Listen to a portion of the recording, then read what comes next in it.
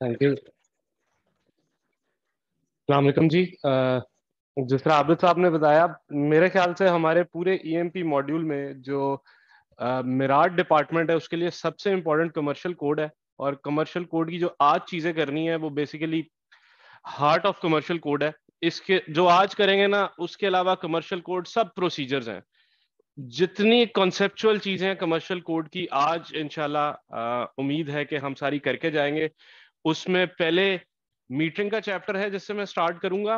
Break से पहले कोशिश करता हूँ। टी ब्रेक से पहले हम मीटरिंग खत्म कर लें। बहुत छोटा सा चैप्टर है, वो हमारे से रिलेटेड है उसके बाद बीएमई बीएमई के बाद हमारा बीएमसी फर्म कैपेसिटी सर्टिफिकेशन और उसके बाद कैपेसिटी ऑब्लिगेशन ये चार पाँच चैप्टर ही हैं जिस पे पूरा कमर्शियल कोड घूम रहा है और इन पाँच चैप्टरों को सपोर्ट के लिए बाकी चैप्टर बना है। तो बेसिकली ये पाँच चैप्टर अगर हमें समझ आ गए तो हमें कमर्शियल कोड समझ आ गया।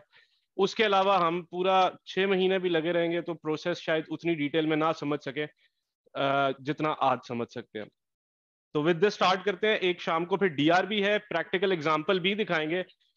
जितने सवाल हैं, आपका जब दिल करे, क्योंकि आज कॉन्सेप्चुअल कॉन्सेप्ट्स हैं, आप लोग पूछ सकते हैं, लेकिन एक गुजारिश है कि अटेंशन पूरी चाहिए। वो बार बार लोग जा रहे होते हैं, आ रहे होते हैं, टी लग गई है, मैंने देखा है, अब लोग टी में भी इंटरेस्टेड हो गए हैं टी मिलेगी।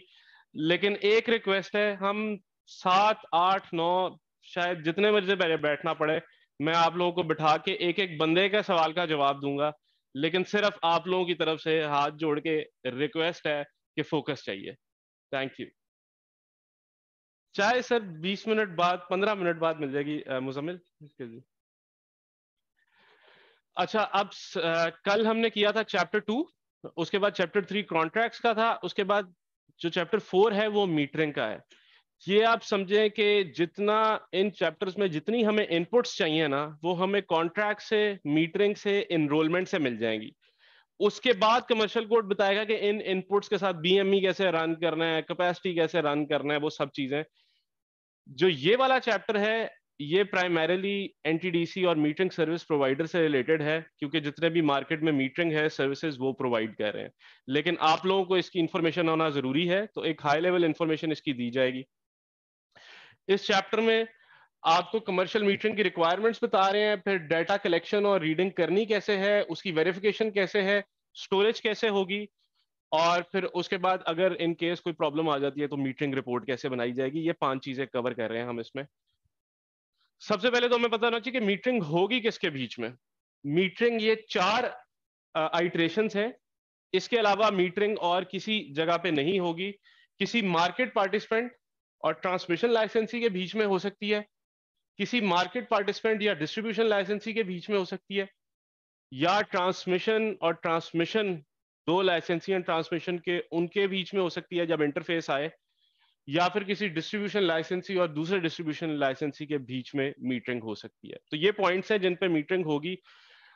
मार्केट पार्टिसिपेंट्स जनरली आपको पता है या ट्रांसमिशन लाइसेंसी के साथ या डिस्ट्रीब्यूशन लाइसेंसी के साथ लगे होंगे। उसके बाद जो आपस में पावर के एक्सचेंजेस हैं between two licenses of NEPRA वो भी पॉसिबल है इसलिए वो भी लिस्ट डाउन हो गए होंगे।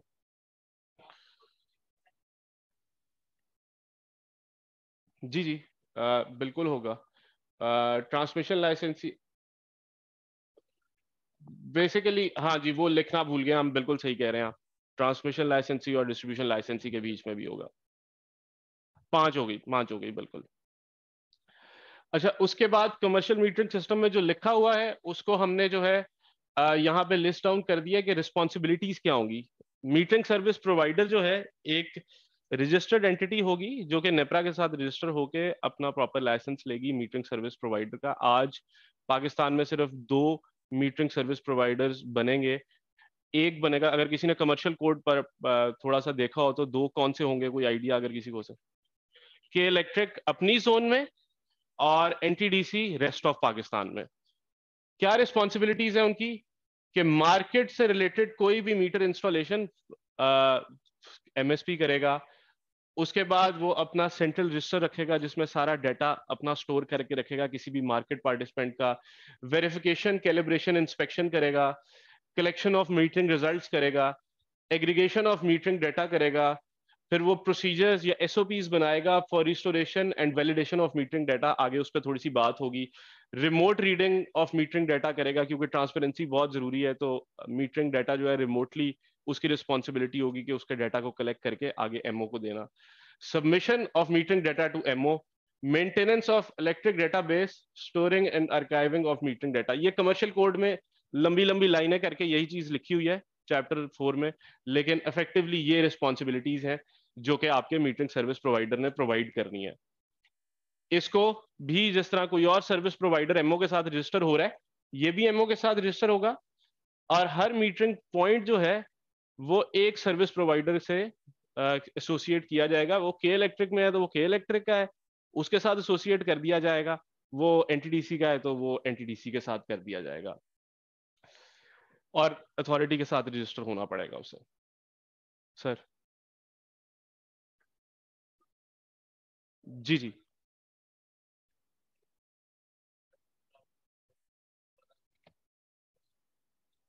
जी। जी।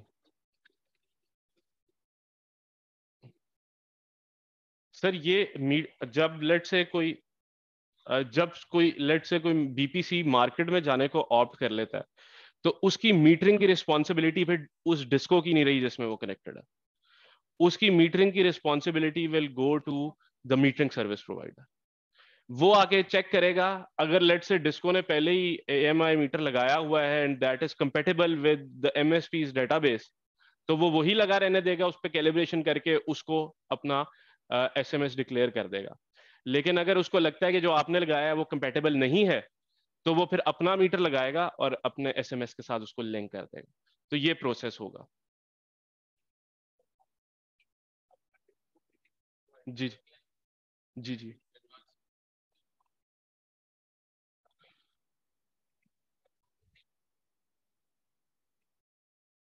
सर लॉन्ग टर्म में यही इन्विजन है कि मीटरिंग सर्विस एक कमर्शियल एक्टिविटी बन जाएगी और कोई और मीटरिंग सर्विस प्रोवाइडर भी आ सकता है जो एनटीडीसी और के इलेक्ट्रिक ना हो।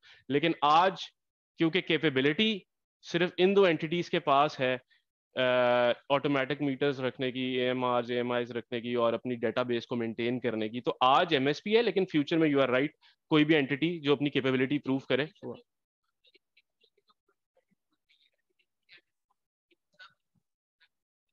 फिर आगे अथॉरिटी का डिसीज़न है। अगर लेट से वो चाहते हैं इंडिपेंडेंट करना तो कर देंगे, लेकिन हमारी तरफ़ से अभी तक कोई कंडीशन ऐसी नहीं रखी गई। जी जी, आ रहा है आगे, बैकअप मीटिंग का।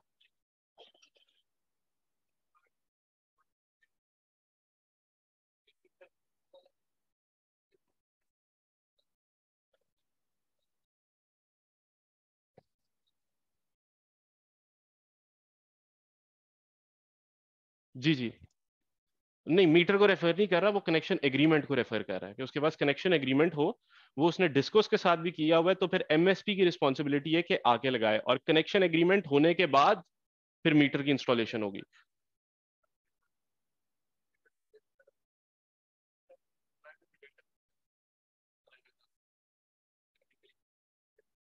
एमएसपी से आएगा। वायर नेटवर्क से नहीं आएगा।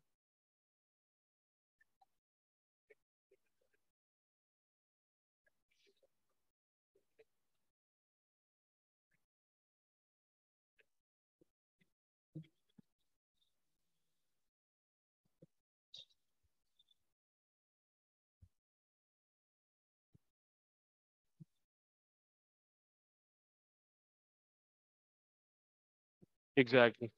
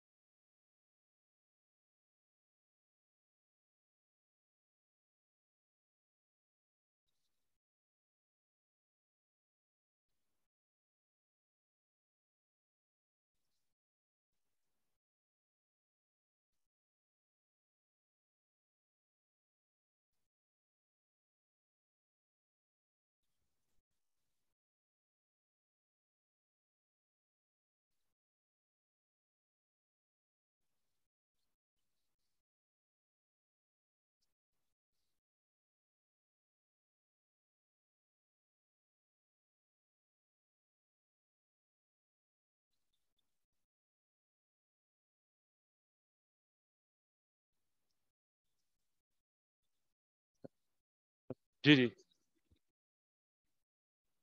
जी जी। मीटरिंग पॉइंट है जहाँ के कमर्शियल सेटलमेंट होगी। ट्रेडिंग पॉइंट है कि लेट से एक जनरेशन निकली है मेपको से, वो फिर पहुँच गई है गेपको में। तो वहाँ पे जो मेपको से गेपको गई है, वहाँ पे कोई सेटलमेंट नहीं होनी। लेकिन ट्रेड हो गया कि यहाँ से energy from the network of MEPCO निकल गई और गेपको चली गई। But that is that will not be use for commercial for commercial settlement जो यूज़ होगा that is commercial metering point जो नहीं यूज़ हो रहा, उसको आप ट्रेडिंग पॉइंट लेना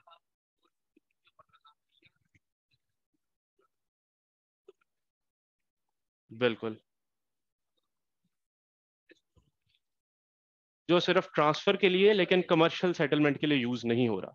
दैट इज़ ट्रेडिंग सर हाँ आपने सर कहा। जी जी।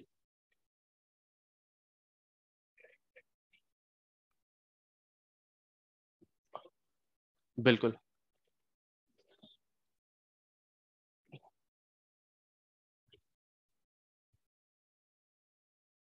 अथॉरिटी ये इसी तरह इफ़ रिक्वायर्ड का मतलब है कि अगर अथॉरिटी डिमांड करती है कि मेरे पास आप आए और लाइसेंस लें, या मेरे पास कॉन्फ्रेंस लें, या मेरे पास रजिस्ट्रेशन करें तो you can not stop authority from authority के अपने चेक्स हैं जो अथॉरिटी चाहेगी करने। एमओ क्योंकि अथॉरिटी के नीचे एक एक बॉडी है जो कि अथॉरिटी ही रेगुलेट कर रही है तो एमओ की registration that does not mean कि अथॉरिटी की कोई भी रिक्वायरमेंट आप बाईपास कर देंगे। जिस तरह जनरेशन है जनरेशन हमारे पास रजिस्टर हो रही है, लेकिन लाइसेंस भी ले रही है। रजिस्ट्रेशन भी है, जिस तरह कॉन्फ्रेंस भी कल को जनरेशन को चाहिए तो कॉन्फ्रेंस जनरेशन जब तक नेपरा से नहीं लेगी, तब तक हम उसे रजिस्टर नहीं करेंगे।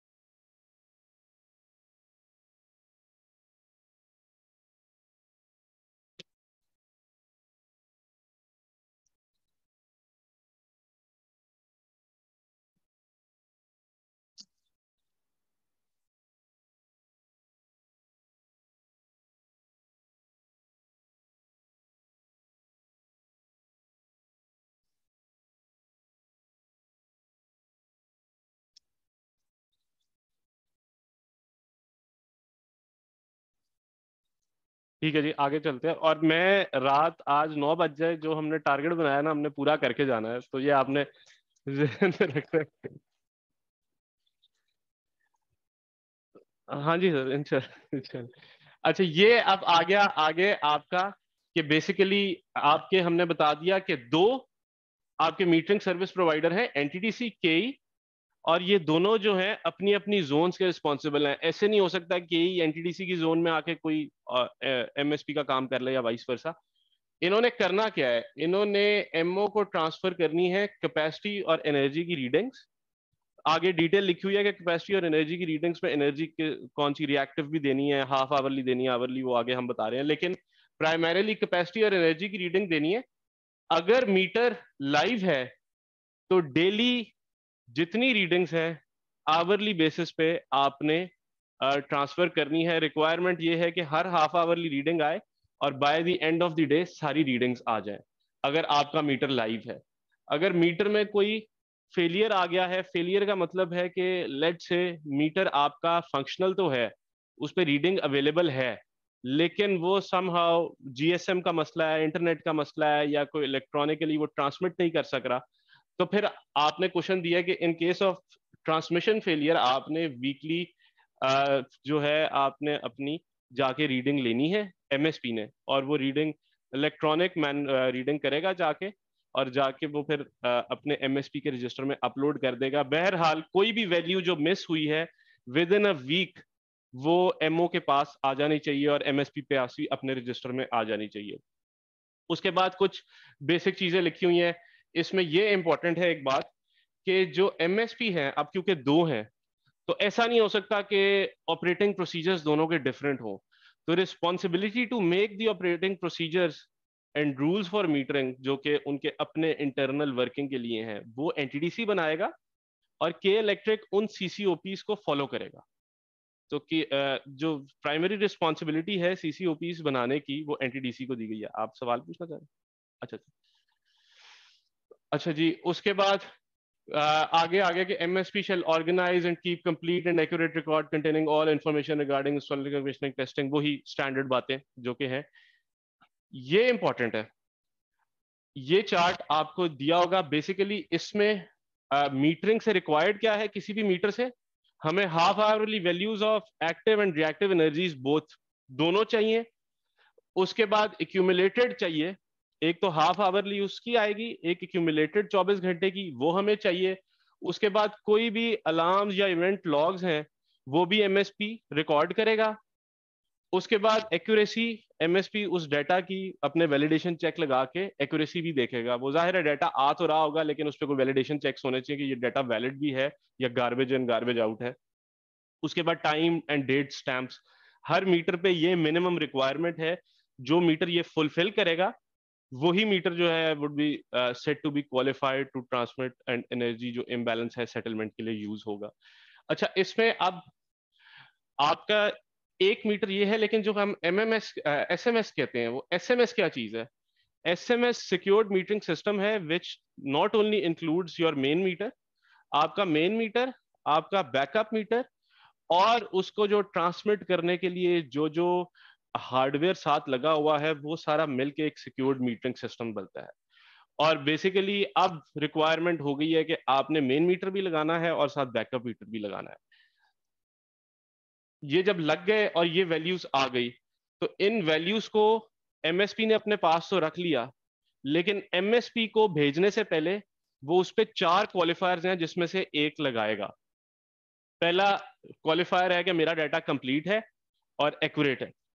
दूसरा क्वालिफायर है कि मेरा डाटा एक्यूरेट तो है, लेकिन इनकम्प्लीट है। तीसरा चेक है कि मेरा डाटा इनएक्यूरेट है, और चौथा चेक है कि मेरे पास डाटा ही नहीं आया। अब लेट से कंप्लीट है एक्यूरेट है, ये तो पास कर जाएगा। अगर इनकम्प्लीट है, लेकिन एक्यूरेट है, क्या ये डाटा यूज़ कर सकते हैं हम? कुछ केसेस में कर सकते हैं। कि लेट से हमारे पास रिएक्टिव एनर्जी नहीं आई, लेकिन एक्टिव आ गई। हमने इम्बैलेंसेस के लिए अपनी एक्टिव यूज़ करनी है। तो कुछ केसेस में जब डाटा इनकम्प्लीट है, लेकिन है एक्यूरेट तो फिर हम वैलिडेशन चेक लगा के उस डाटा को वैलिड डिक्लेयर दे सकते हैं। लेकिन कोई ऐसा केस आ गया जिसमें डाटा इनएक्यूरेट है, उस केस में आप बिल्कुल वैलिड नहीं कह सकते। इनएक्यूरेट है तो फिर वैलिड नहीं है। फिर आपको फिर और प्रोसीजर है, वो आगे मैं बताता हूँ कि किस तरह होगा। और चौथा है कि नो डाटा।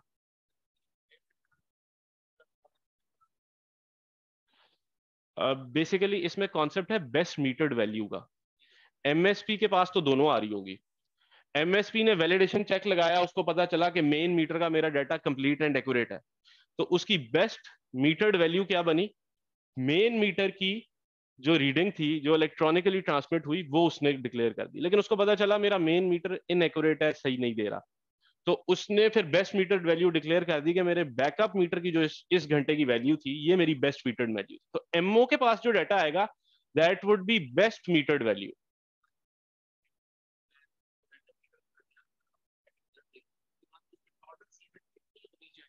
वो ग्रिड कोड बताएगा आपको। That is the question of grid code MSP ने जो एमओ को भेजना है ना मार्केट ऑपरेटर को वो उसने इस ऑर्डर में भेजना है कि मेरा डाटा कंप्लीट एक्यूरेट है मेरी बेस्ट मीटर्ड वैल्यू क्या है? हमारे पास ये आएगा। उसने क्या वैलिडेशन चेक लगाया है वो उसके अपने सीसीओपीज हैं। और वो उसके सीसीओपीज जो एनटीडीसी बनाएगा वही के इलेक्ट्रिक फॉलो करेगा उनके अपने सीसीओपीज जो कहेंगे वो उनकी डोमेन है और वो अपने ग्रिड कोड के लिहाज से उस मीटर को देखें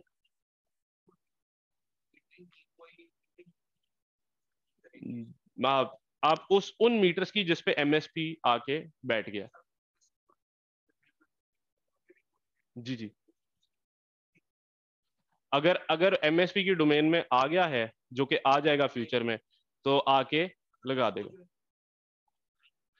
आप आप एज अ मार्केट पार्टिसिपेंट नहीं देखेंगे, लेकिन उनके सीसीओपी में एक मीटरिंग कमेटी बन रही है। आपका कोई बंदा उस मीटरिंग कमेटी का पार्ट होगा, वो उस पराये में देखेगा। आपका बंदा as a part of metering committee देखेगा, लेकिन उस मीटरिंग कमेटी ने जो दे दिया है और एमओ का आ गया सेटलमेंट उस पर होगी आप उस मीटर्ड वैल्यू को हमारे पास आगे चैलेंज नहीं कर सकते। आप अपनी मीटरिंग कमेटी के थ्रू कर सकते हैं।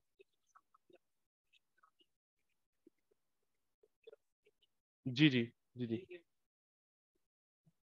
जी। अब अब इसमें जो सीसीओबीज बनेंगे, उसमें मीटरिंग कमेटी का रीडिंग्स लेने का, अगर मैनुअल कोई रीडिंग ले रहे हैं तो उसमें ये भी है कि मैनुअल रीडिंग लेते हुए इलेक्ट्रॉनिकली ट्रांसमिट हो रही है तो फिर तो दैट इज़ एक्यूरेट लेकिन ये केस इलेक्ट्रॉनिकली नहीं हो रही। मैनुअली लेना है तो उसमें मीटरिंग कमेटी एमएसपी और एक जो रिप्रेजेंटेटिव है लेट से मार्केट पार्टिसिपेंट है तो उसका मेंबर या अगर डिस्को है तो उसका मेंबर वो मीटिंग कमेटी का पार्ट होगा और साथ जाके एक्टिवली करेगा। यही इसीलिए सीसीओपीज बन रहे हैं एमएसपी के, ताकि ये ग्रे एरिया से एड्रेस हो जाए।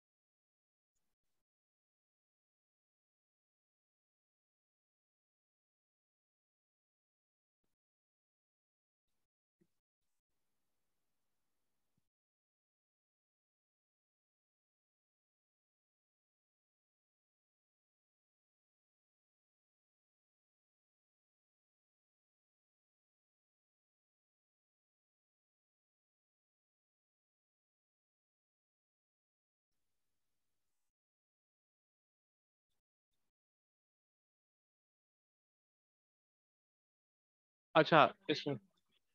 जी जी।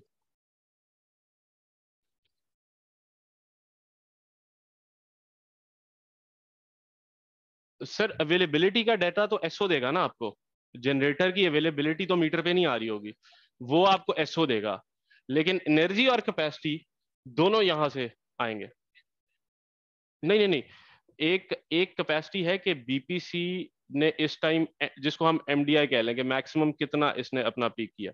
लेकिन जो हाँ पीक का डाटा इधर से आएगा मीटर से आएगा। लाइव लाइव लाइव हर घंटे का, हर घंटे का एमओ को मिलेगा। उसमें कुछ है कि आप बाय डे एंड आपकी वैल्यू सारी आ जानी चाहिए। और जिस तरह मैंने बताया, अगर कोई मीटर इलेक्ट्रॉनिकली कम्युनिकेट नहीं कर सका तो उसका बाय एंड ऑफ़ वीक आ जाना चाहिए। हाफ़ आवरली हाफ़ आवरली दोनों। सेटलमेंट हर घंटे की होगी, लेकिन डाटा हमें हाफ़ आवरली आ रहा है। वो आज जो हम डीआर करेंगे ना, उसमें ये चीज़ को भी हमने एड्रेस किया वो डीआर करते हुए आपको प्रैक्टिस हो जाएगी कि हाफ़ आवरली को कैसे करना है। सर सर सर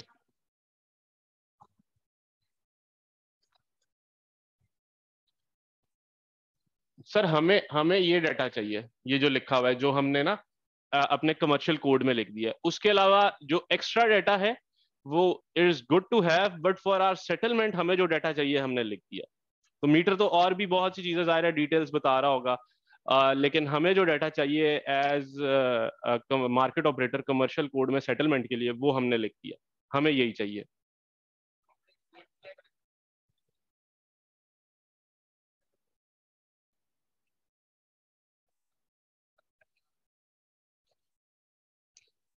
बिल्कुल। बिल्कुल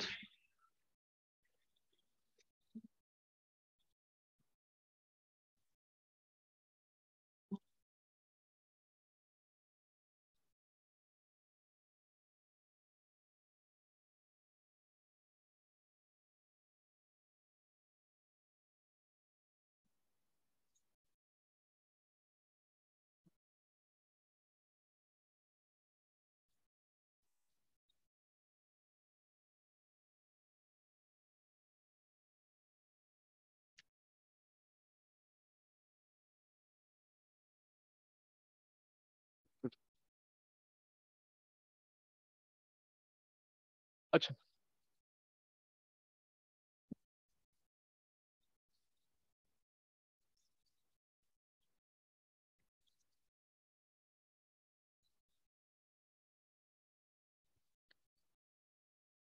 सर, शादी चले, आगे कर देते उसमें, ठीक है। आज अच्छा जब डेटा आएगा अब एमएसपी ने डेटा को, हमें पता चल गया, डेटा क्या देना है, डेटा को कैटेगराइज कैसे करना है?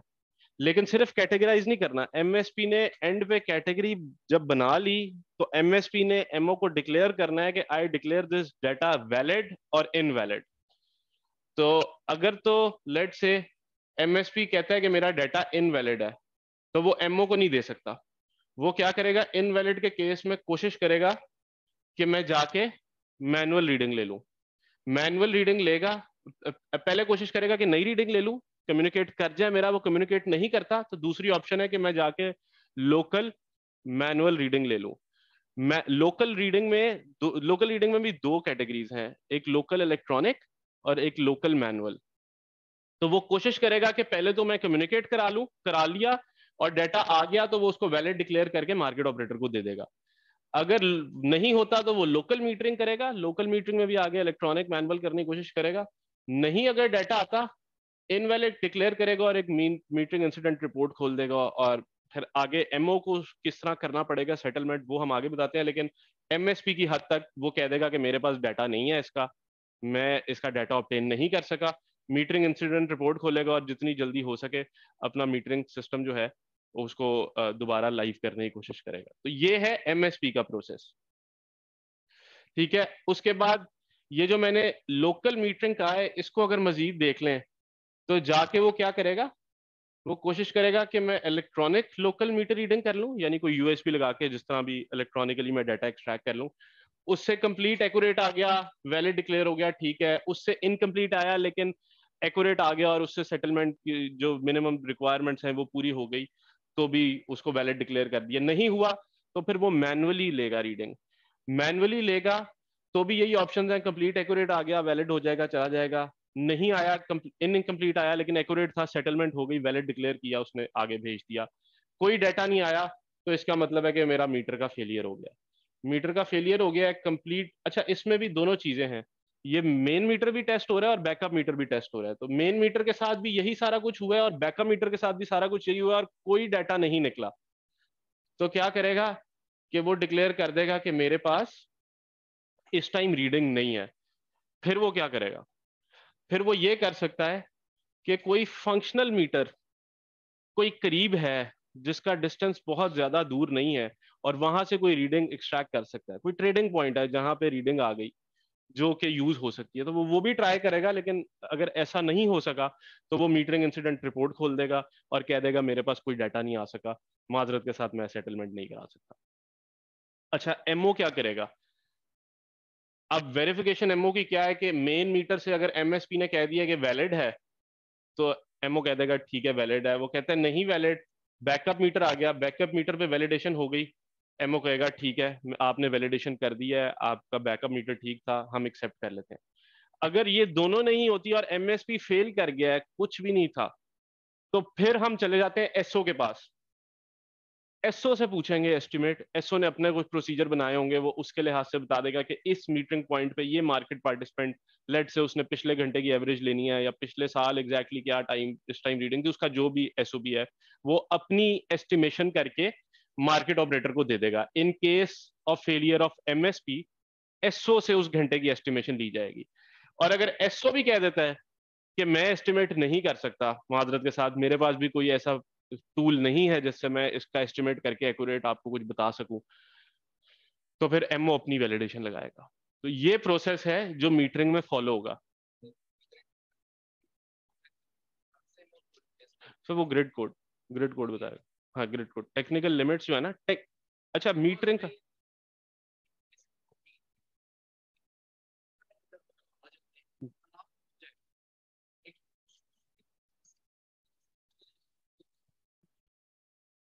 जी जी हमें तो हमें तो एमएसपी ने देना है हम एमएसपी को बार बार कहते भी रहेंगे कि आप अपना रिपेयर करें लेकिन आ, हमारे पराय में नहीं है कि हम एमएसपी को कहें कि आपने within these many days करना है। ग्रिड कोड कुछ कहते हैं अगर कोई बता सके।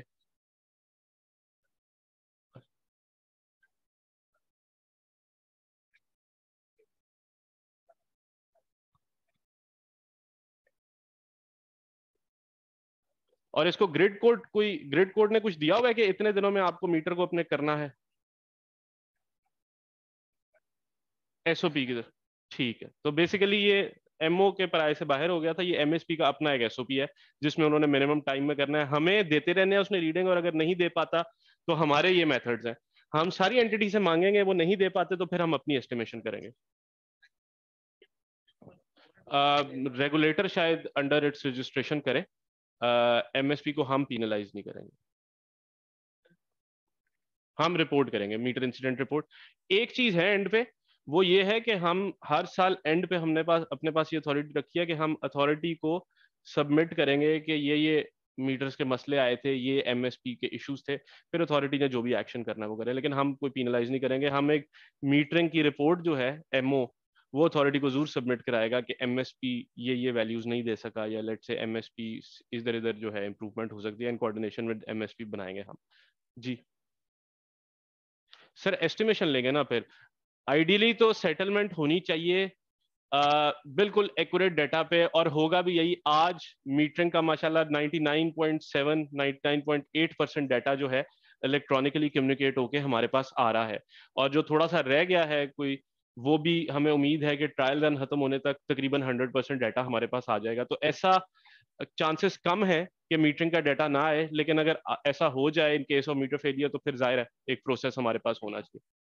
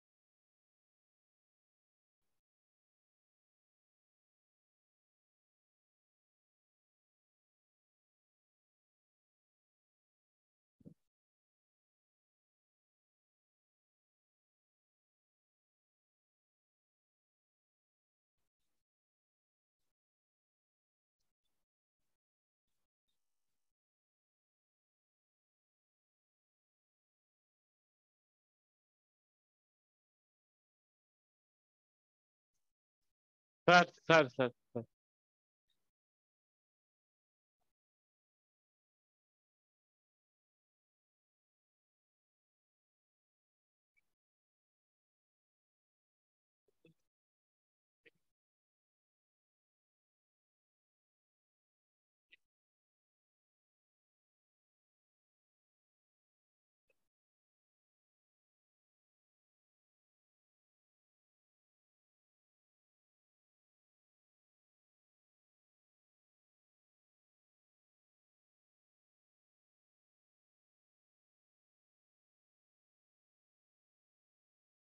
जी सर ये इस तरह की कन्वर्सेशन का फ़ायदा ये होता है कि आप लोग चाय पे जब जाए ना तो ये आपस में ज़रूर डिस्कस कर लीजिएगा क्योंकि बेसिकली जी जी आप लोग ये च, च, ये आप लोग ज़रूर डिस्कस कीजिएगा आपस में। लेकिन ये है कि हमारे पास जो डाटा आ रहा है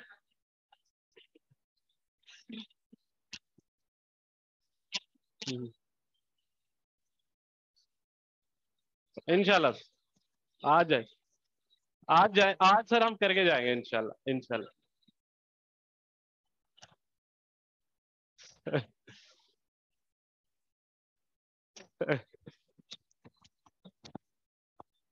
इनशाला इनशाला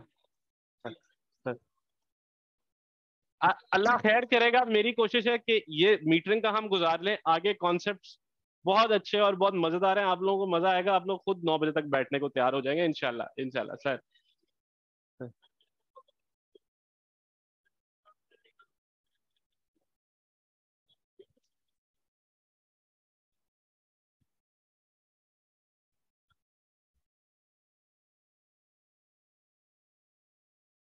सही।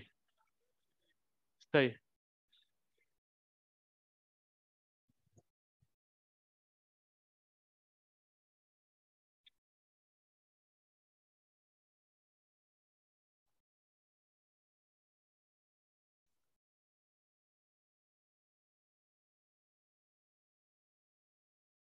ये मार्केट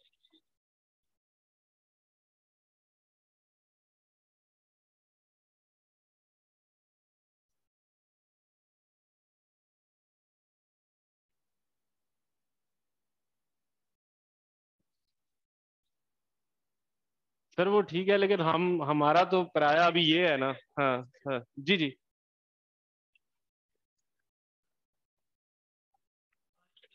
सर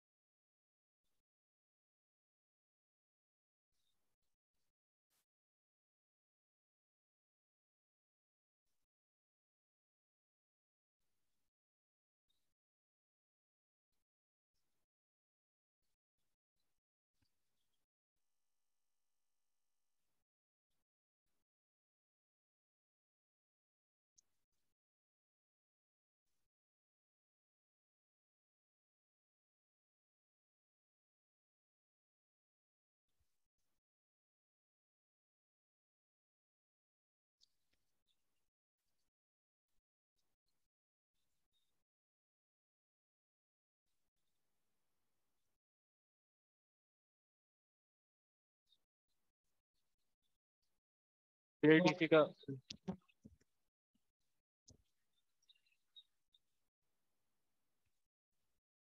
सर, इसको इसको सर, इस चीज़ को ना क्लोज करते हैं। आप अगर पचपन करोड़ किसी ने गलत लगाया, सही लगाया बट रेस्ट अश्योर जो हम मीटरिंग सिस्टम लगा रहे हैं ना that will be accurate that will transmit that has been tested NTDC ने वेरीफाई किया है सीपीपी ने वेरीफाई किया है, दो रिस्पॉन्सिबल एंटिटीज हैं। अगर वो कह रही हैं तो प्लीज़ मान लें कि वाकई वाकई ऐसे ही है। तो खैर, ये प्रोसेस कमर्शियल कोड देता है, उस के मीटरिंग डेटा को किस तरह वैलिडेट करना है, किस तरह चेक करना है, ये हमने समझ लिया। उसके बाद सिंपल दो आगे और कमर्शियल कोड बातें कहते हैं। एक स्टोरेज और custody of commercial metering data MSP ने कोई भी मीटरिंग डाटा पाँच साल के लिए अपने पास स्टोर करके रखना है। ग्रिड कोड कोई रिक्वायरमेंट लगाता है कि मीटर के अंदर स्टोरेज कैपेसिटी होनी चाहिए, शायद सत्तर दिन की या कुछ इस तरह। और, लेकिन एमएसपी अपनी डेटाबेस के अंदर अपना जो भी उन्होंने स्टोरेज इक्विपमेंट रखा होगा, उसमें पाँच साल का डाटा स्टोर करना है। यानी वो सत्तर दिन ग्रिड कोड कह रहा है इन द मीटर और पाँच साल हम कह रहे हैं इन योर डाटा स्टोरेज उसके बाद डाटा कंप्लीट होना चाहिए, उस डाटा की साइबर सिक्योरिटी होनी चाहिए। ये सब इसीलिए है कि इन केस कल को कोई चैलेंज ना कर सके कि आपकी मीटर रीडिंग सही थी या गलत थी। उसकी साइबर सिक्योरिटी कॉन्फिडेंशियलिटी और जो एडिकेट कैपेसिटी आपको चाहिए पाँच साल की स्टोरेज के लिए, वो आपने अपने पास एट ऑल टाइम्स रखनी है। उसके बाद ये आखिरी आ गया सर के एमओ कोई किसी किस्म का पीनलाइज नहीं कर सकता एमएसपी को, लेकिन क्या हो सकता है कि एमएसपी के साथ मिलके मार्केट ऑपरेटर को एक रिपोर्ट एमएसपी सबमिट कराएगा कमर्शियल मीटरिंग रिपोर्ट जिसमें list of all metering points होगी प्रॉब्लम्स जो जो आइडेंटिफाई हुई हैं during the implementation of this code वो भी एमएसपी एमओ को बताएगा? अगर कोई कॉन्फ्लिक्ट्स आए हैं, कोई मीटर रीडिंग्स में क्लैशेस आए हैं, कोई लोगों ने एक्सेप्टेंस में मसला आया है, कोई मीटरिंग कमेटी के प्रॉब्लम्स हैं, वो सारे एम एमएसपी जो है एक रिपोर्ट की सूरत में एमओ को बताएगा। और ये सारी जो है, इसके अगेंस्ट अगर एमएसपी की कोई प्रपोजल्स हैं, वो एमएसपी बताएगा हमें एमओ को कि ये अगर हम कर लें तो चीज़ें बेहतर हो सकती हैं। वो रिपोर्ट की सूरत में हर साल जमा होगी और एमओ फिर उसको ऑनवर्ड जो है आगे लेके जाएगी सर, अगर आ जाता है तो अथॉरिटी के पास जाएँगे। ये था सर, चाय पीते हैं, चाय पी के चाय पी के सारों ने फ्रेश आना है। हमने एक बीएमई e का पूरे चैप्टर की पहले डिटेल पढ़नी है, उसके बाद एग्जांपल भी करनी है। तो और इतना नहीं खाना पीना, सर, के नींद आ जाए प्लीज़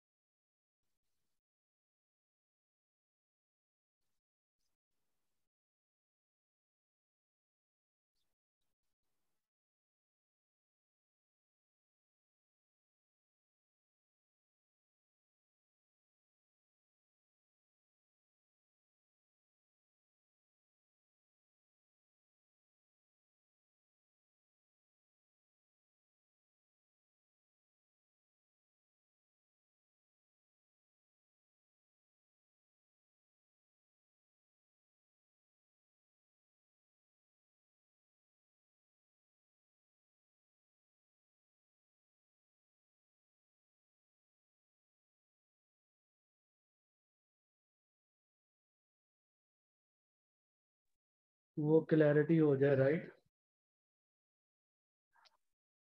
तो कोई आदमी कल क्वेश्चन हो रहा था कि डिस्को की रेवेन्यू रिक्वायरमेंट के कौन से कंपोनेंट हैं राइट तो उसके अंदर बात हो रही थी कि ट्रांसफ़र प्राइसिंग का मैकेनिज्म कोई आदमी ये बता दे कि ट्रांसफ़र प्राइसिंग का मैकेनिज्म वो किन दो एंटिटीज के दरमियान में डील होता है?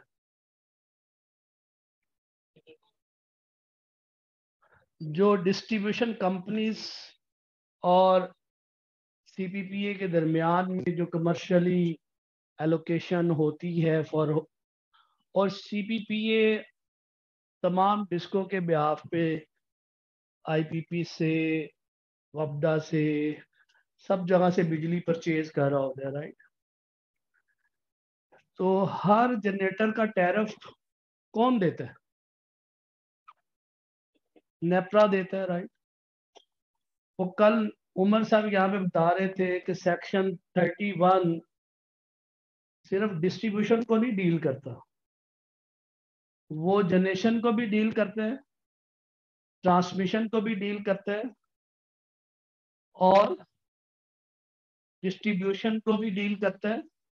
और कंज्यूमर को भी डील करता है राइट तो आपको ये अंदाज़ा होना चाहिए, जब टैरफ की बात होगी तो आप कंज्यूमर के टैरफ की बात कर रहे हैं? डिस्को के टैरफ की बात कर रही हैं? एनटीडीसी के टैरफ की बात कर रही हैं? या जनरेशन के टैरफ की बात कर रही हैं? जब कंज्यूमर के टैरफ की बात करेंगे तो कंज्यूमर ने जनरेशन की कॉस्ट भी देनी है ट्रांसमिशन की कॉस्ट भी देनी है, डिस्ट्रीब्यूशन की कॉस्ट भी देनी है तो वो कंज्यूमर है।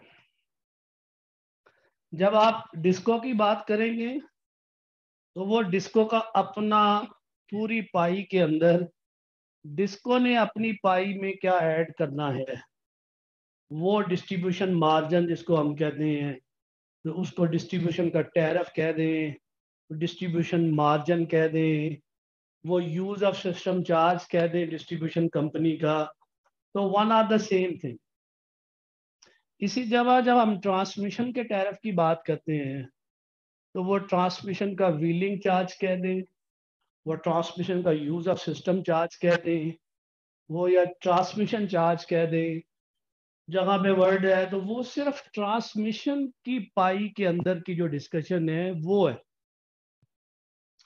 इसी तरह जब हम जनरेशन के टैरफ की बात करते हैं तो जनरेशन का टैरफ किसी एक प्रोजेक्ट का टैरफ है राइट तो उस प्रोजेक्ट का टैरफ उसकी कॉस्ट को रिकवरी के लिए उसके लिए रेलेवेंट है। अगर वो रिन्यूएबल है तो रिन्यूएबल के प्रोजेक्ट का टैरफ है। वो जने सोलर है तो सोलर का है न्यूक्लियर है जिसके ऊपर हमने डिफरेंट टेक्नोलॉजी की बात की। तो वो सारे के सारे जो पावर प्लांट्स हैं, वो भी नेप्रा के डिटर्मिन टैरफ पे आज के दिन में हो रही हैं। ट्रांसमिशन भी नेप्रा का डिटर्मिन टैरफ है। डिस्ट्रीब्यूशन का भी नेप्रा का डिटर्मिन टैरफ है। कंज्यूमर का भी टैरफ कौन डिटर्मिन करते हैं? नेप्रा करता राइट तो ये सारे टैरफ किसको इंश्योर करते हैं कि जो कॉस्ट आपने इनकर की है, वो कॉस्ट प्रूडेंट है या नहीं है? नेप्रा सिर्फ़ ये चेक करता है कि these are the prudent cost और नॉन प्रूडेंट कॉस्ट जिसकी बेस पे हम हर, आप देखे होंगे आपकी सारी कंपनियों में एक टैरफ पटिशन बनती है और फिर हम टैरफ पटिशन को हम नॉर्मली कहते हैं, ये फाइनेंस वालों का काम है। बट ये सारी कंपनी का काम है भाई।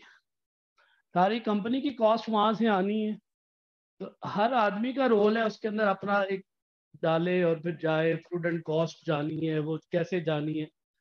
तो वो प्रूडेंट कॉस्ट मैं डिस्ट्रीब्यूशन कंपनी के तौर पे वो चार चीज़ें इसको साइलेंट कर दो ये चार कंपनीज़ जो सी हैं, वो at the end of the day मैंने बताया था कि वो वैल्यू जो कंज्यूमर को देनी है, वो चार कौन सी चीज़ें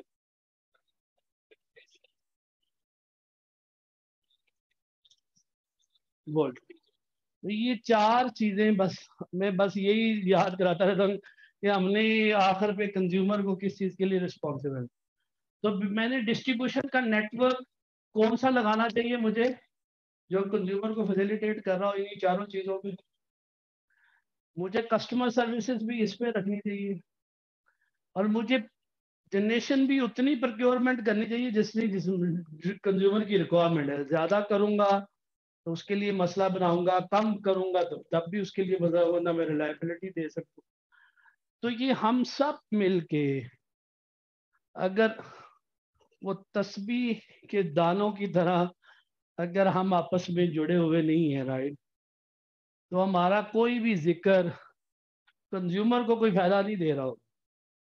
वो ऐसे करके तक वो दाने सारे बिखरे होंगे और हम कोई ज़िक्र कर रहे होंगे जिसका कंज्यूमर को कोई फ़ायदा नहीं है।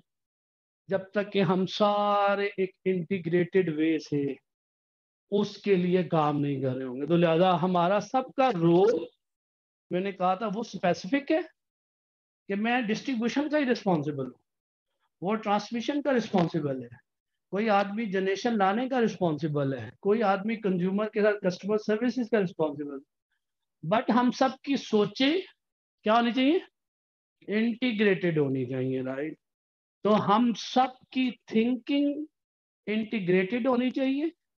बॉडी के अंदर से थिंकिंग एक ही जगह से जनरेट होती है और उसके ऊपर सब उसके मुताबिक एक्शंस करते हैं राइट तो हम सब मिल के पावर सेक्टर के जितने भी प्लेयर्स हैं, वो उस बॉडी की तरह है जो कंज्यूमर देख रहा है हमें बाहर से।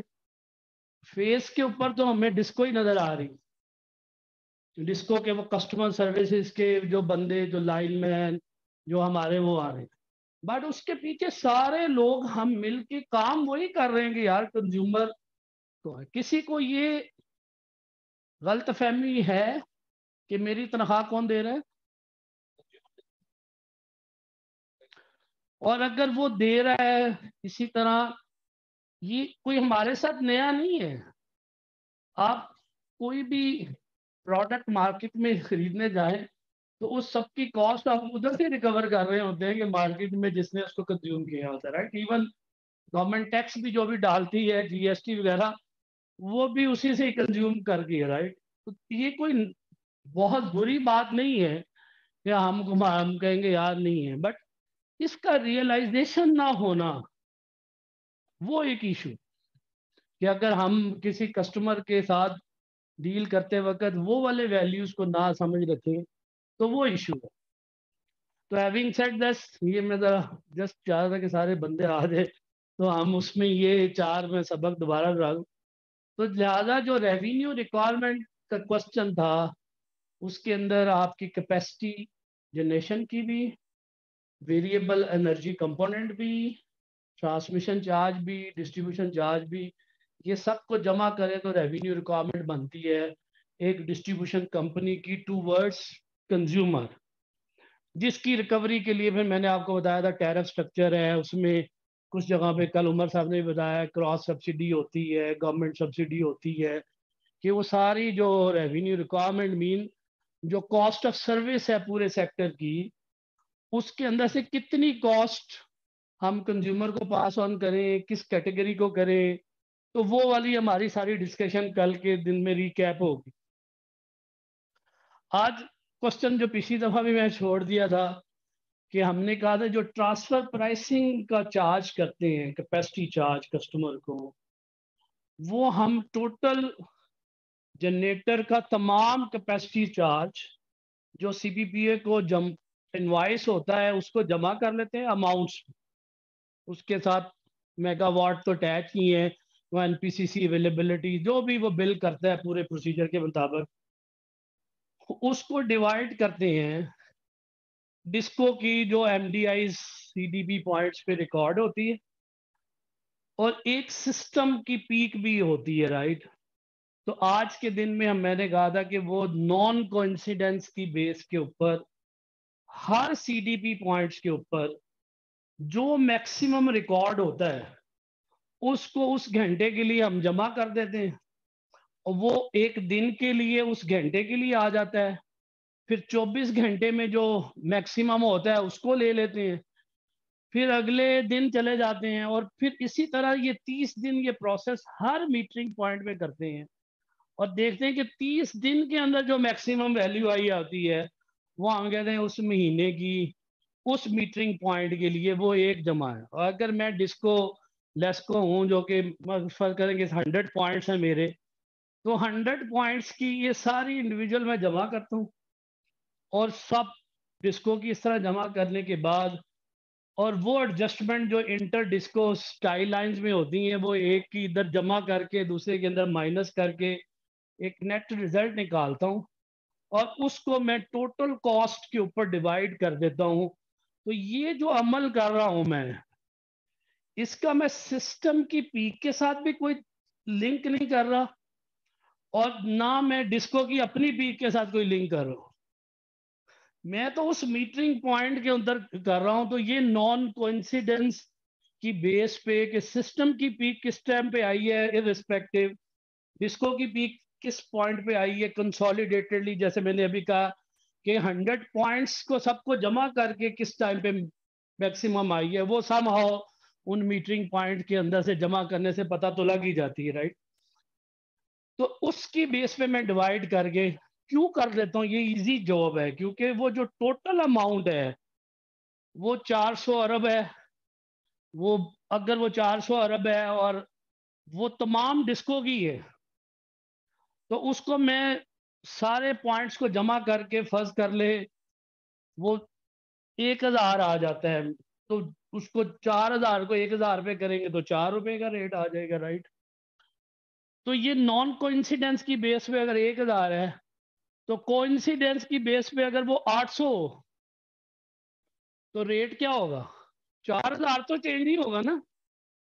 तो अगर वो 800 होगा तो वो चार रुपये चालीस पैसे बन जाएगा या चार रुपये बीस पैसे बन जाएगा तो इसलिए कोइंसिडेंस हो या नॉन कोइंसिडेंस हो, उससे ओवरऑल सिस्टम के नंबर्स पे तो कोई फ़र्क नहीं पड़ता। बट हो सकता है कि किसी डिस्को की कोइंसिडेंस के अंदर शेयर अगर 2000 की बेस पे हो रहा हो तो वो आपस में चेंज हो सकता है।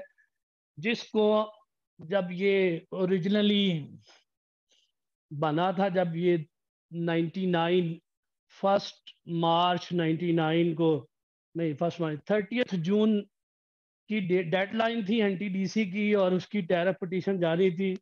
मैं एनटीडीसी का हेड ऑफ़ फाइनेंस था उस वक्त।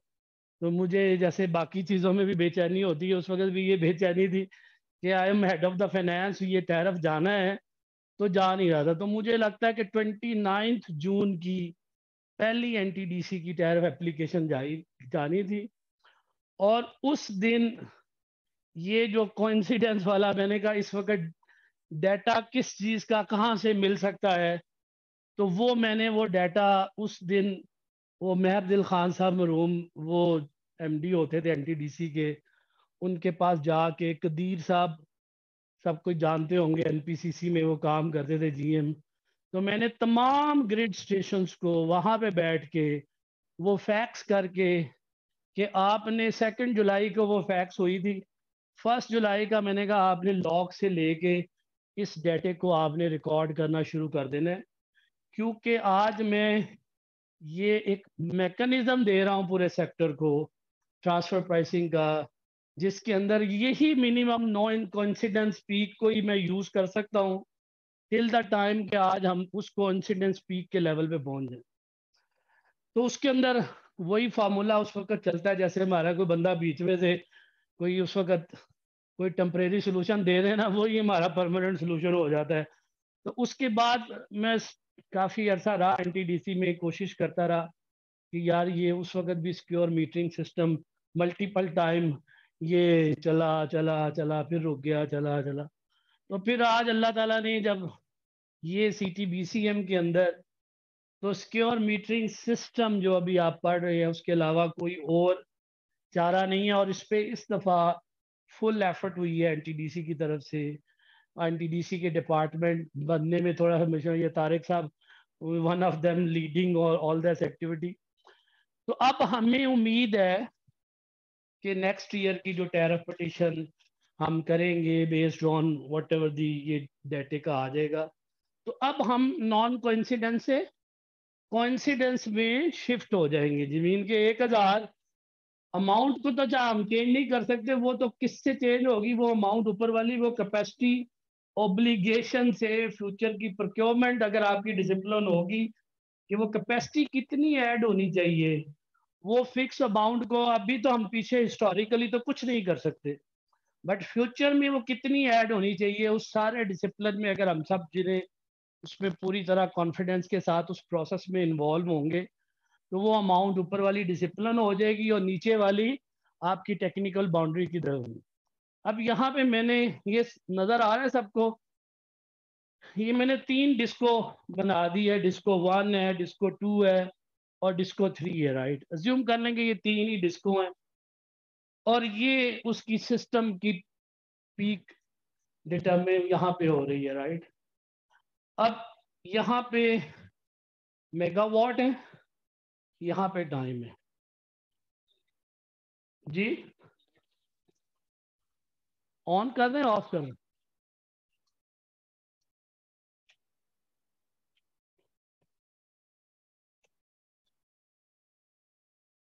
अब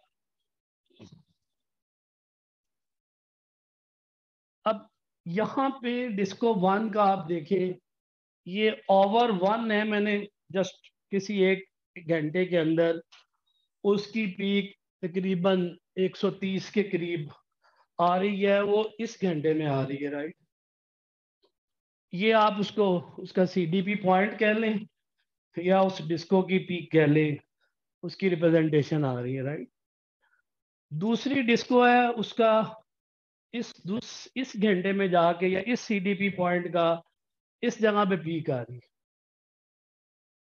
इसी तरह तीसरी डिस्को की किसी और घंटे में जाके पीक आ रही तो ये सब की पीक एक टाइम पे तो नहीं आ रही। तो it is a non coincidence even there CDP points are concern there DISCOs are concern दूसरा है कि सिस्टम की बीक इन तीनों के अलावा किसी और घंटे में आ रही है राइट तो अब क्वेश्चन ये है कोइंसिडेंस क्या कह रहे हैं? जिस घंटे के अंदर सिस्टम की पीक है, उस घंटे में इस डिस्को का क्या शेयर है?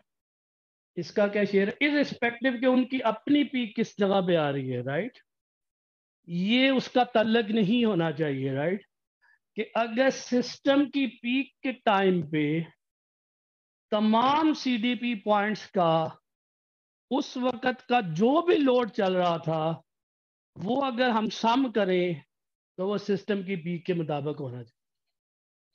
तो दिस इज़ कॉल को coincidence at the time system को लोड जो कर रहा है, उस टाइम पे डिस्को क्या उसको अंदर बर्डन ऐड कर रही हैं तो वो कोइंसिडेंस और कब?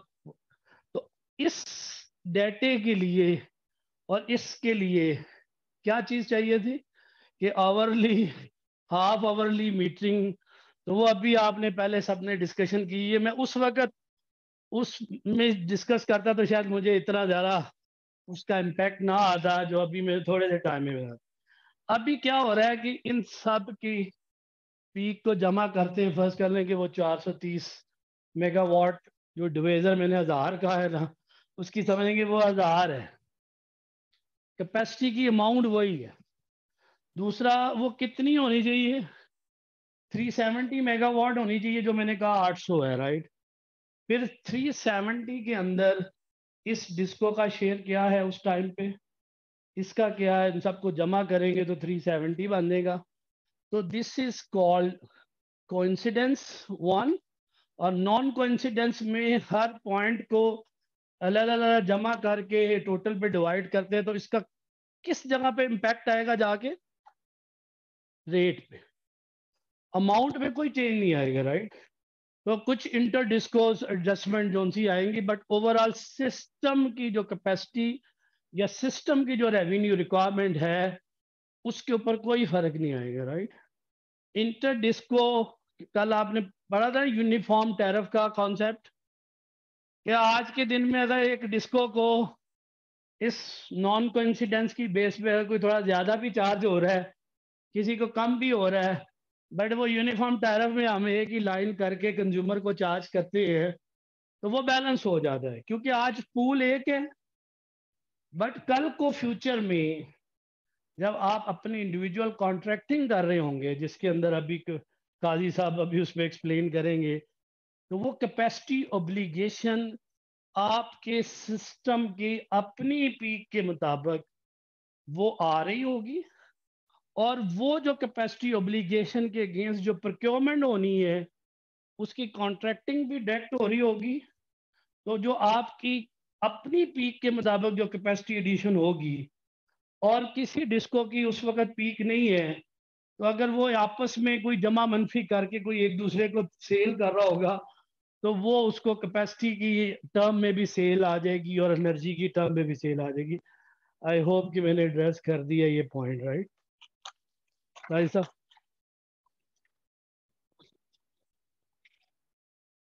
अभी ये बताएँगे सर। सारा कुछ बताएँगे अभी। ये मैंने तो इस, इसलिए मैं जल्द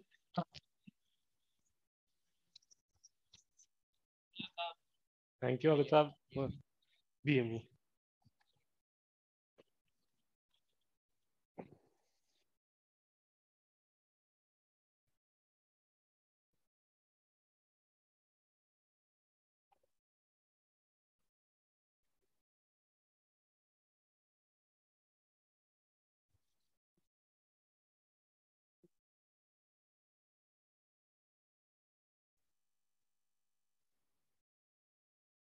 आबिद साहब ने क्योंकि ये फ्लो पकड़ा है तो उन्होंने जिस तरीके से समझाया ना वही समझाएँगे। मैं फिर एक और ज़ीरो से स्टार्ट करके फिर से चलूँगा।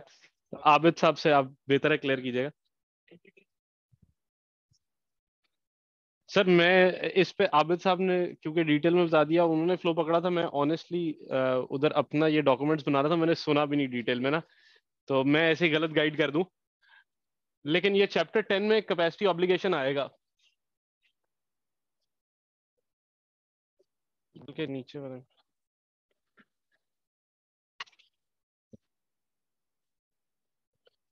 आवाज़ आवाज़ आ रही है जी सबको? अच्छा सर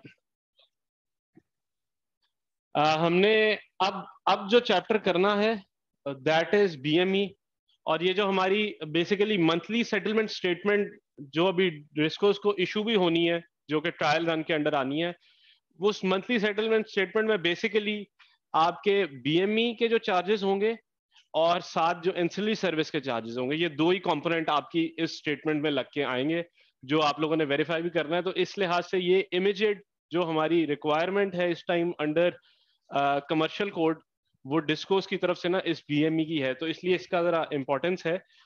uh, इसमें स्लाइड्स पे जाने से पहले हम बोर्ड पे थोड़ा सा डिस्कस कर लेते हैं कि बेसिकली बीएमई क्या है? कोई अगर थोड़ा सा एक्सप्लेन कर सके जो इतनी डिटेल्स हमने डिस्कस की है, उसमें थोड़ा सा आइडिया किसी को अगर? सर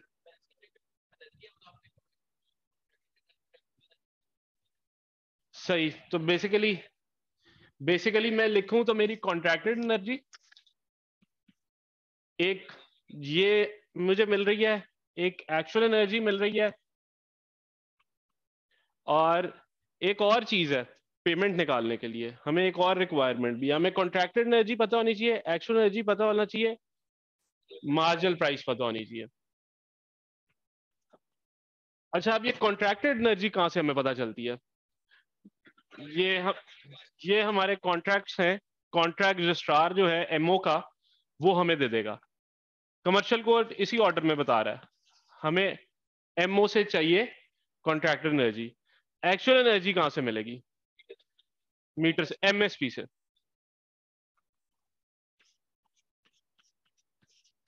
और मार्जिनल प्राइस हमें चाहिए मार्जिनल प्राइस एसओ से। ये हमें पता चल गया है। इस सब चैप्टर में ना सिंपल बस कॉन्ट्रैक्टर एनर्जी एक्चुअल एनर्जी और मार्जिनल प्राइस हाँ। नहीं एसओ देगा हमें। एसओ देगा। यूटिलाइज करेंगे हम। एमओ जो है आ, सिर्फ़ ये एक है कि एमओ वेरिएबल कॉस्ट जो है ना वो एसओ को देगा। लेकिन वो वेरिएबल कॉस्ट सिर्फ़ वेरिएबल कॉस्ट की हद तक होगी। डिस्पैच ज़ाहिर एसओ अपने लिहाज से करेगा और जो फिर डिस्पैच बनेगी उसके अगेंस्ट वो मार्जिनल प्राइस हर घंटे की निकाल के देगा।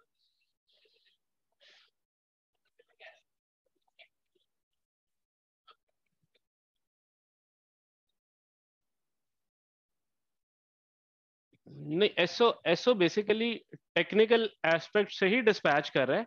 उस डिस्पैच में एक मार्जिनल प्राइस ऑटो पे निकल आई। यानी मैंने जो डिस्पैच किया एसओ क्योंकि डिस्पैच का कमर्शियल एंड इस तरह आ गया कि एसओ को डिस्पैच करनी ही लीस्ट कॉस्ट बेस पे है।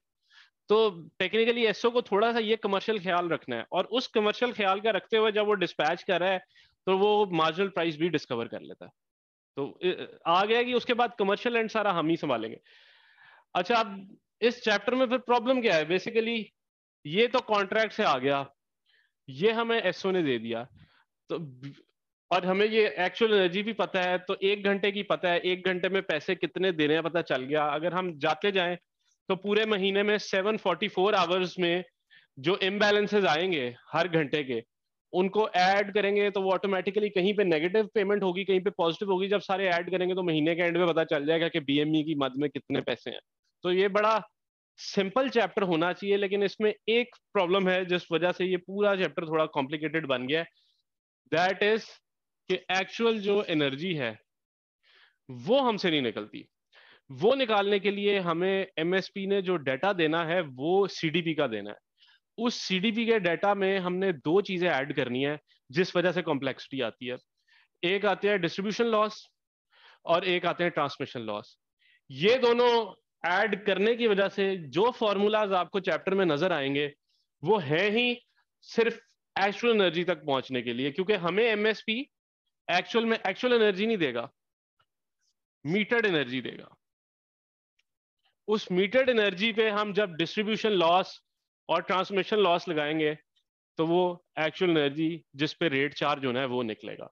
तो एमएसपी से टेक्निकली हमें मीटर्ड जो सीडीपी जो ट्रेडिंग जो कमर्शियल मीटरिंग पॉइंट डिक्लेयर हुआ हुआ है, उस पर जो रीडिंग है वो मिलेगी।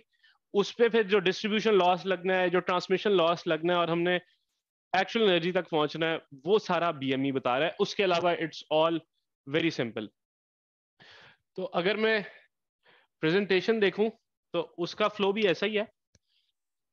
चैप्टर में सबसे पहले प्री रिक्विजिट्स क्या है बीएमई e के? जिस तरह हमने बताया, हमें एमओ से क्या चाहिए एमएसपी से क्या चाहिए एसओ से क्या चाहिए उसके बाद कैलकुलेट किस तरह करना है, वो बताता है और फिर एंड पे टोटल कैलकुलेशन बता देता है। तो आप लोग देख रहे होंगे, काफ़ी खतरनाक फॉर्मूले लिखे होंगे, लेकिन वो फॉर्मूले टेक्निकली दो ही हैं। उन फॉर्मूलाज को किया ये हुआ है, क्योंकि कमर्शियल कोड है तो उसमें बीपीसी का जब ज़िक्र आया तो वही फॉर्मूला रिपीट हो गया। जब सप्लायर का ज़िक्र आया तो वही फार्मूला रिपीट हो गया। जब एस का ज़िक्र आया, तब वही फार्मूला रिपीट हो गया। लेकिन वो फार्मूले इफेक्टिवली दो ही हैं, जो कि रिपीट हुए हुए हैं। तो इसलिए ज़्यादा परेशान नहीं होना हमने उन फार्मूला से। बाय डेफिनेशन चले तो balancing mechanism shall determine the difference between energy injected slash extracted to और from the transmission slash distribution network at the trading points and participants contracted energy वही बात कि जो एनर्जी कॉन्ट्रैक्ट की हुई है या जो एनर्जी इंजेक्ट या एक्सट्रैक्ट की है, उसका जो डिफरेंस है, वो बीएमई e को या इम्बैलेंस को आपके राइज देगा। क्या इंफॉर्मेशन चाहिए? वही जो हमने डिस्कस किया कमर्शियल मीटरिंग सिस्टम की इंफॉर्मेशन चाहिए कॉन्ट्रैक्टेड एनर्जी कितनी है वो चाहिए, और मार्जिनल प्राइस चाहिए। ये वाली जो इंफॉर्मेशन हमें एमएसपी से मिली है ना, इस पे हमने थोड़ी सी एडिशन वर्किंग करनी है। बाकी दोनों एज इट इज़ जो हमें डाटा आ रहा है, उससे निकल आएँगी। तो सारी जो तगदो है इसमें, वो information of commercial meeting system है। पाँच स्टेप्स हैं सर छह स्टेप छठा है वो इम्बैलेंस कैलकुलेट करने के लिए है। तो आपने सबसे पहले डिस्ट्रीब्यूशन लॉस लगाना है, उसके बाद आपको डिस्ट्रीब्यूशन लॉस तो लगा देंगे आप वो जो को आपको नेपरा ने अलाउ किया है फॉर डिस्ट्रीब्यूशन कंपनीज़ लेकिन ट्रांसमिशन लॉस पर लगाना है उस पर ट्रांसमिशन लॉस आपके पास ऑप्शन है क्योंकि सारा सिस्टम रिंग फेंस्ड है तो आपके पास ऑप्शन है कि एक्चुअल ट्रांसमिशन लॉस आप निकाल लें।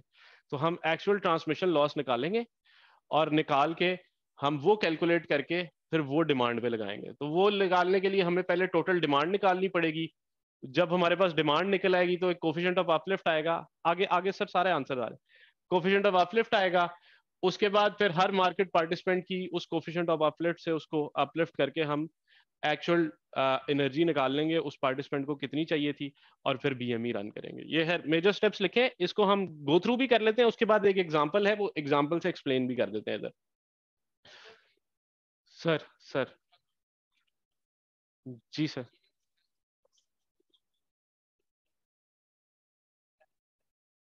नहीं कॉन्ट्रैक्टेड एनर्जी जो आपने कॉन्ट्रैक्ट रजिस्टर में लिख दिया है, वो आपने कॉन्ट्रैक्ट क्या किया है? उस पर डिपेंड करता है। तो फॉर एग्ज़ाम्पल एक ठीक है? ठीक है ठीक है। चलिए जी, आगे वैसे आ रहा है, सर। डिस्ट्रीब्यूशन लॉस कैसे निकालेंगे? कि जो हमारी लेट से ये हमारा जनरेटर था, वो ट्रांसमिशन नेटवर्क से होके गया। तो अगर तो कोई बीपीसी ट्रांसमिशन नेटवर्क के अंदर लगा हुआ है तो फिर तो उस पर कोई डिस्ट्रीब्यूशन लॉस नहीं होगा। तो उस पर तो सिर्फ़ ट्रांसमिशन लॉस लगेगा। अगर लेट से पॉइंट टू पे लगा हुआ है, जो कि डिस्ट्रीब्यूशन नेटवर्क के अंडर है तो फिर जो उसकी मीटर्ड एनर्जी होगी, उसको one divided metered energy divided by one minus distribution loss करेंगे। तो वो ग्रोसअप हो जाएगा उसमें डिस्ट्रीब्यूशन लॉस तो ये ये इंपॉर्टेंट है। कुछ ऐसे बीटीसी हो सकते हैं जो ट्रांसमिशन पे या सप्लायर हो सकते हैं जो ट्रांसमिशन पे हो, उस पर डिस्ट्रीब्यूशन की कोई कंसिडरेशन नहीं होगी। नहीं 132 पे आपको 132 का नेफ्रा अलाउड कोई डिस्ट्रीब्यूशन लॉस है, वो लगाना पड़ेगा। वो लगाना पड़ेगा। 11 पे भी लगेगा, लेकिन 11 पे आपको जो अलाउ किया होगा, आपने 11 के लिहाज से लगाना।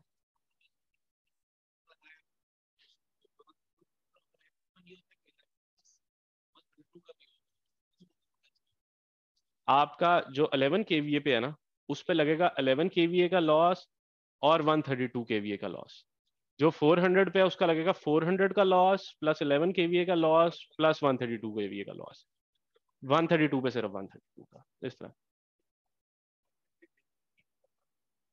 नहीं, जो आपने कॉन्ट्रैक्ट किया आपने जो कॉन्ट्रैक्ट में लेके गए कॉन्ट्रैक्ट तो आपने कर लिया. कॉन्ट्रैक्ट आपने कर लिया लोड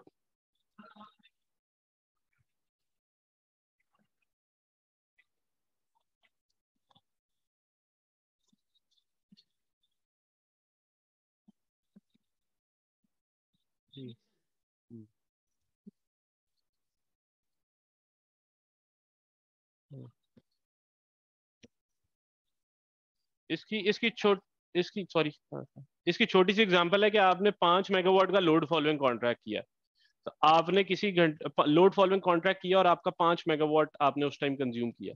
अब लोड फॉलोइंग कॉन्ट्रैक्ट का ये मतलब है कि आपके जनरेटर ने जो आपने लोड कंज्यूम किया वो देना है। तो आपके जनरेटर की क्या जनरेशन पाँच मेगावाट होनी चाहिए उस टाइम नहीं, क्योंकि आपके बीपीसी ने पाँच मेगावाट कंज्यूम किया है।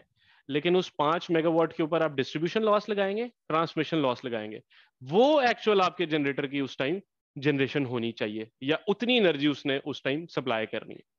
तो ये ये कॉन्सेप्ट है इसका, यानी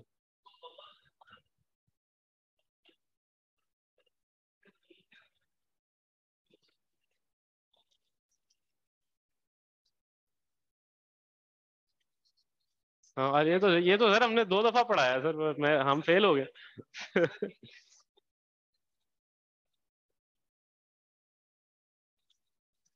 चलो चलो, वो तो खैर, वो एक अलग चीज़ है। अच्छा sir.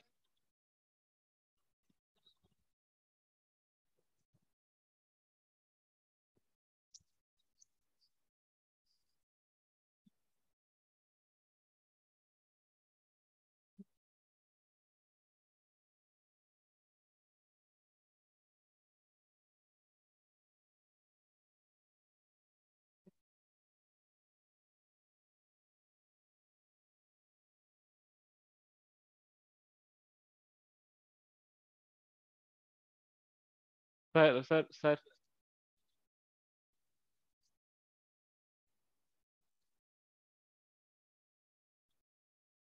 sir sir हम इधर ही रहेंगे सर हम इधर ही रहेंगे। हमने बीएमई पे ही रहना है। सवाल बहुत है पावर सेक्टर बहुत बड़ा है। मुझे उस सब के जवाब नहीं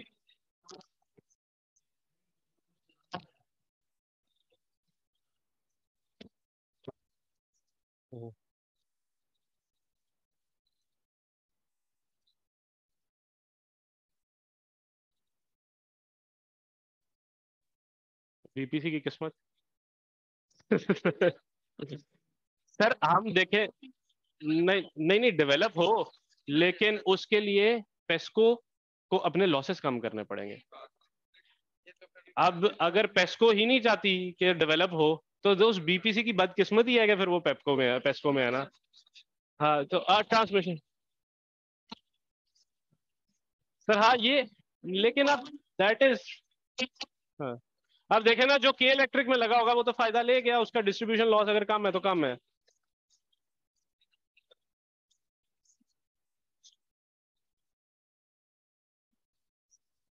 इस पे इस पे सर, इस पे आते हैं। ये ये एग्जैक्टली यही चीज़ डिबेट हुई थी। लेकिन फिर उसका क्या कसूर है, जो कि पंजाब में लगा हुआ है और जिसकी डिस्को बेहतर है? तो कसूर तो किसी का बनेगा, वो पीनलाइज हो रहा है आपके लॉसेस को कवर करने के लिए। यूनिफॉर्म टैरिफ के केस में हम कंज्यूमर को सपोर्ट कर रहे हैं। लेकिन कंपेटिटिव सप्लायर की केस में हम मार्केट को कह रहे हैं कि आप रेगुलेट करें कंपटीशन क्रिएट करें। अगर आपका डिस्ट्रीब्यूशन नेटवर्क खराब है तो फिर आप मार्केट में ना आए, आप टैरिफ ना लें मार्केट में फेयर प्ले है। किसी को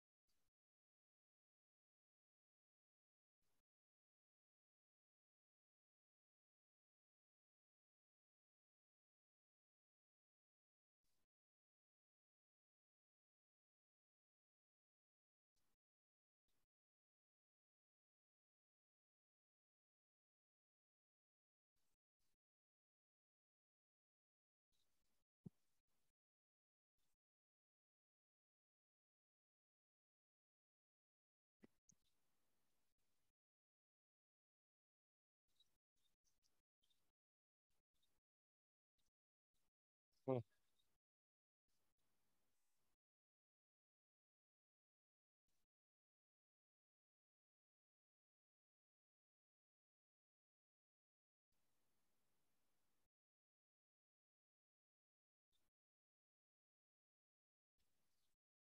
अभी वो कॉन्सेप्ट आगे वो समझाते हैं। रैशनल आप ठीक कह रहे हैं, आपकी तरफ़ भी डिबेट जा सकती है। रैशनल को छोड़ देते हैं अभी, क्योंकि ये कमर्शियल कोड आ गया है। जो इस कोड में है, मैं वो एक्सप्लेन कर रहा हूँ। उसको समझ लेते हैं। अच्छा हमने क्या कहा था? सर ट्रैक लूज करके हम ये फिर से याद कर लेते हैं कि सबसे पहले डिस्ट्रीब्यूशन लॉस करना था कंसिडर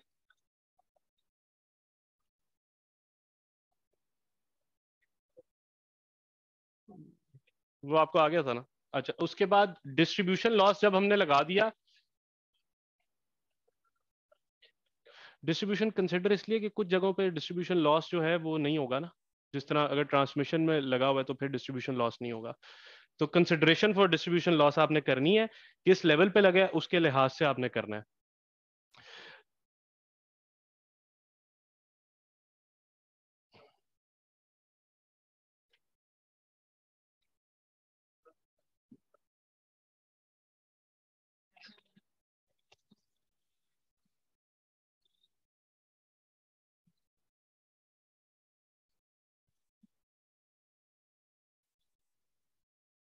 हाँ वो टैरिफ डिटर्मिनेशन में होता है।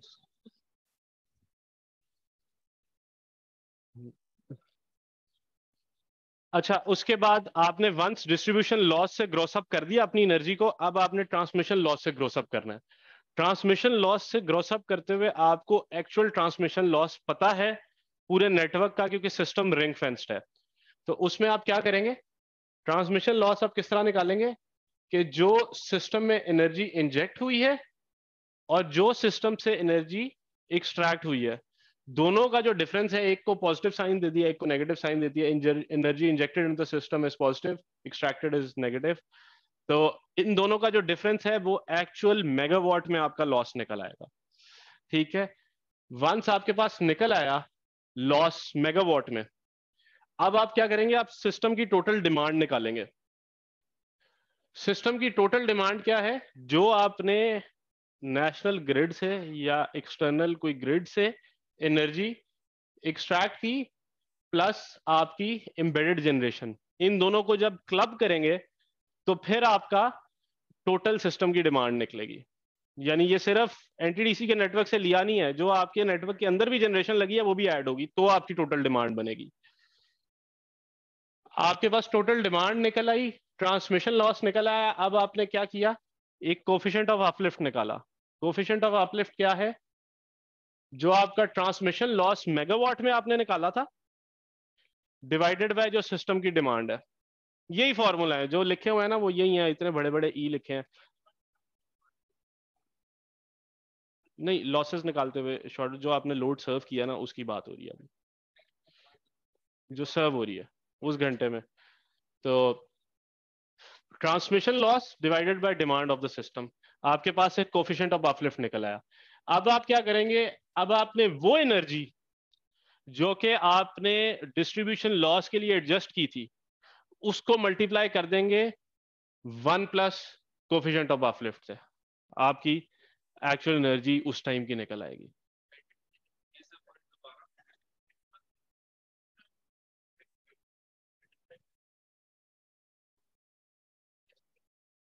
नहीं एम्बेडेड जनरेशन वो जनरेटर्स हैं जो के, कहाँ पे? डिस्ट्रीब्यूशन नेटवर्क पे। वो तो आपको अवेलेबल होंगे। रूफ टॉप आप इसमें ना रखें, क्योंकि रूफ टॉप जो लगे हुए हैं, वो एक्चुअली आपकी डिमांड को कम कर देंगे। जनरेशन होनी चाहिए, जो रूफ टॉप लगे हुए हैं, वो तो आपकी डिमांड कम कर देंगे।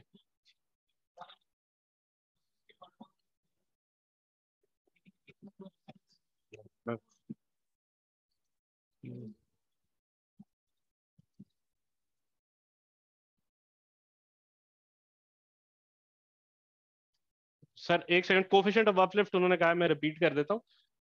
आपने क्या किया? आपने सबसे पहले डिस्ट्रीब्यूशन लॉस से एडजस्ट करके जो नेपरा प्रूफ था डिस्ट्रीब्यूशन वोल्टेज जिसपे भी, उस पे आपने एक नंबर निकाल लिया। जो मीटेड एनर्जी थी, उसको आपने एडजस्ट कर लिया उस नंबर से। उसके बाद आपने ट्रांसमिशन लॉस निकाला रिंग फ़ैन सिस्टम था एनर्जी इंजेक्टेड एनर्जी एक्सट्रैक्टेड दोनों को डिफरेंस को आपने कहा कि मेरा ट्रांसमिशन लॉस इन मेगावाट्स निकल आया उसके बाद आपने टोटल सिस्टम की डिमांड निकाली। वो डिमांड थी कि जो एनर्जी मेरी एनटीडीसी नेटवर्क से इंजेक्ट हुई और जो एम्बेडेड थी, दोनों को ऐड किया, मेरी टोटल डिमांड आ गई। उसके बाद आपने ट्रांसमिशन लॉस जो मेगावाट में निकला हुआ था डिवाइडेड बाय टोटल डिमांड जो कि मेगावाट में निकली हुई थी, किया तो आपके पास एक कोफिशेंट आ गया, उसको हम कह रहे हैं कोफिशेंट ऑफ़ आफलिफ्ट अब हम कह रहे हैं कि ये जो डिस्ट्रीब्यूशन लॉस के लिए हमने एनर्जी एडजस्ट की थी ना, उस एनर्जी को आप मल्टीप्लाई कर दें one plus coefficient of uplift से. Coefficient of point zero two point zero कुछ इस तरह निकलेगा। तो आप उससे प्लस करके मल्टीप्लाई करेंगे तो आपके पास एक्चुअल एनर्जी आ जाएगी। ये आपका टोटल अभी एग्ज़ाम्पल करते हैं।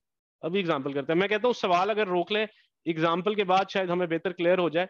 यहाँ तक हम पहुँचते हैं, फिर आगे देखते हैं। इस नंबर को हम मुझे पकड़ाएँगे? कॉपी थैंक यू अच्छा अब मैं लाइट्स नज़र आ रहा है पीछे से सबको? नज़र आ रहा है? अच्छा जी, अब हम एक एक छोटा सा सिस्टम बना लेते हैं, जिसमें एक जनरेटर लगा हुआ है हंड्रेड मेगावाट का। यहाँ इसका एक मीटरिंग पॉइंट है।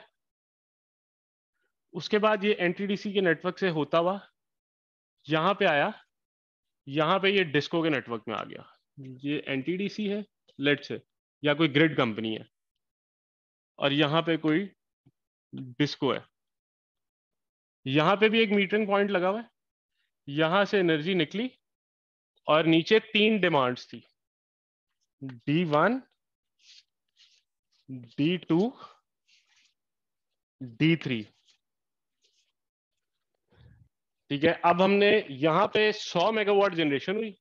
इस पॉइंट पे 100 मेगावाट आए। मेगावाट आर एनर्जी हो गई। एक घंटे में अगर मेगावाट है तो मेगावाट आर ही गए ठीक है। यहाँ पे पहुँचा हमारा 99 मेगावाट आवर अब यहाँ पे एक एम्बेडेड जनरेशन भी है, एक कोई डिस्को के लेवल पे जनरेटर लगा हुआ है, जिसकी 40 मेगावाट आवर जनरेशन हो रही है। अब जो डिस्कोस का लोड है या डिमांड है वो 45 एक डिमांड है, दूसरी 45 और तीसरी 45 मेगावाट आवर्स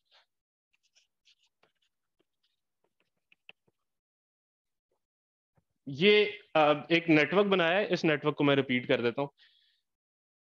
एक जनरेटर है 100 मेगावाट इस टाइम आवर जनरेट कर रहा है वो।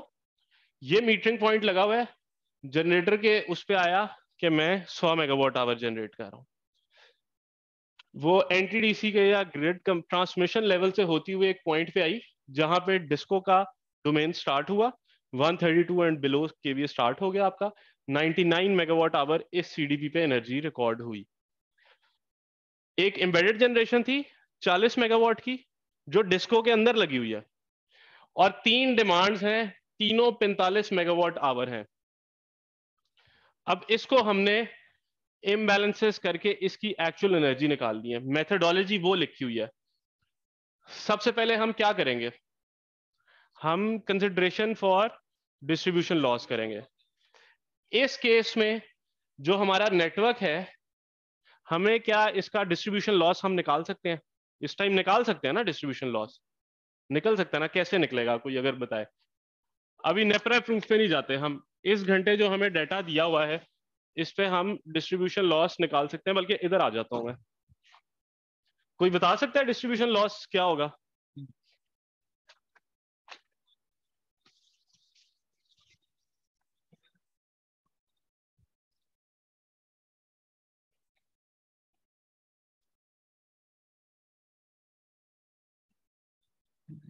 कोई कोई परसेंटेज में निकालना है हमने लॉस अच्छा अब फॉर्मूला क्या होगा आपके ख्याल से? नहीं कॉन्सेप्ट क्या है? कॉन्सेप्ट क्या है? कौन सी एनर्जी आप माइनस कर रहे हैं, कौन सी एनर्जी आप डिवाइड कर रहे हैं? हाँ जी। ठीक है। ठीक है, मैं क्या करूँ? डिस्ट्रीब्यूशन लॉस क्या हो गया? प्लस नाइन करूँगा। और प्लस फोर्टी कर दिया और minus forty five into three कह रहे हैं आप। अब मैं इसको डिवाइड कैसे करूँगा? अगर मैंने परसेंटेज में निकालना है तो। 139 कैसे? 99 प्लस 40 किया आपने। 140 से करेंगे।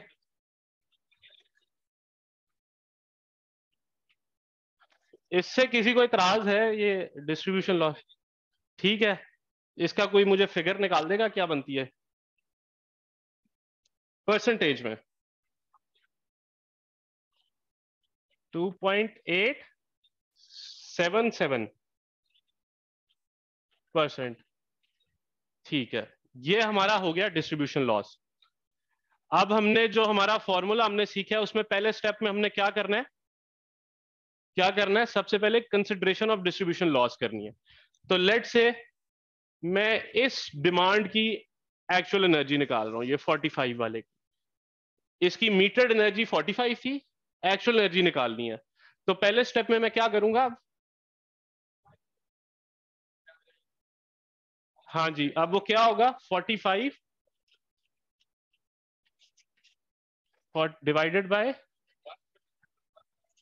वन माइनस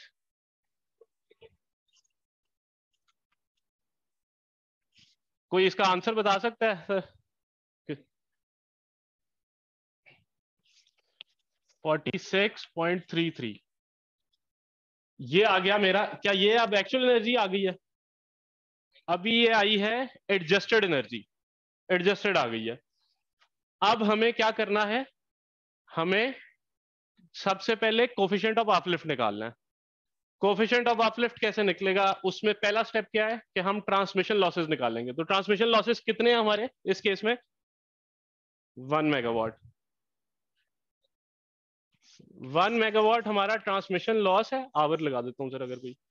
और टोटल डिमांड कितनी है सिस्टम की इस टाइम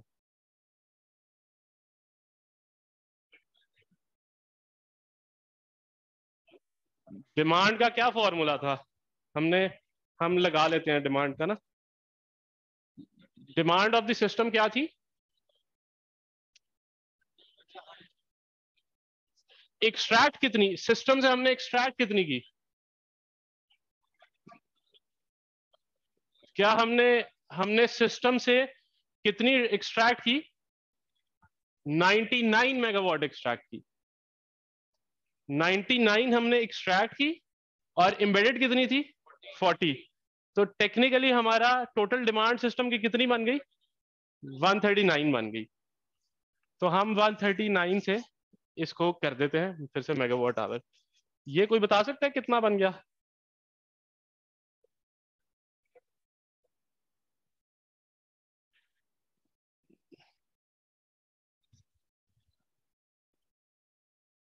सर, इसलिए क्योंकि इस 45 मेगावाट में ना ये एनर्जी प्लस ये एनर्जी दोनों शामिल है। तो हम ये नहीं कर सकते कि 45 को डायरेक्ट जो है ट्रांसमिशन लॉस निकालने के लिए हम 99 वन परसेंट लगा दें। आपका आंसर गलत आ जाएगा, क्योंकि वो एडजस्टेड फॉर नहीं होगी जो एम्बेडेड जनरेशन से एक्सट्रैक्ट किया। क्योंकि ये 45 मेगावाट में से 33 मेगावाट हो सकता है, इसको मिली होगी, इससे जमा इधर से 12 मिली होगी।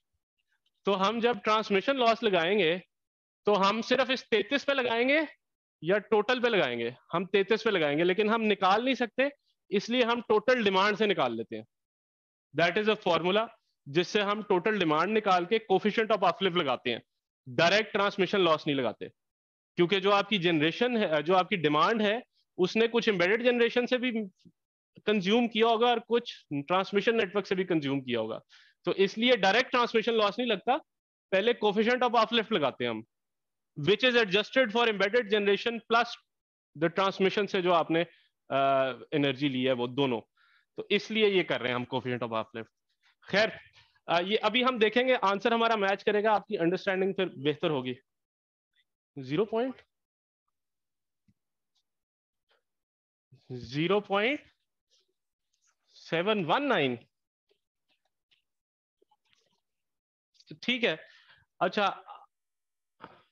अच्छा अब सेवन परसेंट नहीं, इसमें हमने कोफिशियंट है इसको seven one point seven one nine क्या हमारा कोफिशियंट नंबर आया?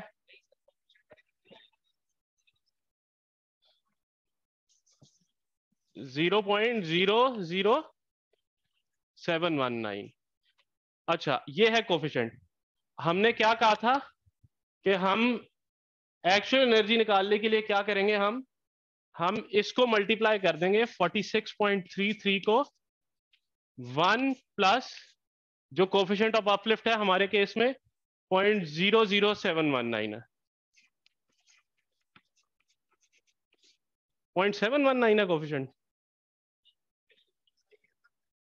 सही है। इसका आंसर अगर कोई निकाल सके forty six point six six three अच्छा जो इस डिमांड का है, क्योंकि दोनों का एनर्जी नंबर सेम है तो तीनों की डिमांड अपलिफ्ट होके 46.663 बन जाएगी, ठीक है? और अगर हम देखें तो क्या हमारी जनरेशन इक्वल टू डिमांड होनी चाहिए? तो अगर हम इस 46.663 को 3 से मल्टीप्लाई करें तो आंसर क्या आ रहा है? 139.98 139.98 which is almost equal to जो जनरेशन है। जब हमने हर डिमांड को एडजस्ट किया, ये कुछ पॉइंट ज़ीरो टू इसलिए कि हमने कोई एस्टिमेशन की है, कोई डेसिमल फिगर्स राउंड फिगर्स लिए। लेकिन अगर हम इन तीनों डिमांड्स को जब एडजस्ट करें तो एडजस्ट करके जो हमारा आंसर आता है, वो इक्वल टू आना चाहिए। टोटल जो उस टाइम जनरेशन हो रही है। और ये फॉर्मूले का चेक भी यही है कि हमारी जनरेशन और डिमांड बराबर हो गई। अगर खाली ट्रांसमिशन लॉस लगाते ना अपलिफ्ट कोफिशिएंट ना लगाते तो डिमांड बराबर ना होती। तो इसलिए ये formula very well thought out और सोच समझ के बनाया हुआ है। इस पे वही चीज़ें जो आप लोगों के सवाल है ना, वो पहले किए गए और फिर ये निकला। तो दिस होल्ड ट्रू अच्छा अब अब देखें, यहाँ पे तो हमें ये चीज़ समझ आ गई कि बीएमई रन होगा। यहाँ तक समझ आ गई कि हम एक्चुअल एनर्जी तक किस तरह पहुँचते हैं। एनी कंफ्यूजन जी सर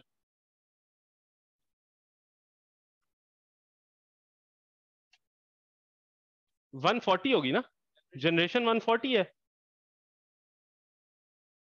139.98 है। वो पॉइंट ज़ीरो टू का फ़र्क इसलिए कि हमने राउंडिंग ऑफ़ किया है थोड़ी सी 140 के इक्वल होना चाहिए। जनरेशन और डिमांड बैलेंस हो जाएगी जब आप उसको एडजस्ट करेंगे फिर distribution loss and transmission loss ये कॉन्सेप्ट है इसका।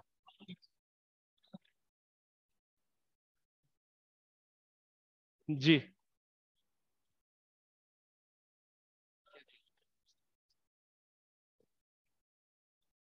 एडजस्टमेंट जो डिमांड की की है।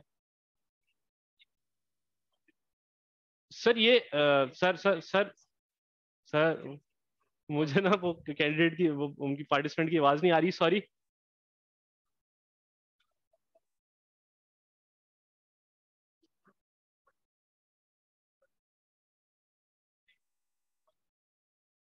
डिस्ट्रीब्यूशन लॉस की। सर, इसका रैशनैल ये है कि जो डिमांड आपको, जो आपने कंजम्पशन की 45 मेगावाट आवर की एज अ बीपीसी आपकी 45 मेगावाट आवर की कंजम्पशन के लिए जनरेटर ने जिससे कॉन्ट्रैक्ट किया हुआ था, उसने 45 मेगावाट आवर जनरेट नहीं करना। उसने वो जनरेट करना है जो आपकी डिमांड के ऊपर डिस्ट्रीब्यूशन और ट्रांसमिशन लॉस लगने के बाद एनर्जी बनती है। इसलिए इनको एडजस्ट किया। और वो हमारा रिज़ल्ट भी आ गया। जब हमने अपनी डिमांड्स को गिवन डिस्ट्रीब्यूशन लॉस और ट्रांसमिशन लॉस से एडजस्ट किया तो हमारी जनरेशन और डिमांड बराबर हो गई। तो ये फॉर्मूला वैलिडेट भी हो गया। अब एक सवाल आता है कि हम, ये सिस्टम हमारा रिंग फेंस्ड है।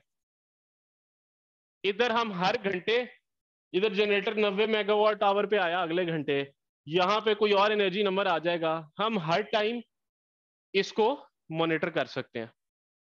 लेकिन डिस्ट्रीब्यूशन लॉस के केस में क्या। ये तो हमने सिनेरियो बनाया था जिसमें तीनों बीपीसी थे, लेकिन हो सकता है ये जो आखिरी 45 मेगावाट है, ये 45 ना हो। ये हज़ार घरों जो कि 10-10 किलोवाट आवर ले रहे हैं, लेट से। पाँच, कोई पाँच ले रहा है, कोई तीन ले रहा है, लेकिन हज़ार घर हैं। हाँ फीडर है कोई। आप, अब आप ये तो कर सकते हैं कि आप हर घंटे में इसका एनर्जी नंबर ले लेंगे इसका एनर्जी लेवल ले, ले लेंगे लेकिन इनका हर घंटे कितना लॉस हो रहा है आप नहीं निकाल सकते। क्या आप सारे आपका पूरा सिस्टम रिंग फेंस्ड है पूरे पाकिस्तान का डिस्ट्रीब्यूशन के लिए? तो जो चार आपका कोई ऐसा कंज्यूमर एक मेगावाट का जो कि आपका लेट से 11 के पे ले रहा है किसी एक फीडर से तो उसका आपको हर घंटे का एनर्जी नंबर आ रहा है और उसका लॉस आपको पता चल रहा है। आप लॉस निकाल सकते हैं। अगर निकाल सकते हैं तो फिर तो नेपरा प्रूफ पे जाते ही नहीं है। अगर ऐसे निकाल सकता है तो फिर तो फिर बिल्कुल एज पर एक्चुअल लेना चाहिए। लेकिन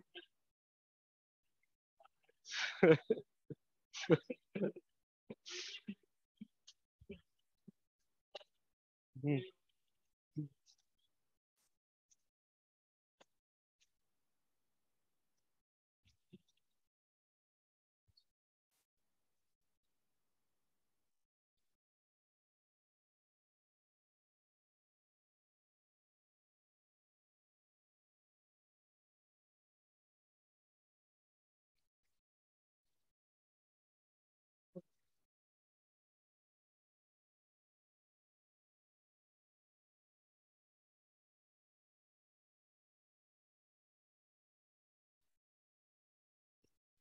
पहले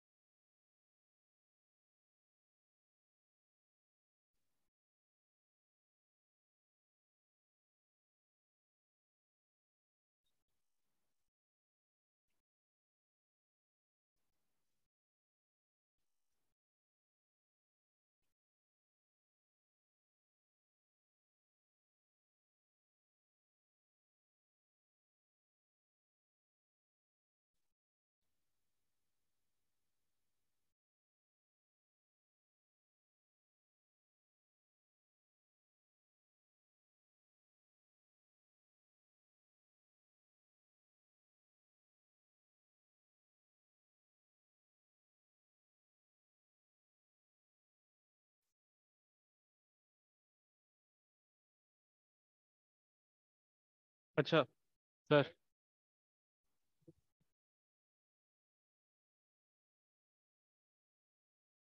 जी।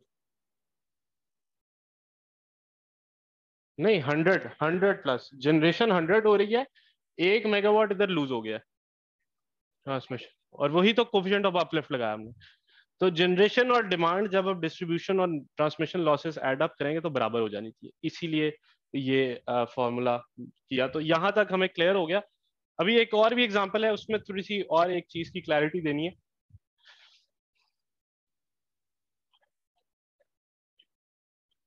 जी।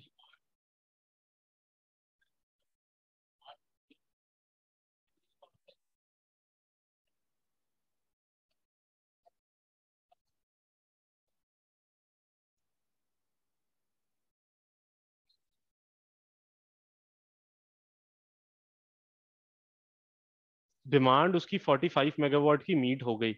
लेकिन उस डिमांड को मीट करने के लिए जनरेटर को 46.66 मेगावाट जनरेट करना पड़ा। वो तो दो ही तरीके हैं ना, या मीट हो जाएगी या लोड शेडिंग हो जाएगी। तो अगर तो आपने डिमांड मीट की तो इसमें लोड शेडिंग का हमने फिगर नहीं डाला ना।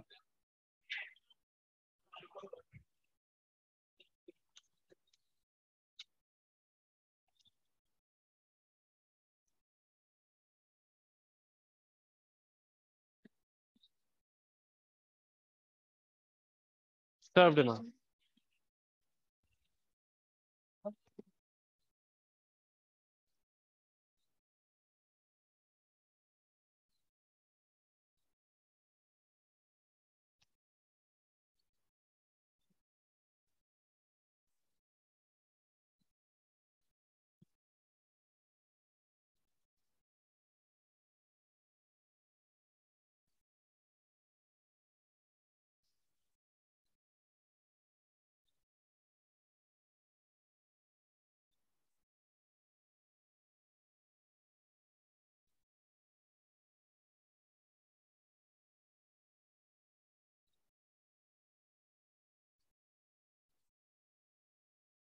जी जी कंजम्पशन।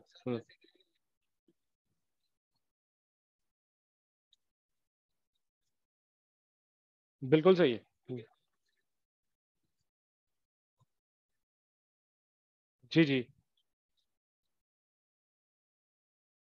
बिल्कुल सही है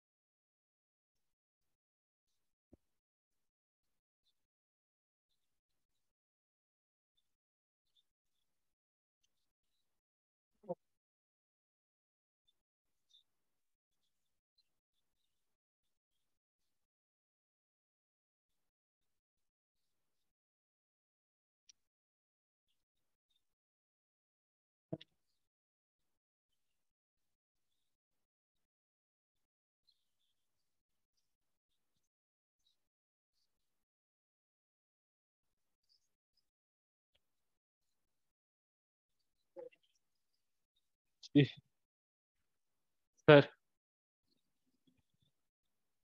जी जी।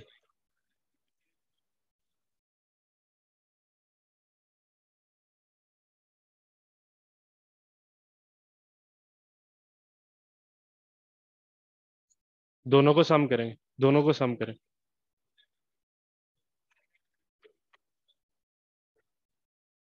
सर, आप निकाल रहे हैं डिमांड आपकी डिमांड तो टोटल जो आपने किसी एक्सटर्नल नेटवर्क से एक्सट्रैक्ट किया है, वो आपकी डिमांड होगी। तो आपके चाहे एक एक्सटर्नल नेटवर्क से किया है या इवन एनटीडीसी के दो पॉइंट से एक्सट्रैक्ट किया है तो आप एनटीडीसी का एक पॉइंट और फिर दूसरा पॉइंट दोनों ऐड करेंगे। ये डिमांड निकालने के लिए और डिमांड निकालने के बाद आपके जो बीपीसी हैं, उन पे ट्रांसमिशन के लिए एक अपलिफ्ट कोफिशिएंट लगता है उसके लिए इसका कोई ताल्लुक नहीं है कि आपकी किसी पीजीसी से आ रही है एनर्जी या किसी एनटीडीसी से आ रही है, बस जो आपके एक्सटर्नल नेटवर्क से एनर्जी आ रही है ना, वो आपकी डिमांड का हिस्सा बनेगी और जो आपके अंदर भी जनरेशन हो रही है, वो भी आपके डिमांड का हिस्सा बनेगी। ये तो डिमांड निकल रही है। सर।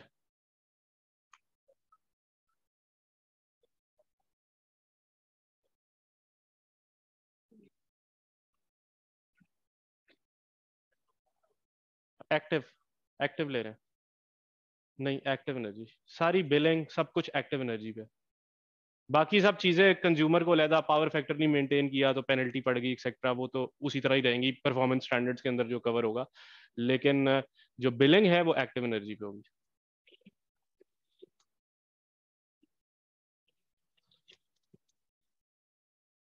Thank you.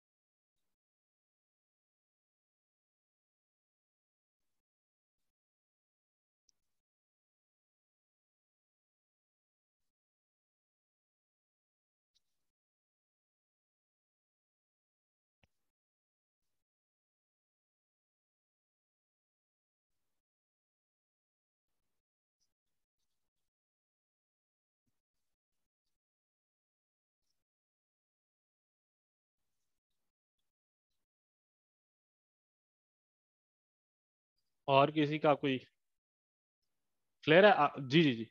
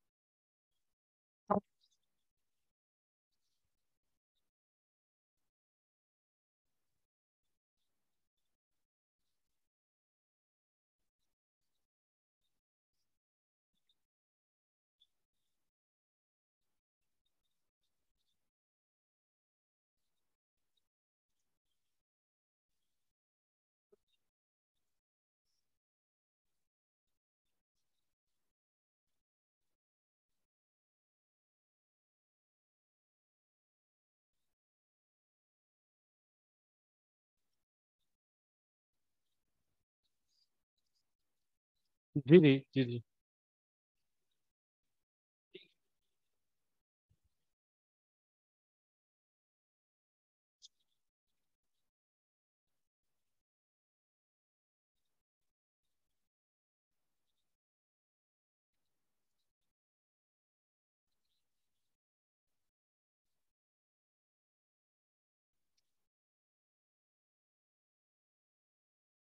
वो बेसिकली फिर बीपीसी जो है वो अपनी ग्राउंड रियलिटी देखते हुए वो लोड फॉलोइंग कॉन्ट्रैक्ट कर लेगा। वो उसका जब लोड होगा जनरेटर सर्व कर देगा जब नहीं होगा जनरेटर सर्व नहीं करेगा उसकी कस्टमर की नीड को वो सूट करता है। यानी दिस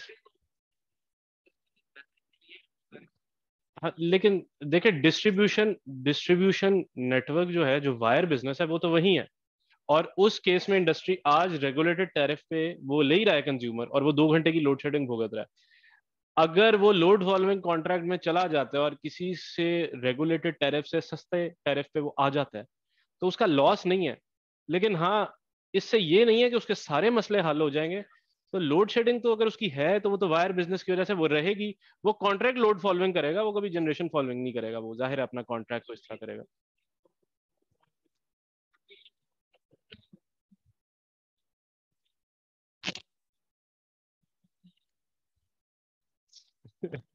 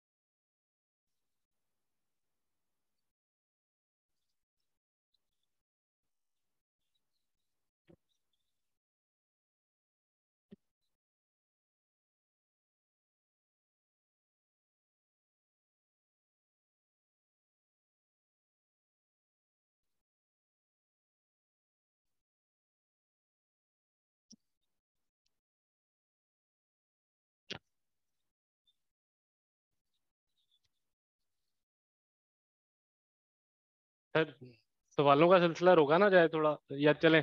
ठीक है थोड़ा सा थोड़ा सा आगे भी चला जाए मेरे ख्याल से। जी जी। हाँ बस सर दस दस मिनट दस मिनट आप लोगों के चाहिए फिर ब्रेक करेंगे इनशाला अच्छा यहाँ तक हम पहुँच गए थे हमने कोफिशिएंट ऑफ़ अपलिफ्ट से हर मार्केट पार्टिसिपेंट की एक्चुअल एनर्जी निकाल ली थी। आगे के आगे कुछ भी नहीं है। हम एक्चुअल एनर्जी और कॉन्ट्रैक्ट एनर्जी का डिफरेंस निकालेंगे। हमारे पास इम्बैलेंस आ गया। ये एक्चुअल एनर्जी थी, ये कॉन्ट्रैक्ट एनर्जी थी, दोनों का इम्बैलेंस एक्स वन निकला। उस टाइम मार्जिनल प्राइस थी वाई वन तो उस घंटे की इसकी पेमेंट बनती थी X one into Y one लेकिन क्योंकि हमारी मंथली सेटलमेंट है तो इस घंटे इसकी पेमेंट प्लस में है लेट से इस घंटे में माइनस में है, फिर प्लस में, फिर माइनस में, पूरे 744 घंटों का सम करेंगे। और जो पेमेंट एंड पे बनेगी that would be your imbalance for the month ये आपका जो है बीएमई का कॉन्सेप्ट पूरा हो गया यहाँ पे। अभी सर, अभी अभी सर, रुक जाए रुक जाए, अभी अभी।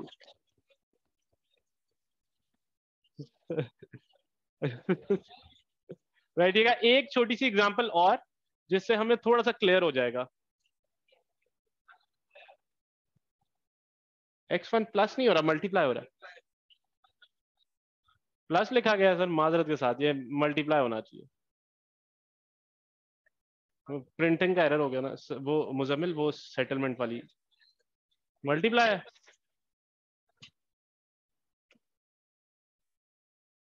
एक एग्जांपल और कर रहे हैं, उसमें बोर्ड में ही करेंगे ये प्रेजेंटेशन में ही करेंगे, लेकिन आप लोग थोड़ा सा साथ दीजिएगा।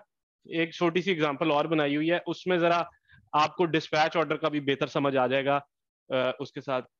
मुजमिल दिखाइए। हाँ इसकी ना तीसरी स्लाइड चला दीजिएगा। चला दे। अच्छा ये नज़र नहीं आ रहा होगा मैं।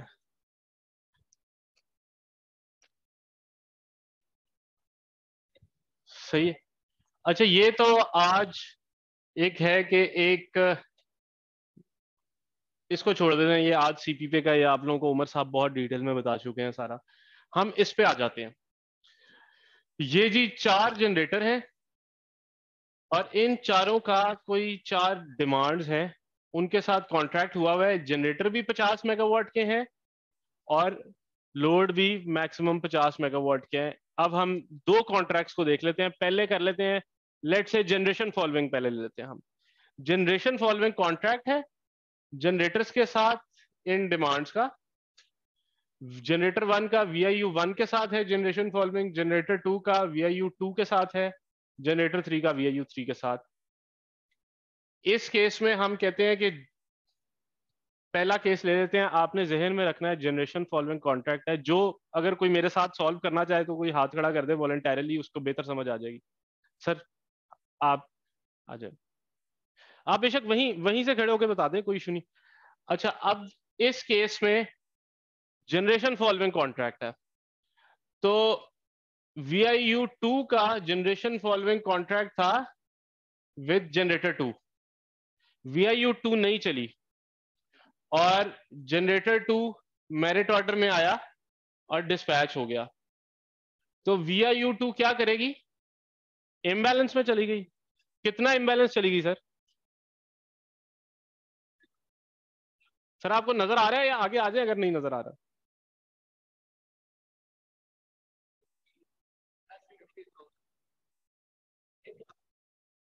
मेगावाट में बताते जाए, सर। मेगावाट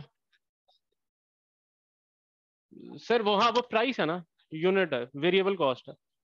हाँ बस वैसे इम्बैलेंस में अभी मेगावाट में कितने इम्बैलेंस में गया? प्राइस में नहीं अभी देखते हम। सर कितने में गया? V I U two generation following है तो कभी जनरेटर इम्बैलेंस में नहीं जाएगा। उसका जनरेटर चल गया पचास megawatt V I U two का इम्बैलेंस कितना हो गया? पचास मेगावाट आवर सर, बस जबानी पचास मेगावाट आवर है imbalance V I U two का। अब जो हमारा वी आई यू फोर है, उसकी कंजम्पशन थी 50 मेगावाट, लेकिन उसका जनरेटर चला ही नहीं। तो तो क्या हुआ? इधर इम्बैलेंस किसको पड़ेगा? जनरेशन फॉलोइंग कॉन्ट्रैक्ट है। वी आई यू फोर को चला गया। उसको कितना पड़ा? माइनस फिफ्टी माइनस फिफ्टी पड़ा। अच्छा अब V I U four payment किसको करेगा? उस वी आई यू किसको करेगा? Payment V I U four sir किधर गया आप? किसको करेगा? किसको? मार्जिनल प्राइस पे किसको करेगा? मार्केट ऑपरेटर को। कितना दे देगा? तीन रुपए के लिहाज से मार्जिनल प्राइस है। तो वो डेढ़ सौ रुपया दे देगा minus one fifty market operator को।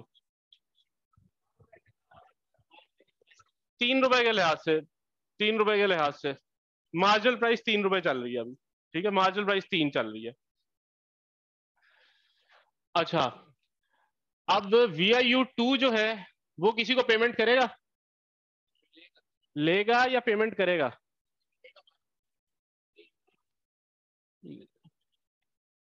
जनरेटर को पेमेंट करेगा। कितनी? 50 मेगावाट की करेगा एट देयर कॉन्ट्रैक्टेड प्राइस वो, लेकिन उम्मीद ये की जा सकती है कि दो रुपए से थोड़ी ज़्यादा होगी और तीन रुपए से कम होगी। क्योंकि कुछ उसका वेरिएबल अगला जनरेटर की तीन है तो इसके साथ अगर कॉन्ट्रैक्ट हुआ हुआ है तो इसने दो से ज़्यादा पे किया होगा और तीन से कम। तो V I U two contracted price दे देगा into fifty megawatt generator two को। अब वी आई यू टू का कोई नुकसान है? क्यों? वो मार्जिनल प्राइस पे मार्केट ऑपरेटर से ले चुके हैं already V I U two ने पेमेंट तो कर दी जनरेटर टू को 50 मेगावाट की एट देयर कॉन्ट्रैक्टेड प्राइस लेकिन उसने मार्केट ऑपरेटर से मार्जिनल प्राइस पे ले भी लिया, क्योंकि इम्बैलेंस था। तो इधर इम्बैलेंस का रिस्क किसने लिया? डिमांड साइड ने लिया। लेकिन इधर डिमांड साइड में वी आई यू फोर को भी फ़ायदा हो गया, क्योंकि उसने इम्बैलेंस में तीन रुपए का खरीद लिया। अगर वो अपने जनरेटर से लेता जनरेशन फॉलोइंग में तो चार रुपए का पड़ता। यहाँ फ़ायदा हो गया। इधर इम्बैलेंस में इसको अपने जनरेटर चला इसको अपने जनरेटर को पेमेंट करनी पड़ी। दो रुपए के लेट से दो प्लस कोई दस पैसे होगा two point one two point two लेकिन इसको ना चल के भी पैसे मिल गए। डेढ़ सौ के लिहाज से तो ये चला भी नहीं लेकिन इसने कॉन्ट्रैक्ट ऐसा किया था फ़ायदा ले लिया। इसके आ, पैसे जो है बन गए। तो दिस इज़ इकोनॉमिक डिस्पैच जिसमें फ़ायदा हो गया। अब इसी इसी एग्जांपल को, इसी एग्जांपल को छोड़ते नहीं हम। अब हम कर लेते हैं लोड फॉलोइंग यानी कॉन्ट्रैक्टेड प्राइस 2.1 हो सकती है 2.2 हो सकती है, कुछ भी, लेकिन मैं कह रहा हूँ कॉन्ट्रैक्टेड प्राइस वेरिएबल कॉस्ट से ज़्यादा होगी जनरेटर के, लेकिन दूसरे जनरेटर की वेरिएबल कॉस्ट से कम होनी चाहिए, वरना वो दूसरा जनरेटर भी फिजिबल हो जाता है, उसे तो इस तरह इसका कॉन्ट्रैक्ट हुआ। ये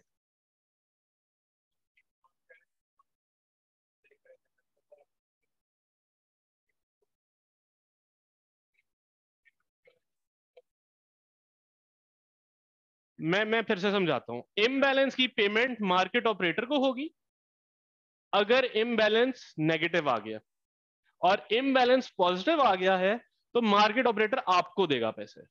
इस केस में क्या हुआ कि वी आई यू फोर का जनरेटर चला नहीं। जनरेशन फॉलोइंग कॉन्ट्रैक्ट था, उसकी कॉन्ट्रैक्टेड कैपेसिटी हो गई zero zero energy contracted energy हो गई ज़ीरो लेकिन उसकी कंजम्पशन थी 50 मेगावाट आवर तो उसका इम्बैलेंस आ गया माइनस फिफ्टी अब माइनस फिफ्टी की पेमेंट कर दिया at marginal price to market operator इधर क्या हुआ?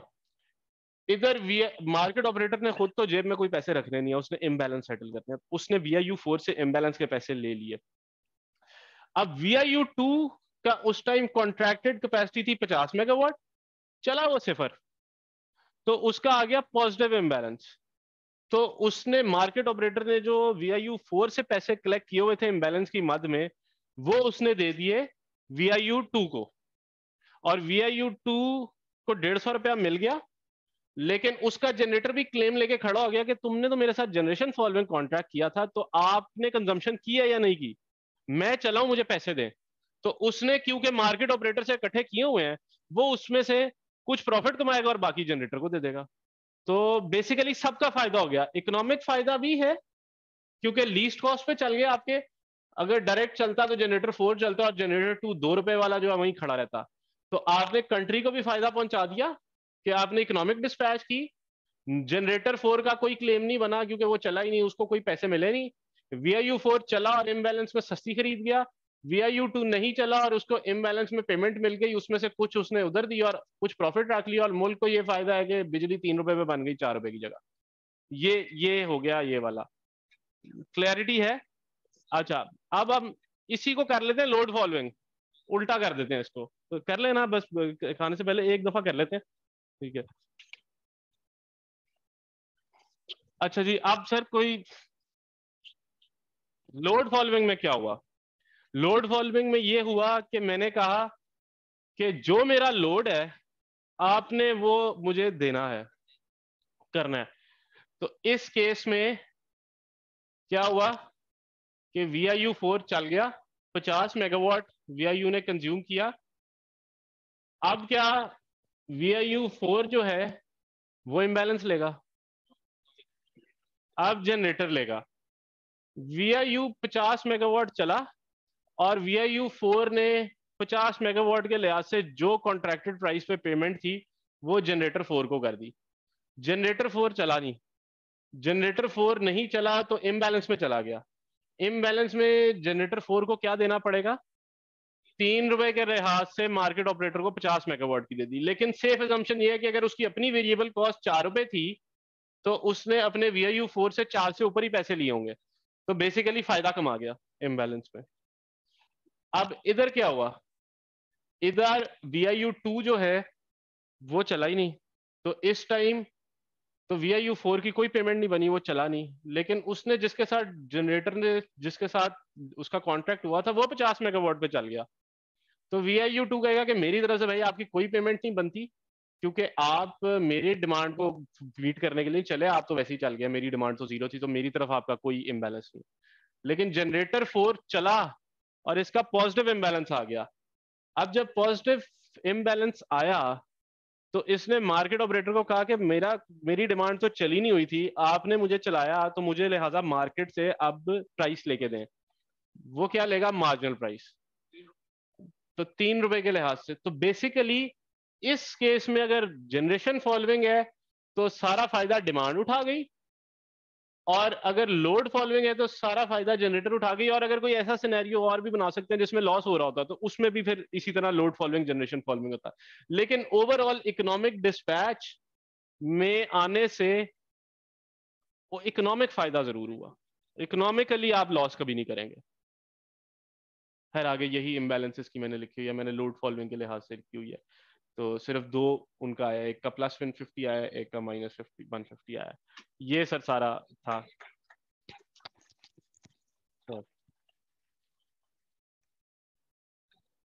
सर हो गया। Sir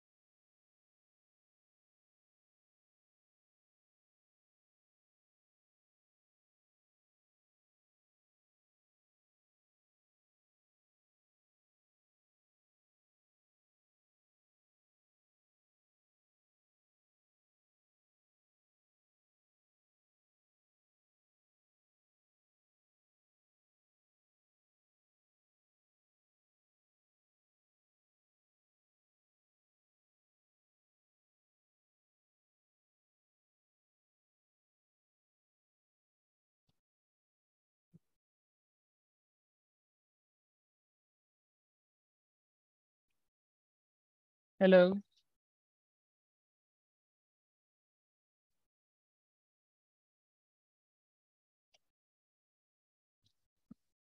Hello.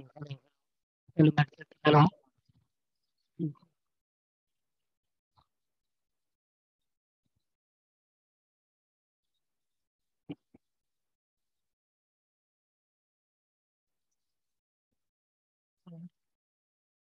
You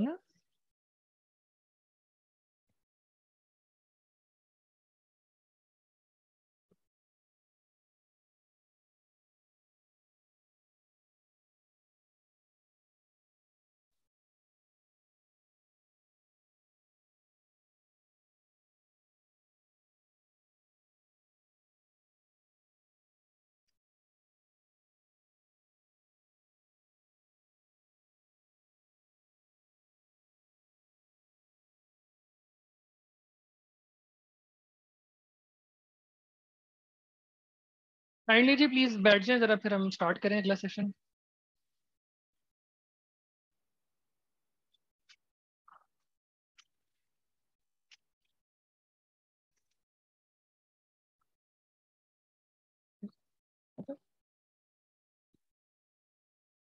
अलैक्म जी.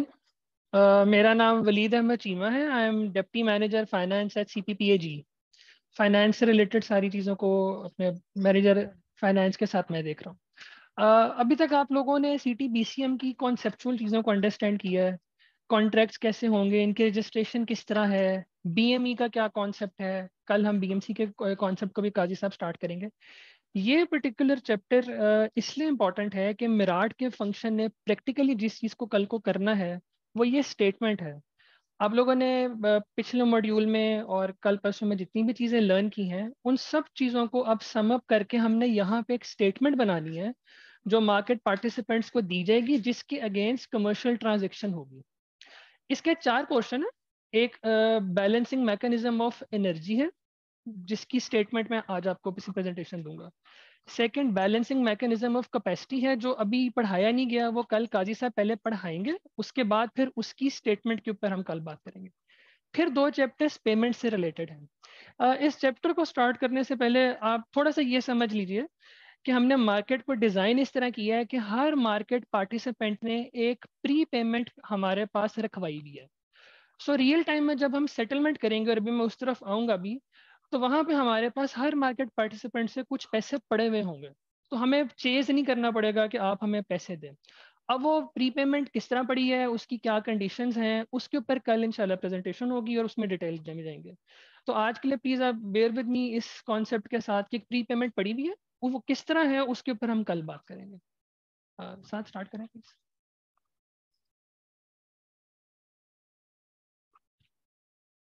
इसकी पहले आपको इसका पर्पस तो मैंने एक्सप्लेन कर दिया है। हमारा एक सॉफ्टवेयर है, उस पर बात करते हैं, फिर सेटलमेंट स्टेटमेंट्स है और फिर हमारा डेबिट एंड क्रेडिट नोटिफिकेशन है। साथ प्लीज़ आगे चलिए किससे हो गया? ठीक अच्छा जी पर्पस इस चैप्टर का यही है to provide a procedure for administration of market settlement system to issue the monthly settlement statement market settlement system एक सॉफ्टवेयर है जो सी पी पी जी की टीम ने खुद डेवलप किया है, सारे स्टेक होल्डर्स इसके अंदर इन्वॉल्व थे नेपरा की कंसल्टेशन थी, जिसके बाद हमने इसको प्रिपेयर कर लिया है। आपने बी एम आप कमर्शियल कोड जब देखेंगे, उसमें बहुत सारे कॉम्प्लेक्स फार्मूलाज हैं स्पेशली बी एम ई के अंदर कॉन्ट्रैक्ट रजिस्ट्रेशन के अंदर, वो सारे फार्मूलाज की कैलकुलेशन मैनुअली नहीं करनी होगी, वो ये सॉफ्टवेयर करके देगा। ये सी पी पी ए जी के पास है। हम इस सॉफ्टवेयर को यूज़ करते हुए कंप्यूटेशन करके आप लोगों को स्टेटमेंट्स इशू करेंगे और उसकी बेस पे फिर आगे सारा प्रोसीजर चलेगा। uh, ये कंप्लीट हो चुका है। ये बुक के अंदर चैप्टर सेवन है। असल में जब ये प्रिपेयर हुई थी कमर्शियल कोर्ट की अप्रूवल से पहले तो उस टाइम ये चैप्टर एट था। तो प्रेजेंटेशन जो आप लोगों के पास है वो प्रिंटेड उस पर चैप्टर एट ही आ रहा होगा। तो उसके लिए माजरत है लेकिन पॉइंट्स जो है ना ये एट पॉइंट टू तो वो सेवन पॉइंट टू होगा कमर्शियल कोड में। उसमें फ़र्क नहीं होगा।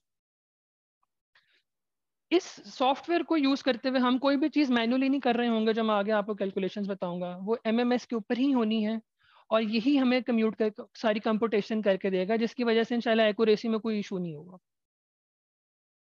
मार्केट सेटलमेंट सिस्टम जिस तरह यहाँ पे सेंटर में आ रहा है, इसमें बहुत सारी जगहों से डाटा आ रहा है। एक एस है, जहाँ से हर एमपी के अगेंस्ट कितने डिस्पैच यूनिट्स हुए हैं मस्ट रन सर्विस के अगेंस्ट कितने यूनिट्स हैं। मार्जिनल प्राइस का data hourly meter data MP register and contract registration ये सारी चीज़ें, सारे डाटा के इनपुट्स इस एमएमएस के अंदर आएँगे, जिसके अंदर एल्गोरिदम्स ऑलरेडी लग चुके हुए हैं, ये डेवलप्ड है। तो ये हमें कम्यूट करके बिलिंग एंड सेटलमेंट हमारी शीट प्रिपेयर कर देगा।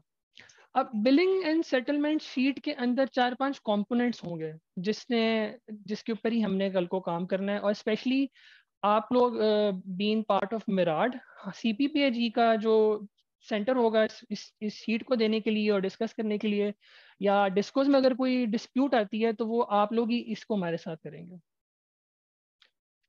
अच्छा इस एम एम एस के ये चार पाँच फ़ंक्शंस हैं। सबसे पहले बैलेंसिंग मैकेनिज्म ऑफ़ एनर्जी को कैलकुलेट करना है, जिसको आई एम श्योर काजी साहब ने बड़े अच्छे तरीके से एक्सप्लेन कर दिया था आप लोगों को already secondly balancing mechanism of capacity को करना है, जिसको कल काजी साहब एक्सप्लेन करेंगे कि वो क्या चीज़ है। तो इसको हम आज के लिए पेंडिंग कर देते हैं। Thirdly ancillary service and mass trend generation है। इसका सेशन परसों है हमारा।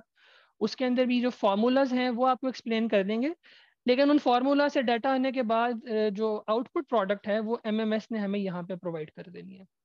थर्डली अक्रूड डिफ़ॉल्ट इंटरेस्ट है। हमने एक डेट डिसाइड कर ली कि इस डेट तक मार्केट पार्टिसिपेंट ने जिसकी तरफ़ पेमेंट ड्यू है, उसने बीपीसी ने हमें पेमेंट देनी है फॉर एग्जांपल अगर वो उस ड्यू डेट पर पेमेंट नहीं देता तो फॉर ईच पासिंग डे हम उसके ऊपर एक इंटरेस्ट की अमाउंट को चार्ज कर रहे होंगे। लास्टली मार्केट ऑपरेटर फ़ी है जो C P B H G charge कर रहा होगा। क्या हो सकता है जी? Uh, देखें पेनल्टी वन टाइम एक्शन के ऊपर लगती है। पेनल्टी के लिए ट्वेंटी के करीब ऐसी कंडीशंस हैं कि जब इवेंट्स होंगे इवेंट ऑफ़ डिफ़ॉल्ट तो हम पेनल्टी लगाएँगे। इंटरेस्ट के रीज़न ये है कि आपने एक सर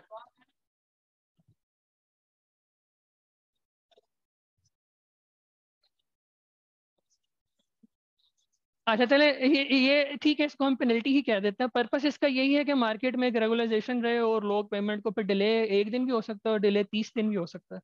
तो कोई मॉनिटरी असर पड़ रहा होगा तो करेंगे। तो चलें, ठीक है, हम इसको पेनल्टी कह देते हैं। जी?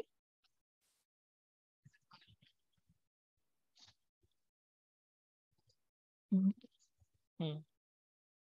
अच्छा ये लगना बिल्कुल इस तरह ही है जिस तरह सर आपने कहा लेकिन अब क्योंकि ये अप्रूव डॉक्यूमेंट हो चुका है तो इसके वर्ड हम इस टाइम चेंज नहीं कर सकते।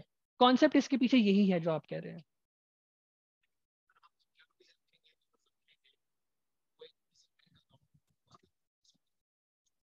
सर, उस पर कल बात करेंगे, कल उसका चैप्टर इंशाल्लाह। उस पर कल आ जाएँगे। नहीं नहीं मार्केट ऑपरेटर नहीं लेगा। ऐसा नहीं है।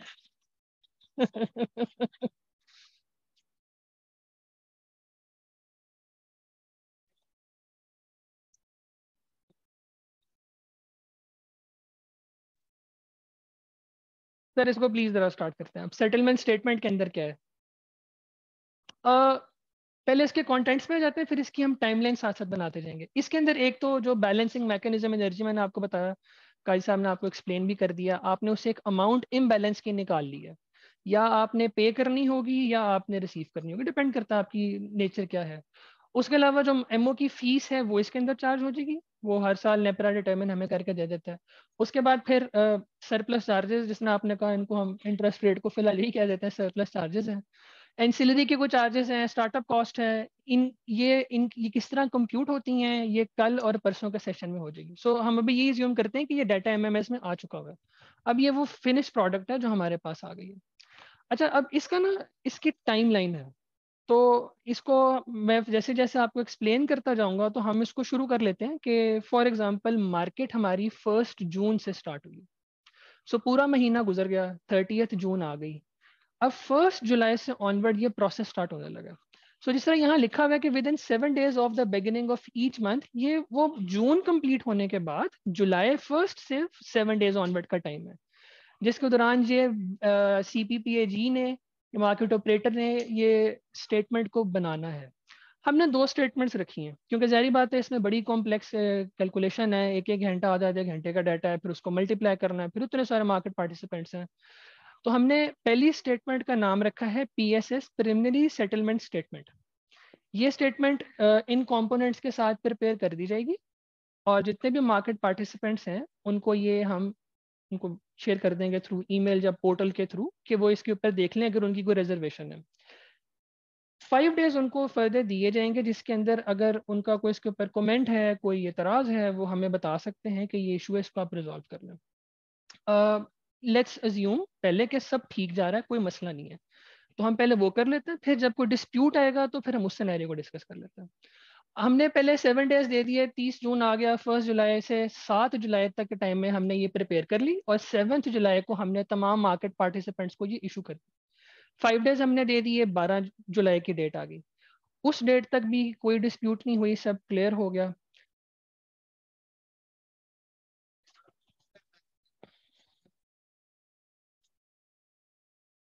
देखें इसकी अप्रूवल भी चीज़ों की है मार्केट पार्टिसिपेंट्स भी ज़्यादा हैं और आप थोड़ा सा ये भी अंडरस्टैंड करें ना कि सी पी पी जी सिर्फ़ एक ये काम तो नहीं कर रहा, लोग और भी बहुत सारे काम कर रहे होते हैं। तो आप इसको स्टैंड ऑन एक्टिविटी के तौर पे ना लें और आप बिल्कुल ठीक कह रहे हैं कि शायद शुरू में आइडियली तो ये आधे दिन के अंदर भी हो जाएगा, लेकिन जो डॉक्यूमेंट बनाया जाता है वो कल को जब मार्केट अपनी पीक पे होगी, उस चीज़ को जहन में रखते हुए बनाया जाता है, इसलिए इसके अंदर ये रखा है। हमने इसलिए विदन का वर्ड रखा है, हमने ये नहीं कहा कि सेवंथ को ही होगा। तो ये सिर्फ़ गुंजाइश या लेवरेज इस चीज़ के लिए रखी गई है। अब सर देखें, फिर वही बात है कि डिलिब्रेशन के बाद ना ये चीज़ अप्रूव हो चुकी हुई है, हम व्हील तो इन्वेंट कर नहीं रहे तो ये जो डेज़ हैं, उसके ऊपर हम क्वेश्चन नहीं करते ये हमने इस तरह ही करना है। लेकिन ऑब्वियसली एफिशिएंसी के लिए हम जितने कम डेज़ में करेंगे, उतना ही अच्छा और मार्केट को प्लान यही है नेपरा के साथ भी यही डिस्कस हुआ था कि वे टाइम हम इसको रिव्यू करके डेज़ को कम भी कर सकते हैं, जब हम मार्केट मेच्योर हो जाएगी आपने हमने फाइव डेज़ दे दिए। पी एस एस बनाने के बाद प्रिलिमिनरी सेटलमेंट स्टेटमेंट इशू कर दी, पाँच दिन दे दिए, कोई मसला नहीं आया। इन केस कोई इशू आ जाता, कोई मार्केट पार्टिसिपेंट कहता है कि मुझे इस चीज़ पे मेरा एग्रीमेंट आपके साथ नहीं है तो हमने उसके लिए जो टाइम रखा है, वो ट्वेल्व से twenty fifth date of the month के बीच के रखे हुए ये कोई ऑलमोस्ट बारह तेरह दिन ही बनते हैं। इन दिनों के अंदर हम उसके साथ सेटलमेंट कर लेंगे, क्योंकि डाटा के बहुत सारे सोर्सेज हैं, उसको वेरीफाई करना है, जो भी चीज़ है, सारी चीज़ों को रिजॉल्व कर लिया जाएगा। अगर तो रिजॉल्व हो जाता है, बहुत अच्छी बात है। ट्वेंटी फिफ्थ ऑफ़ द जो मंथ जो मतलब ट्वेंटी फिफ्थ ऑफ़ जुलाई बन रही है, उस दिन हम सारी चीज़ों को रिजॉल्व करने के बाद फाइनल सेटलमेंट स्टेटमेंट इशू कर देंगे। इन केस अगर कोई चीज़ नहीं रिजॉल्व होती उन बारह दिनों के अंदर भी रिजॉल्व नहीं हो रही आप नहीं मान रहे, हम नहीं मान रहे, उधर हमारा लड़ाई चल रही है। तो जितना कंपोनेंट आपका हमारा डिस्प्यूट का है, वो साइड पे कर दिया जाएगा। ऑब्वियसली ये तो नहीं हो सकता कि तीस दिन ही पूरे हो जाए। आप एक दिन का डाटा कह देंगे। बाकी रिमेनिंग को हम फाइनल सेटलमेंट स्टेटमेंट का पार्ट बना के एम को इशू कर देंगे। अब ये जो एफएसएस की अमाउंट बन गई, यही फाइनल और हतमी है। इसी के ऊपर ही पेमेंट करनी है। दो ही सिनेरियोज हैं, या तो पैसे लेने हैं या पैसे देने हैं। जो पैसे लेने हैं, वो हमने किसी से लेके नहीं देने, क्योंकि हमने already pre payment credit cover या एसटीएफ की सूरत में अपने पास रखा हुआ है। और जिसको देने हैं, उसको तो पेमेंट हमने कर ही देनी ट्वेंटी फिफ्थ को हमने एफ़ इशू कर दी।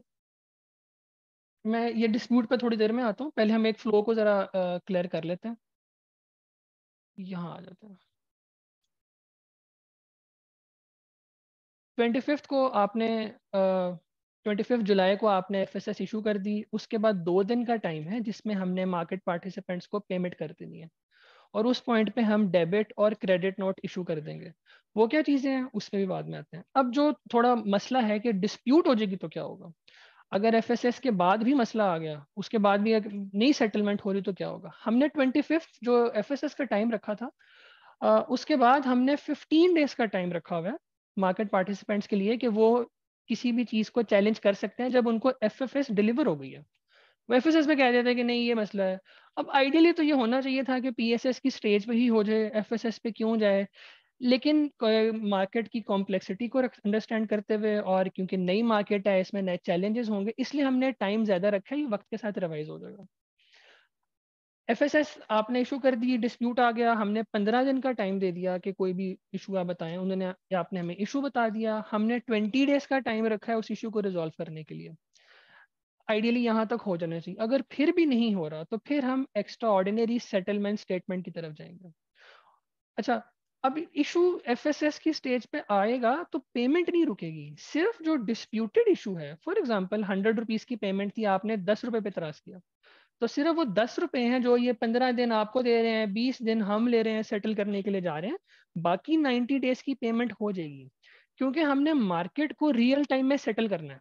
ऐसे नहीं हो सकता कि एक एमपी की पेमेंट उसका जब केस रिजॉल्व हो गया उस दिन पे हो गई, अगले का दस दिन बाद होगी उस दिन होगी मार्केट एक ही दिन सेटल होगी। वो ट्वेंटी फिफ्थ जुलाई को सब आपने एफएसएस बना ली, उसमें जो पेमेंट्स आ गई within two days twenty को आपने पेमेंट्स कर दी। यहाँ तक किसी का कोई क्वेश्चन है तो प्लीज़ पूछिए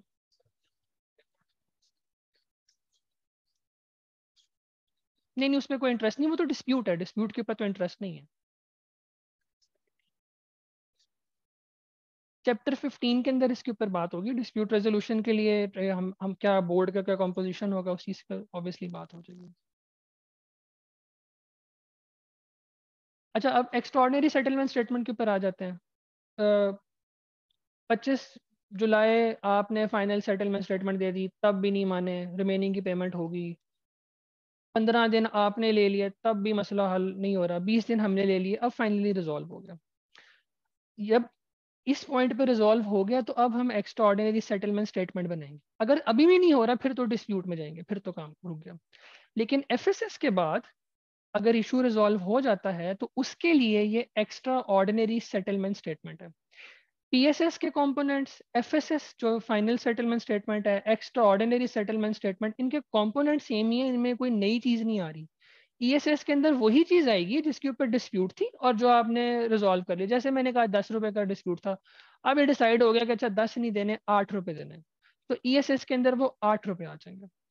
अगले मंथ जब ये साइकिल दोबारा रिपीट होगा, अगले मंथ की जब पीएसएस बनेगी और एफएसएस बनेगी तो ये आठ रुपए एज एन एडजस्टमेंट पहले पीएसएस के अंदर रिफ्लेक्ट हो रहे होंगे और फिर ये एफएसएस का पार्ट बन के हो जाएँगे।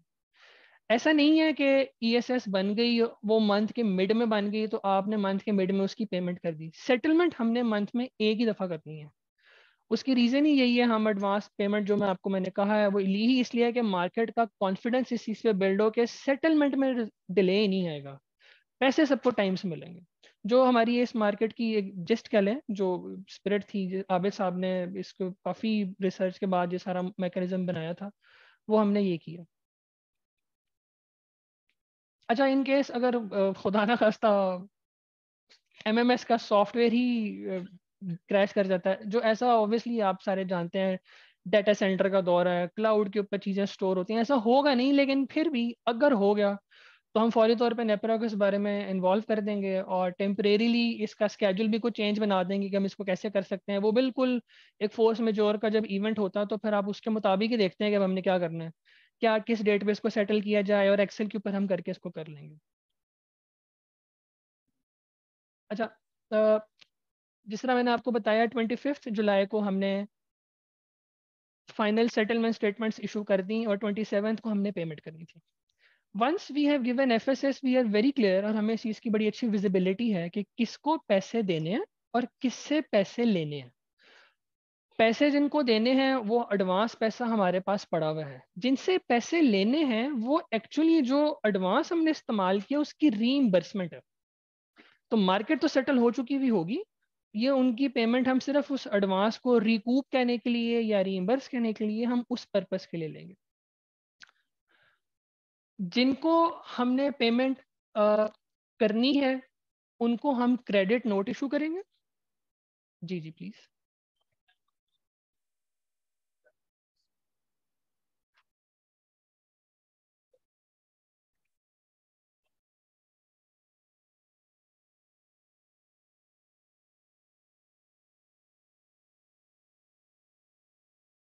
अच्छा इसमें तो शायद मसला नहीं होगा। जैसे आप कह रहे हैं सौ पड़ा हुआ और नाइन्टी देने हैं तो वो तो आपके पास पैसे ज़्यादा ही पड़े हुए लेकिन अगर ऑपोजिट हो जाए, एक सौ दस की पेमेंट आ जाए और आपके पास आप कह रहे हैं कि नाइन्टी पड़े हुए हैं तो जी।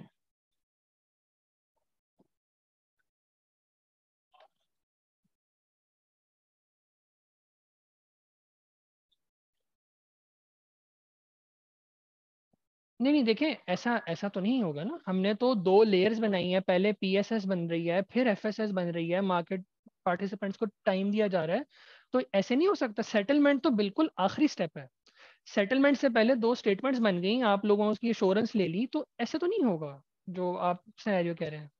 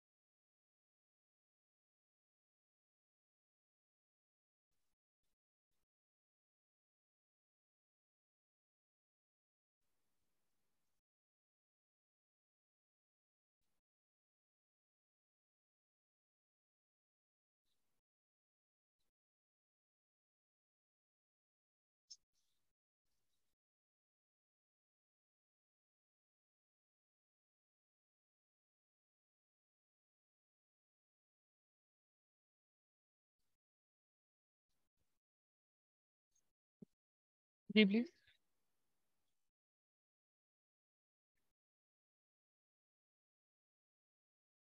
चैप्टर फिफ्टीन है परसों उसकी टर्न आ जाएगी तो वहाँ पे सारी डिस्प्यूट्स हैं। वहीं बस वो कर लेंगे। अभी चीज़ों को जी। किसमें?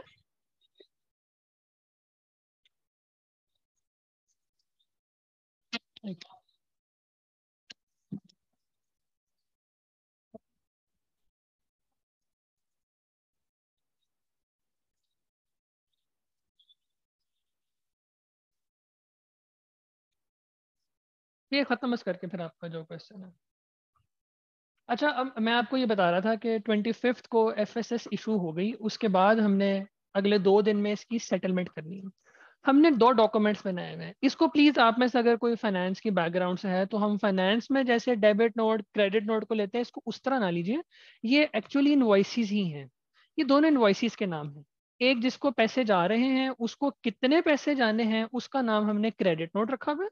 उसमें वो अमाउंट रिफ्लेक्ट हो रही होगी कि आपको अगले दो दिन बाद ये पच्चीस को हमने इशू किया कि सौ रुपया मिलना और जो डेबिट नोट है, ये उसको हम बता रहे हैं कि आपका एडवांस जो हमारे पास पड़ा हुआ था, उसमें से इतनी अमाउंट हमने कंज्यूम करके बी को पे कर दी है, अब आपने इसकी रिकूपमेंट हमें करनी है। कैसे होनी है, उसमें क्या मसले हैं, वो हमें इंशाल्लाह कल चैप्टर है तो लंच के बाद उसको हम डिस्कस कर लेंगे। इन दो डॉक्यूमेंट्स का पर्पस यही है कि एफएसएस तो चली गई अब रियल टाइम में पेमेंट जानी है। अब आपका ये क्वेश्चन हो सकता है कि जब एफएसएस बन गई तो फिर इनकी क्या ज़रूरत है? एफएसएस के अंदर ना टैक्सेशन हमने नहीं ऐड किए हुए उसके अंदर कमर्शियल ट्रांजेक्शन है, लेकिन क्योंकि जहरी बात है इस पर टैक्सेशन की इम्प्लीकेशन है इंसुलरी पे टैक्स को लगना है बीएमई पे लगना है बीएमसी पे नहीं लगना, लेकिन एक टैक्स की इम्प्लीकेशन तो है कि नहीं लगना? मार्केट ऑपरेटर की फ़ीस है, उस पर कोई इनकम टैक्स लगना है। वो सारे टैक्सेस जो हैं और कोई इंटरेस्ट की पेमेंट आनी है तो वो सारी चीज़ें हमने डेबिट और क्रेडिट नोट के अंदर रिफ्लेक्ट हो रही होंगी। इसलिए ये ज़रूरत थी कि हम एक एडिशनल डॉक्यूमेंट बनाएँ। And this is mainly for the financial purpose कि फाइनेंस डिपार्टमेंट को जब ये डॉक्यूमेंट जाएगा हो सकता है मेराड में जो लोग बैठे हुए हैं एफएसएस की स्टेटमेंट से मेरे लिए बड़ा इशू है। एफएसएस के अंदर बहुत टेक्निकल चीज़ें हैं, मेरी टेक्नोलॉजी की इंजीनियरिंग के बैकग्राउंड नहीं है। तो मुझे उसको अंडरस्टैंड करने में प्रॉब्लम होगी। But this is a financial document इसके अंदर जो अमाउंट्स नज़र आ रही होंगी, वो एक फाइनेंस के बंदे को बड़ी इजीली समझ आ जाएगी। जी सर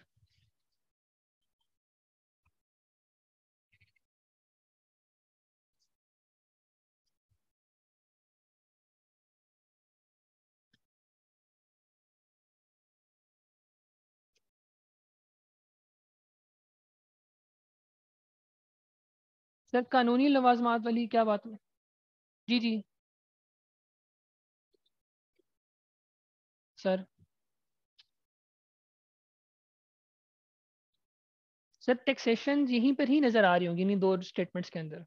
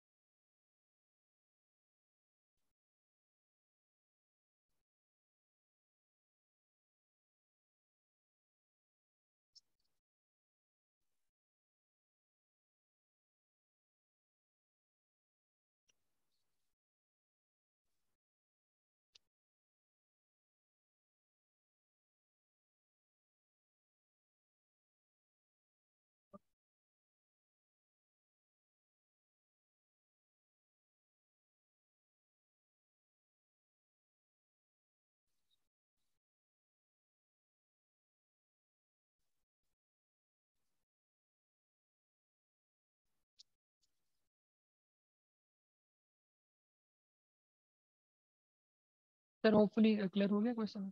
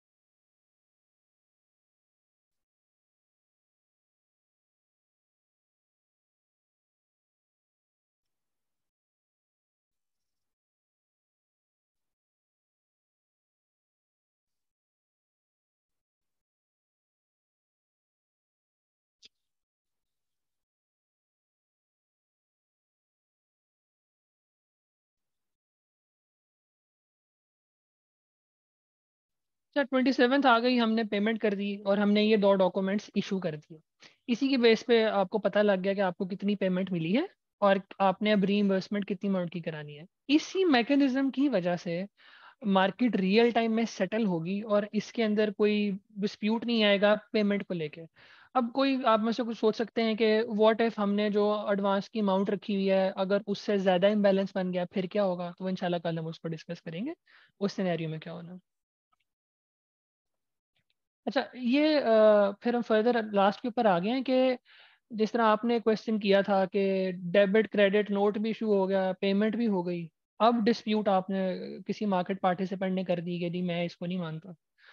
तो उसके लिए फिर ये डिस्प्यूट रेजोल्यूशन कमेटी के पास चीज़ जाएगी और वहीं पे इसका होगा हमने मार्केट सेटल कर देनी है एफएसएस निकलने के बाद।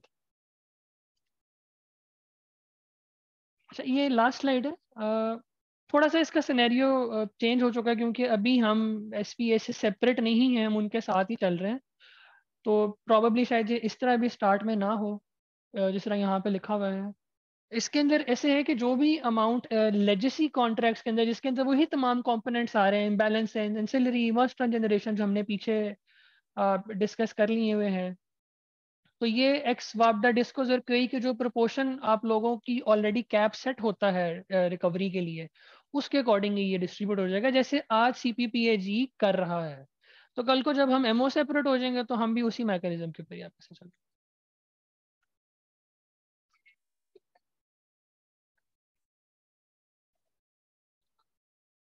सर।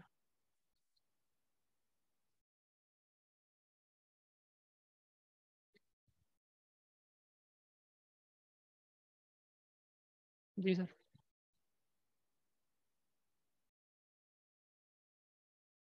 ऐसे ही सर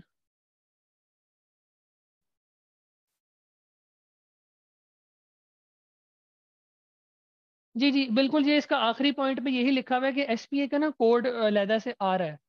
तो वो होपफुली नेपरा की टीम कुछ इस पर बता सकती है कि वो कितनी जल्दी एक्सपेक्टेड है उसके timeline but it's in process और वो भी आ जाएगा इस पेमेंट को लेकर यही इसका एंड हो गया। बाकी तीन चैप्टर्स हैं। Thank you ji please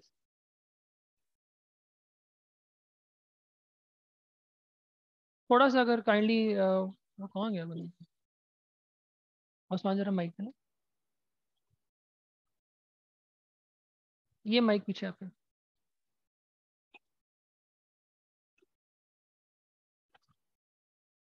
Usman जरा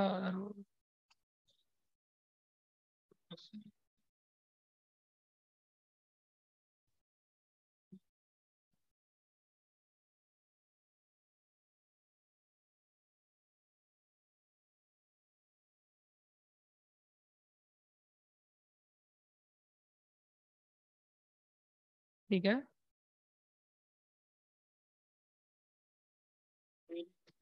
हम्म।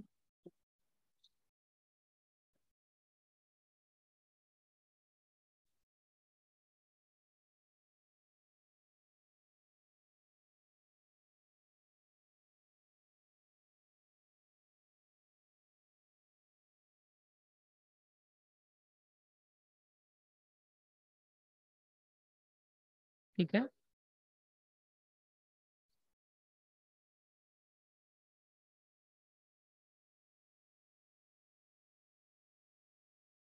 हम्म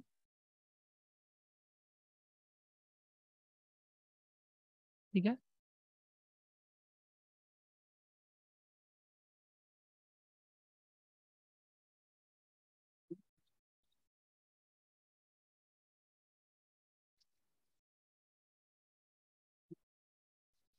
तो फिर क्या हुआ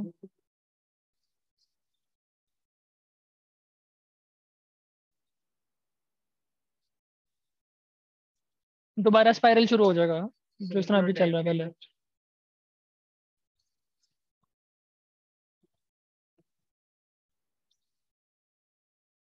नहीं नहीं इत, इतनी आगे चीज़ नहीं जाएगी। आप थोड़ा सा इस पे बस ट्रस्ट रखें कि कल जो दो हमने चैप्टर्स करने हैं ना वो इन्हीं की डिटेल के ऊपर हैं कि एडवांस हम किस तरह ले रहे हैं हम इस रिस्क को कैसे मिटिगेट कर रहे हैं हमने एक से ज़्यादा रिस्क को कवर करने के लिए लेयर्स रखी हुई हैं।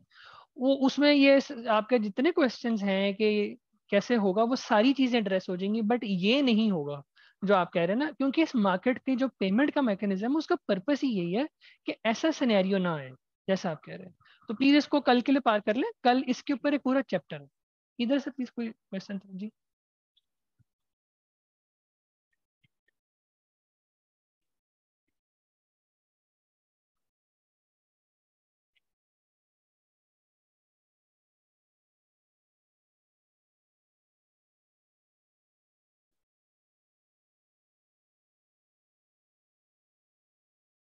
टैक्स सेटल से क्या मुराद है कि रिटर्न कौन फ़ाइल करेगा?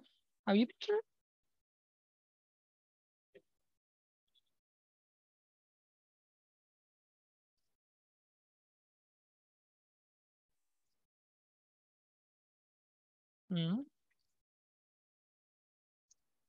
मैं आपसे ही पूछ रहा हूँ सेटलमेंट से आपका क्या मुराद है कि एफबीआर को कौन जमा करा रहा है या नज़र कहाँ रिफ्लेक्ट कहाँ पे हो रही होगी? जी।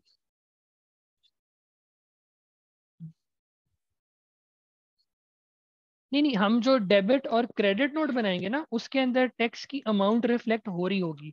और हमने जो इम्बैलेंस की पेमेंट करनी है, थोड़ी सी चले, कल वाला चैप्टर है, लेकिन आपको क्लैरिटी की थोड़ा सा एग्जांपल देता हूँ। ये ए एक बीपीसी है और बी जो है हमारा जनरेटर है।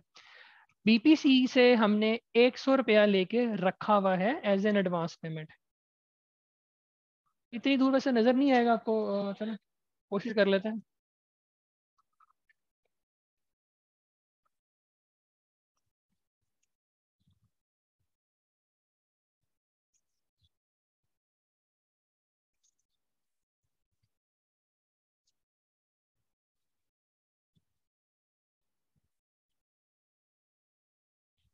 ये हमारा जी बीपीसी है, हमने मंथ के जब हमारी मार्केट शुरू हुई, हमने इसे एडवांस में हंड्रेड रुपीज़ लेके रखे हुए कैसे रखे हुए इस पर हम कल बात करेंगे।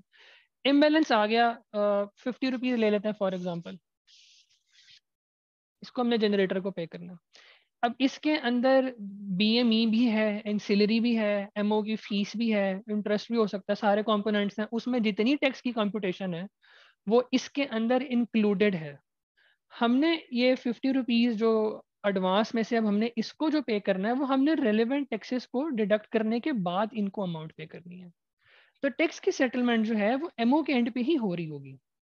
आप लोगों के एंड पे ये जहाँ पे सारी टैक्सेशन है, वो कोई चीज़ नहीं जा रही होगी। जी जी।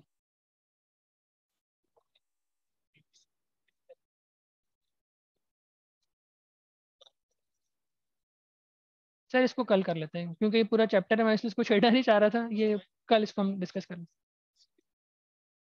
सर फिर कल कर लेते हैं, क्योंकि ये डिफ़ॉल्ट करने के लिए हमने लेयर्स बनाई हुई हैं, उनको हम कल डिस्कस कर लेंगे। सर इसको प्लीज़ कल के लिए पास कर लें। चलें जी, इसको रैप अप करते हैं।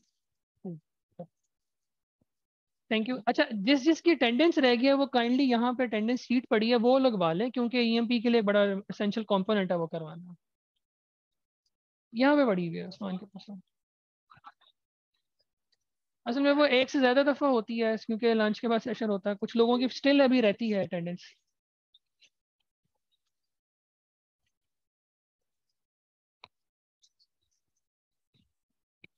चले आपको बेहतर पता है जिसने नहीं लगाई हुई किसी से मिस हो गया तो वो काइंडली लगा दे क्योंकि स्टिल कुछ मिसिंग है जितने हमने हेड काउंट किया आज thank you ji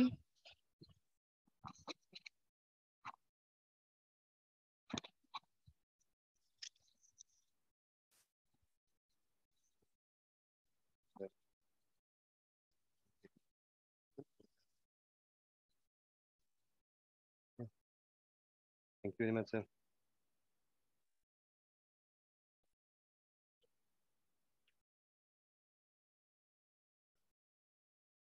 Hello. Hello. Hello. Am I audible?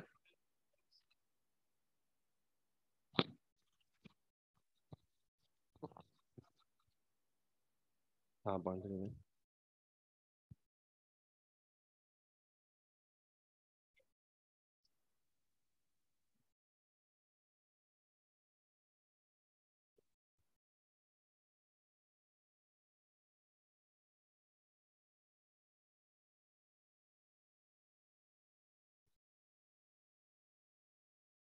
Assalamu alaikum everyone. My name is Usman Khalid and I am from the Market Services Department of MOD. And today the topic that I'm going to discuss is the firm capacity certification. सबसे पहले before we get into the details of the presentation, uh, आपका क्या concept है preliminary concept of what firm capacity is and why does it need to be certified? Any comments? Please.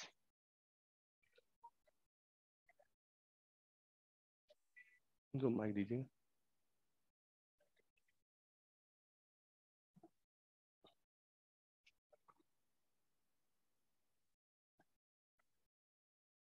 अच्छा तो मैं refresh कर देता हूँ। आपने कहा कि जो एक डिस्पैचेबल जनरेटर की कैपेसिटी है, जिस sorry okay any other comments please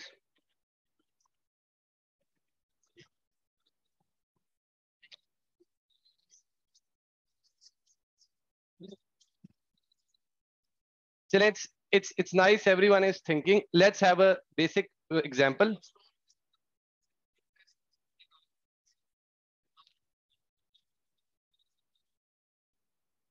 Okay, great. Now, now let's discuss it in the light of an example. For example, we have two discos. बिल्कुल simplistic रखते हैं. एक PESCO है, एक GEPCO है. And both of you require 100 100 megawatt each to satisfy your capacity obligations. PESCO decide करती है कि they want to satisfy this capacity obligation through a thermal plant और वो थर्मल प्लांट के साथ कॉन्ट्रैक्ट में चली जाती है, जबकि गैप को डिसाइड करती है कि they want to do it with a solar power plant दोनों की कैपेसिटी 100 मेगावाट्स है rated plate capacity now the first question is is there a difference between these two capacities what is that difference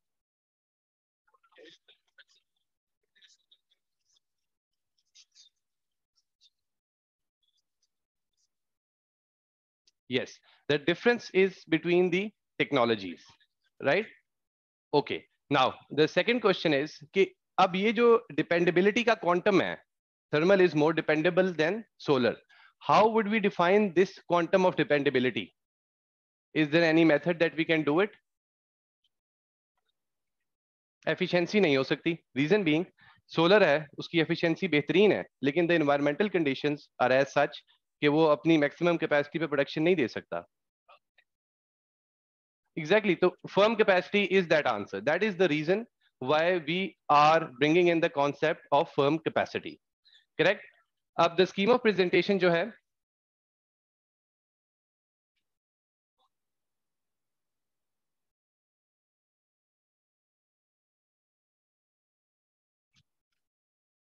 Okay, so I'll start by the procedure.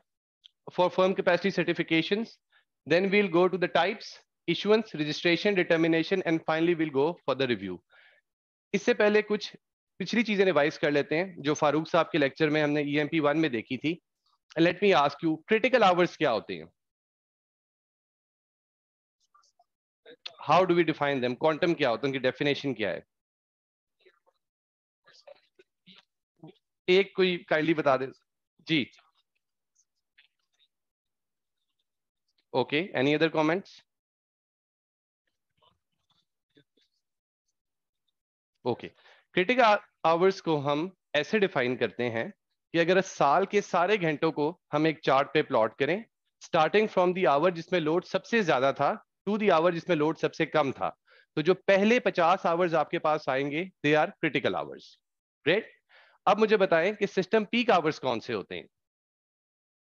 Is there a difference between critical hours and system peak hours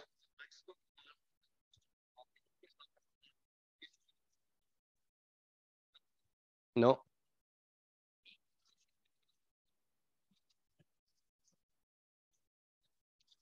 okay peak hours की definition ये है कि we have four months जिनको हम peak months consider करते हैं, जिसमें जून, जुलाई, अगस्त और सितंबर है। इस ड्यूरेशन में जो सुबह नौ से लेकर रात दस बजे का टाइम है, इसको इनको पीक आवर्स कंसिडर किया जाता है। तो असेंशली साल में हमारे पास पीक आवर्स कितने हुए? 122 डेज़ है हमारे पास और पर डे 11 आवर्स हैं। तो दिस गिव्स अस 1342 राइट तो ये 1342 की फिगर है, जब भी हम आगे इसको रेफर करेंगे these are the system peak hours और जब भी हम 50 की फिगर रेफर कर रहे होंगे that are the system critical hours ठीक हो गया?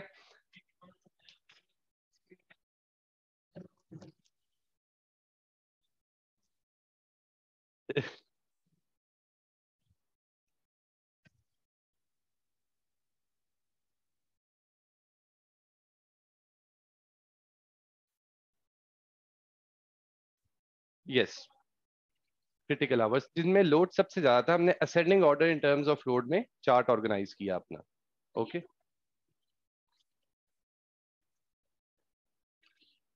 हमने जब उन चार्ट को ऑर्गेनाइज किया तो जो उसको हमने जो असेंडिंग ऑर्डर में from starting from the highest load hours organize किया। यानी कि लेट से वो जून में आ रहा था घंटा तो वो नंबर वन के ऊपर होगा राइट ग्रेट तो जो प्रोसीजर है फर्म कैपेसिटी सर्टिफिकेशन का, इसके पाँच प्रिंसिपल्स हैं। द फ़र्स्ट प्रिंसिपल इज़ कि जो मिनिमम क्वांटम है which would be considered as one firm capacity certificate that is 0.1 megawatts right तो एक कैपेसिटी की जो वर्थ है या क्वांटम होगा, वो 0.1 मेगावाट होगा। इसका मतलब ये है कि अगर मैं मार्केट में वन मेगावाट कैपेसिटी ट्रेड करना चाहता हूँ, बेचना चाहता हूँ।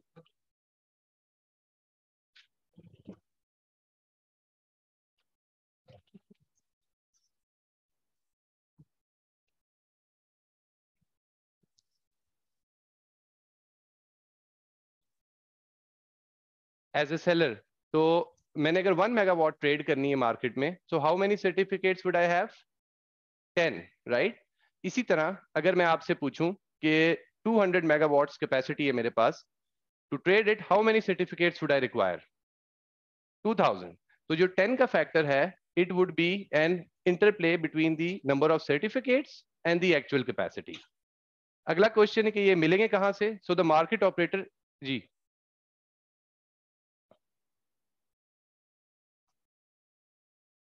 तो उसको अपनी डिमांड एग्रीगेट करनी पड़ेगी बेसिकली जो आपने फर्म कैपेसिटी जब सर्टिफाई करनी है तो you would be starting from 0.1 megawatt ये मिनिमम क्वांटम है जिसके ऊपर आपको सर्टिफिकेट मिलेगा। उसको नहीं मिल सकता, फिर वो कलेक्ट करेगा, अपनी डिमांड बढ़ाएगा 0.1 तक लेके आना होगा उसको। फॉर एग्ज़ाम्पल कोई सोलर जनरेशन है फॉर दैट मैटर आप उसको कलेक्ट करेंगे, आप मार्केट में उसको बेचना चाहते हैं when you will reach this basic quantum then you will get your first certificate right दूसरा क्वेश्चन कि ये मिलेंगे कहाँ से? तो the market operator will be providing you with these certificates अब ये सर्टिफिकेट्स मिलेंगे किसको?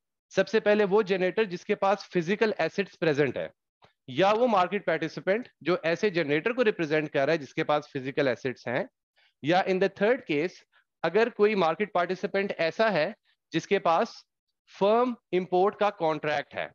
How do I define firm import firm import को मैं ऐसे डिफाइन करूँगा कि एक और फॉरेन लैंड है, जहाँ कोई फ़िज़िकल एसेट्स डिप्लॉयड है specifically for the purpose of export with respect to their country number one number two उनके साथ हमारा कॉन्ट्रैक्ट है which is backed up by sovereign guarantee कि ना ये एसेट उनके सिस्टम के साथ कनेक्ट होगा, और अगर उनके सिस्टम में एनर्जी सिक्योरिटी का कोई इशू बनता भी है, या शॉर्टफॉल भी होता है, उस कंडीशन में वो वो यूनिट की सप्लाई हमें रोक नहीं सकते। there's only one condition in which they can cease to supply us, and that is the absence of the transmission line between their facility and our network. Great. This is a firm import contract. तीसरी condition ये थी मैंने चौथी आपको पहले बता दी है वो ये थी कि अगर कोई मार्केट में आता है और उसके पास ये सर्टिफिकेट्स नहीं है so their capacity will be essentially considered as zero megawatts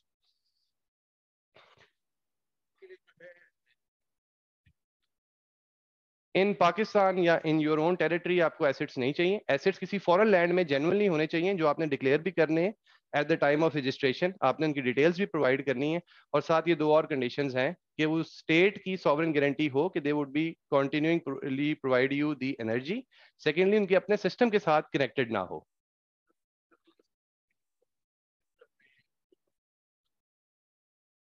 वो वो एक्सपोर्ट है। अभी हम एक्सपोर्ट की बात नहीं कर रहे। अभी हम सिर्फ़ इंपोर्ट कॉन्ट्रैक्ट्स की बात करें जिनको हमने सर्टिफाई करना है with respect to capacity that's it ठीक हो गया?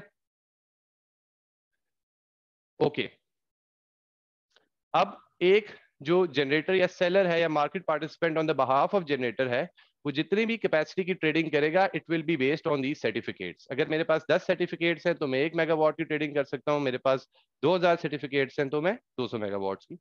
ट्रेडिंग कर सकता हूँ।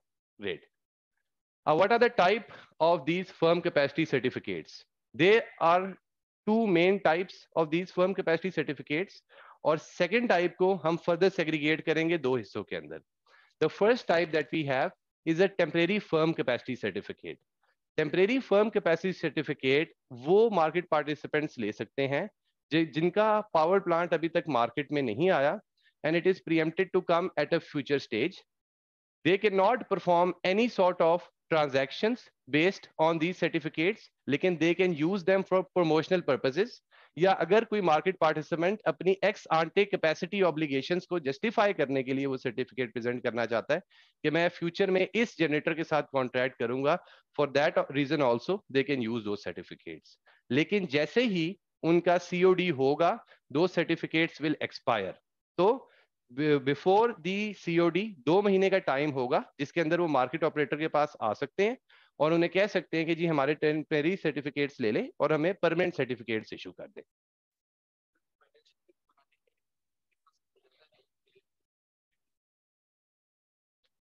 Depends upon the requirement of the bank अभी हम इशू कर रहे हैं एज ए सिंबल कि ठीक है you are probably going to enter the market अब बैंक की क्या कंडीशंस है? या कोई भी फाइनेंशियल इंस्टीट्यूशन है, उसकी क्या कंडीशंस है? For that matter it depends on them right second जो हमारे पास है permanent firm capacity certificate now this is the real thing इसके अंदर जैसे ही मार्केट ऑपरेशनलाइज होगी तो within one month the market operator will be issuing initial firm capacity certificates which will be permanent in nature ये इसकी petty peri sub category है and they will be applicable for three years to the plants which are already in operation and commissioned before the CMOD यानी कि C T B C M जौन से plants exist करते हैं market में आना चाह रहे हैं या उससे पहले कमीशन हो जाएँगे उनको ये initial firm capacity certificates issue होंगे इन फर्म कैपेसिटी सर्टिफिकेट्स के तहत they will be valid for three years the participants will be able to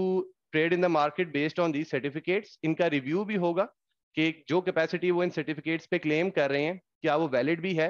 क्या उन्होंने उससे कम कैपेसिटी तो प्रोवाइड नहीं की? ज़्यादा कैपेसिटी प्रोवाइड की है? और this review will be conducted within six months of their expiry which means कि तीन साल की इनकी टर्म है। तीन साल के बाद छह महीने मार्केट ऑपरेटर के पास होंगे। जिसके अंदर वो इनको वेरीफाई करेगा कि इनकी जो क्वांटम डिफाइन किया गया था एट द स्टार्ट और वो कैसे डिफाइन होता है विल डिस्कस इट फर्दर क्या वो करेक्ट था या नहीं in between these three years अगर मार्केट ऑपरेटर को लगे कि इनमें कोई इशू है या an audit is required then that prerogative is also with the market participant but in the duration of three years this activity can only be done once you cannot call it again and again कि uh, हमने इसका audit करना है and we are not sure about it after this initial term is completed उसके बाद आपको permanent firm capacity certificates issue होंगे, जिनकी वैलिडिटी 20 साल होगी। और जो रिव्यू पीरियड होगा, वो पाँच साल का होगा। अब इन पाँच साल की ड्यूरेशन के बीच में एक दफ़ा मार्केट ऑपरेटर कॉल कर सकता है for an audit to verify whether the capacity is as per the certificate और नॉट एक दफ़ा से ज़्यादा नहीं कर सकता। और पाँच साल के पीरियड के दौरान अगर उसने एक दफ़ा भी कॉल नहीं किया तो पाँच साल के बाद उसका रिव्यू होगा, छह महीने होंगे एमओ के पास उसके रिव्यू के लिए and after that the certificate will be continued because it is valid for 20 years and 20 years के बाद वो दोबारा से अप्लाई करेगा और प्रोसीजर वही फॉलो होगा जो इनिशियल फर्म कैपेसिटी सर्टिफिकेट लेने के लिए यूज़ हुआ था। Great sorry 20 years 20 years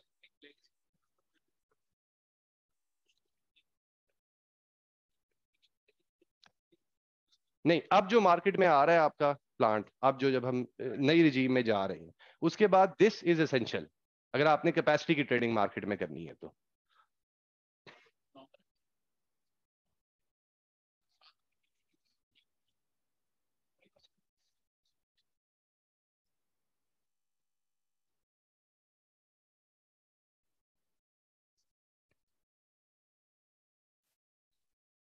exactly.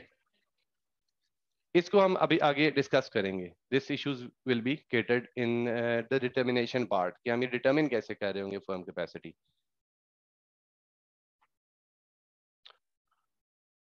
Okay अब जो कंडीशंस हैं कि एक पार्टी जो अभी तक मार्केट में आई नहीं है, but it intends to get a temporary firm capacity certificate, what are the conditions that it has to meet? The bare minimum conditions. पहली कंडीशन ये है कि उसके पास या तो जनरेशन लाइसेंस हो जो नेपरा से इशू करवा चुका हो, या उसकी एप्लीकेशन इन प्रोसेस हो। This is the first condition second condition ये है कि जो उसका लैंड है, जहाँ वो अपना सेटअप लगाना चाह रहा है, या वो एक्वायर करेगा, या वो रेंट पे लेगा, उसके जो भी सपोर्टिंग डॉक्यूमेंट्स हैं, वो उसके पास अवेलेबल हो। नंबर थ्री जो भी permits associated with a particular type of technology and a particular type of power plants required हैं फॉर इट्स डिप्लॉयमेंट वो सारे उसके पास हों। ईपीसी e कॉन्ट्रैक्ट उसका लॉक्ड हो, जिसमें क्लियरली मेंशनड हो कि सीओडी डेट क्या है। इसके ओवर एंड अबव, कोई भी डॉक्यूमेंट्स जो उसके पास हैं टू सपोर्ट इस claim that he will be able to commission a certain amount at a certain amount of time a certain technological plant वो वो सबमिट करवाएगा मार्केट ऑपरेटर को on the basis of which a temporary firm capacity certificate may be issued to him and and है ये सारे। And I think ये typo mistake होगी लेकिन ये सारे डॉक्यूमेंट्स आपने प्रोवाइड करने होंगे. एंड है. एंड के फॉर्म में. ये बिल्कुल एक दूसरे से म्यूचुअली एक्सक्लूसिव चीज़ें हैं.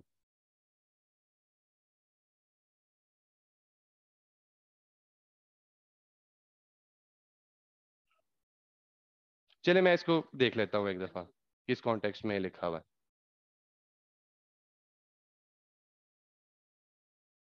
ओके okay, अब एक टेम्परेरी सर्टिफिकेट हमने किसी को इशू करना है फॉर दैट मैटर अब प्लांट तो फिजिकली एग्जिस्ट नहीं करता. There is no method in which we can find out कि इसकी एक्चुअल कैपेसिटी कितनी होगी. So all we can do is to take a claim from them let say X Y Z party claims के ये 100 megawatts का plant होगा जो मैं डिप्लॉय कर रहा हूँ. तो जो भी उसका ऑथोराइज रिप्रेजेंटेटिव होगा, वो इलेक्ट्रिकल मेगावाट्स में क्लियरली ये स्टेट करेगा कि वो कितनी कैपेसिटी एक्सपेक्ट कर रहा है after deployment of this plant और बिल्कुल जिस तरह मैंने पहले डिस्कस किया कि temporary certificates will expire at the COD और उससे दो महीने पहले का टाइम होगा, जिसमें मार्केट ऑपरेटर के पास आके और वो उसको परमानेंट में कन्वर्ट करवाने की रिक्वेस्ट डाल सकता है। Okay permanent firm capacity certificates के ऊपर आ जाते हैं। एक कंडीशन तो ये है कि मेरा और आपका बायोलेटरल कॉन्ट्रैक्ट है, उसके लिए मुझे कैपेसिटी आपको बेचनी है, उसको मैंने सर्टिफाई करवाना है, मैं मार्केट ऑपरेटर के पास गया और ले लिया। दूसरी कंडीशन ये है कि मैं एक मर्चेंट प्लांट हूँ और मैं किसी के साथ मेरा बायोलेटरल कॉन्ट्रैक्ट नहीं है, लेकिन मैं इम्बेलेंसेज में ट्रेडिंग करना चाह रहा हूँ। In that case also I can go to the market operator and acquire license acquire these firm capacity certificates दूसरी condition as we have discuss before that these certificates will be valid for twenty years after the first term of three years और हर पाँच साल के बाद इसका audit है और रिव्यू है just like we discussed it before Okay, again, this is the permanent certificates will be termed as initial firm capacity certificates और इनकी वैलिडिटी तीन साल होगी छह महीने के अंदर इनका रिव्यू होगा।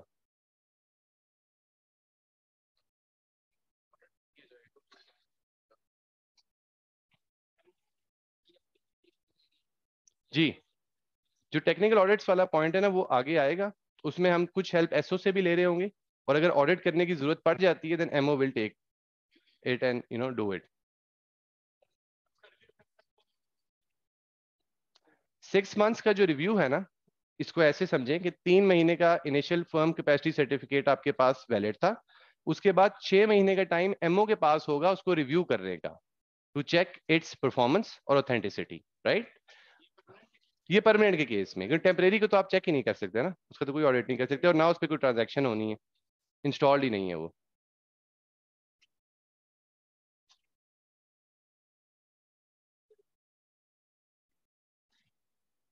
वो कम भी हो सकती है, वो ज़्यादा भी हो सकती है। And that is why we are going through the review process अगर वो कम हो जाएगी, अगर ये चीज़ प्रूव हो जाती है, वो कम हो जाएगी तो उसके कुछ सर्टिफिकेट्स कैंसिल हो जाएँगे और उसके जो नंबर ऑफ़ सर्टिफिकेट्स है वो कम हो जाएँगे। अब लेट से अगर उसका कॉन्ट्रैक्ट आपके साथ था और उसने खास अमाउंट ऑफ़ कैपेसिटी प्रोवाइड करनी थी, जिसके लिए उसके पास सर्टिफिकेट्स पूरे थे तो जो डेफिसिट सर्टिफिकेट्स हैं, उनके अगेंस्ट वो मार्केट से नई प्रोक्योरमेंट करेगा। और अगर ज़्यादा हो जाते हैं, उसका भी प्रोसीजर है कि अगर ज़्यादा हो जाते हैं फॉर एग्ज़ाम्पल मेजर ओवरहॉलिंग होती है किसी प्लांट की, जिसके बाद उसकी कैपेसिटी इंक्रीज हो जाती है तो उस इंक्रीज को भी वो रजिस्टर करवा सकता है और अपने सर्टिफिकेट्स इंक्रीज करवा सकता है, जिसको वो फर्दर मार्केट में ट्रेड कर सकता है। So both condition are possible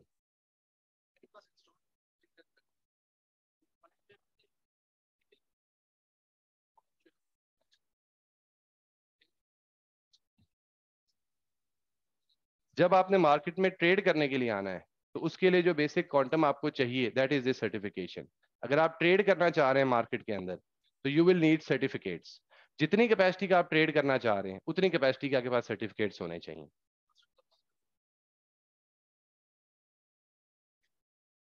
Okay So as discussed before, the MO will be issuing these initial firm capacity certificates to the existing plants once month prior to the uh, operationalization of CTBCM. इसके बाद जो नए plants CMOD के बाद आते हैं commission हो जाते हैं they can also come to the market operator and request these initial firm capacity certificates इसके अलावा जो इम्पोर्ट कर रहे हैं लोग, जिनके पास फर्म इम्पोर्ट के कॉन्ट्रैक्ट्स हैं they can also come to the market operator and request for these firm capacity certificates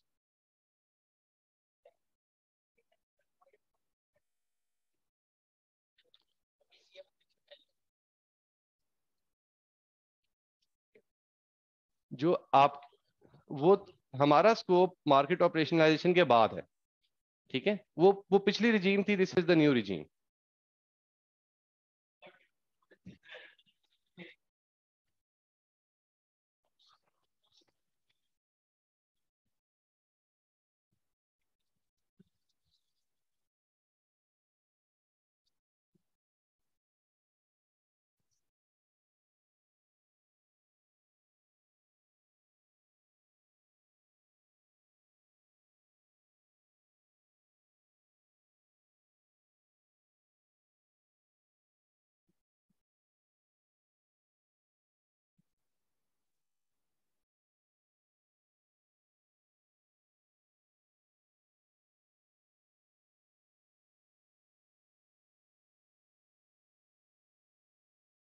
Usman Khalid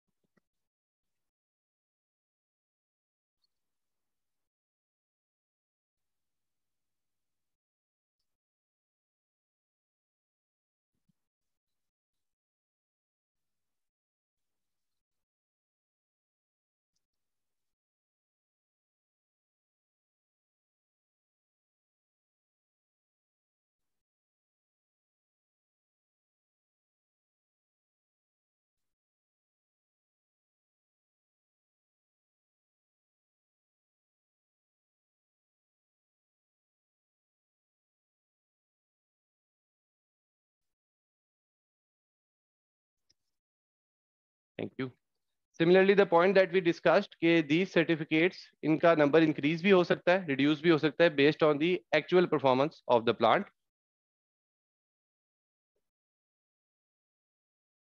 जी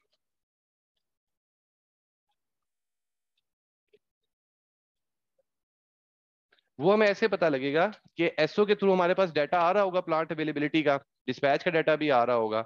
अगर वो कॉन्टिन्यूसली लो जा रहा है एक, दो, तीन साल के पीरियड के ऊपर वो उतना नहीं है जितना उसको होना चाहिए, वो उतनी कैपेसिटी दे ही नहीं पा रहा तो we have the right the market operator has the right कि वो पाँच साल से पहले भी उसको रिव्यू कर सकता है, लेकिन पाँच साल की टर्म में रिव्यू एक दफ़ा कर सकता है राइट right? इसके अलावा जब आपके फर्म कैपेसिटी सर्टिफिकेट्स एक्सपायर हो रहे होंगे, उसके बाद जो भी मार्केट पार्टिसिपेंट है, उसकी ऑब्लिगेशन है कि वो वापस आए मार्केट ऑपरेटर के पास और इसी प्रोसीजर के थ्रू दोबारा से सर्टिफिकेट्स एक्वायर करें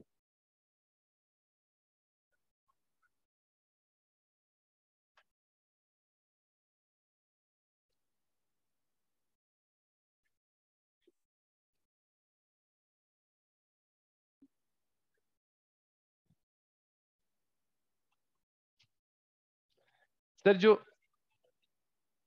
बिल्कुल, जो आपका क्वेश्चन है ना, ये सारे क्वेश्चन डिटर्मिनेशन में आंसर हो जाएँगे कि प्रोसीजर क्या है, कि क्या ये प्रोसीजर है कि मैं अगर आके क्लेम कर दूँ मेरे पास 100 मेगावाट कैपेसिटी है तो मुझे 100 के मिल जाएँगे, या इसको डिटर्मिन करने का भी कोई फॉर्मुलेशन है तो we will discuss it late in the presentation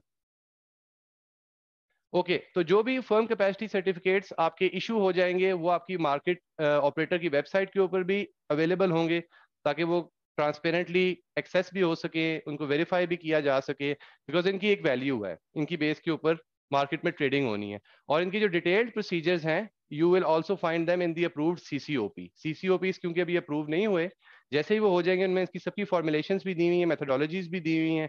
When you will study that you will get more clarity on this MO cancel भी कर सकता है।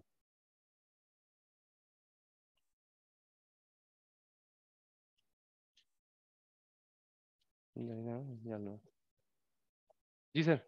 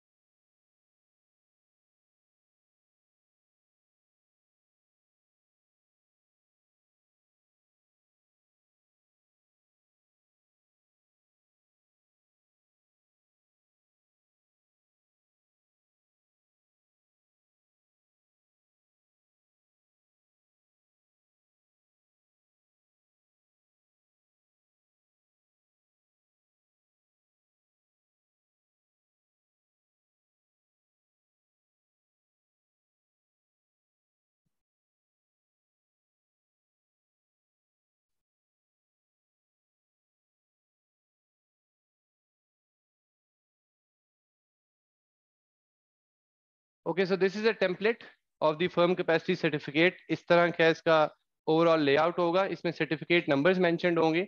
लेट से अब मैंने अगर 200 मेगावाट कॉन्ट्रैक्ट करनी है, अब उसके 2000 अगर मैं सर्टिफिकेट्स निकालूं तो बहुत ज़्यादा हो जाएँगे।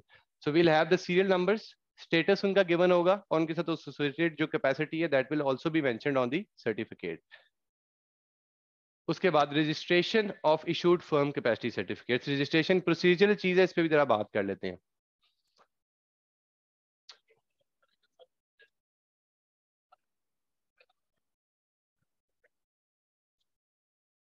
एग्जैक्टली exactly यही मैं चीज़ क्लेरिफाई कर रहा था कि आपके पास जो एक सर्टिफिकेट आपको इशू होगा एज अ होल उसके ऊपर सीएल नंबर्स लिखे होंगे।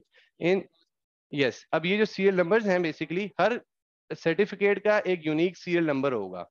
Right right? ये चीज़ अभी हम यहाँ डिस्कस करने लगे हैं। Unique number for each firm capacity certificate ठीक है? तो उसके 2000 के 2000 सर्टिफिकेट्स के यूनिक नंबर्स होंगे जिनसे हम उनको ट्रैक कर रहे होंगे बेसिकली और वैलिडेट कर रहे होंगे। इसके अलावा name of the participant market participant उसके बाद name of the market participant currently owning that certificate कि वो है, वो फ़िज़िकल एसेट के अगेंस्ट इस वक्त वो सर्टिफिकेट किसके पास है? हो सकता है।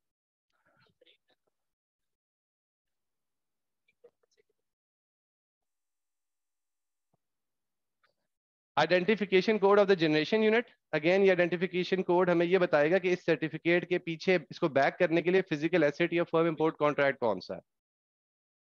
और इसका स्टेटस अब status is an interesting status आपके तीन किस्म के हो सकते हैं. अवेलेबल ब्लॉक्ड और कैंसल्ड अवेलेबल का मतलब ये है कि ये certificate available in market for the trading its active ठीक है? ब्लॉक का मतलब ये है कि it is already been committed with other market participant किसी न किसी बायर के साथ ही कमिटेड है। और कैंसल्ड का मतलब ये है कि ये मार्केट से ऑल टुगेदर कैंसिल कर दिया गया है। फॉर एग्जांपल कोई प्लांट है, उसकी कैपेसिटी डीरेट हुई, उसका आपने देखा और आपने कुछ सर्टिफिकेट्स कैंसिल कर दिए तो उसका सर्टिफिकेट ये आ जाएगा कैंसल के तौर पे। इशुएंस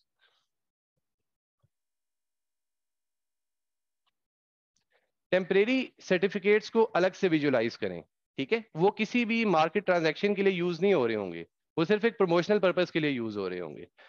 तो उनका जो स्टेटस है वो इतना इंपॉर्टेंट नहीं है उस पर कोई फाइनेंशियल इम्प्लीकेशन उसकी नहीं है। इसका स्टेटस बहुत इंपॉर्टेंट है। वो जब कैंसिल हो जाएँगे तो या वो कैंसल्ड होंगे या वो अवेलेबल होंगे। राइट अवेलेबल इस तरह से हो सकते हैं कि अभी मेरे पास मैंने किसी की एक्स आंटी कैपेसिटी ऑब्लिगेशन को सेटिस्फाई करना है। मेरे पास ये फर्म कैपेसिटी सर्टिफिकेट्स हैं मैं उसका इसका रिकॉर्ड प्रोवाइड करता हूँ कि जब मेरा प्लांट कमीशन हो जाएगा तो मैं तुम्हारे साथ परमानेंट लेके आपके साथ कॉन्ट्रैक्ट में आ जाऊँगा। उसके बाद इशुएंस एंड एक्सपायरी डेट ये भी इंपॉर्टेंट है, उस सर्टिफिकेट के ऊपर मैंशन होगी। और इसके अलावा हमारा एक रजिस्टर होगा एमओ के अंदर, जिसे हम फर्म कैपेसिटी रजिस्टर कह रहे हैं।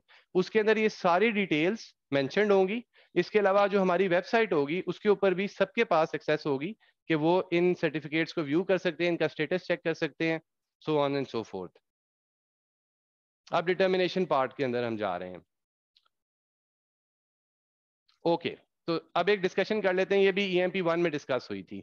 This is the wordy definition of dispatchable and non dispatchable plants कोई सिंपल तरीके से बता सकता है कि डिस्पैचेबल प्लांट कौन सा होता है और नॉन डिस्पैचेबल प्लांट कौन सा होता है? एक एक बारी करके raise your hands please and then answer please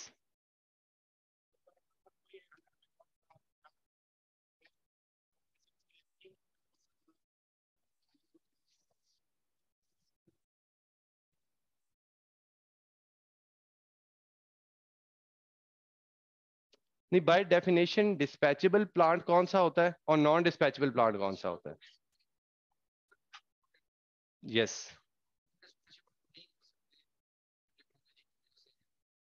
great great dispatchable plant वो होता है।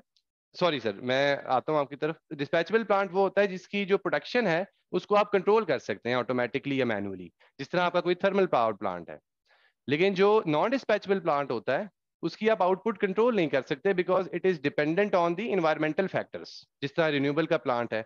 अब इसकी एक मैथमेटिकल डेफिनेशन भी है जो लास्ट टाइम हमने डिस्कस की थी। Can anyone tell me that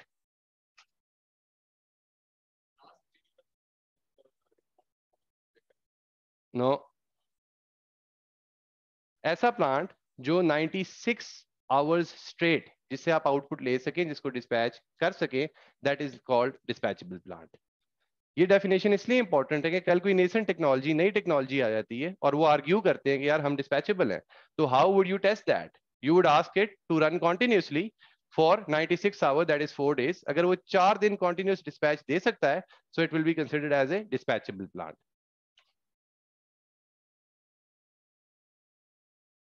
हो गया।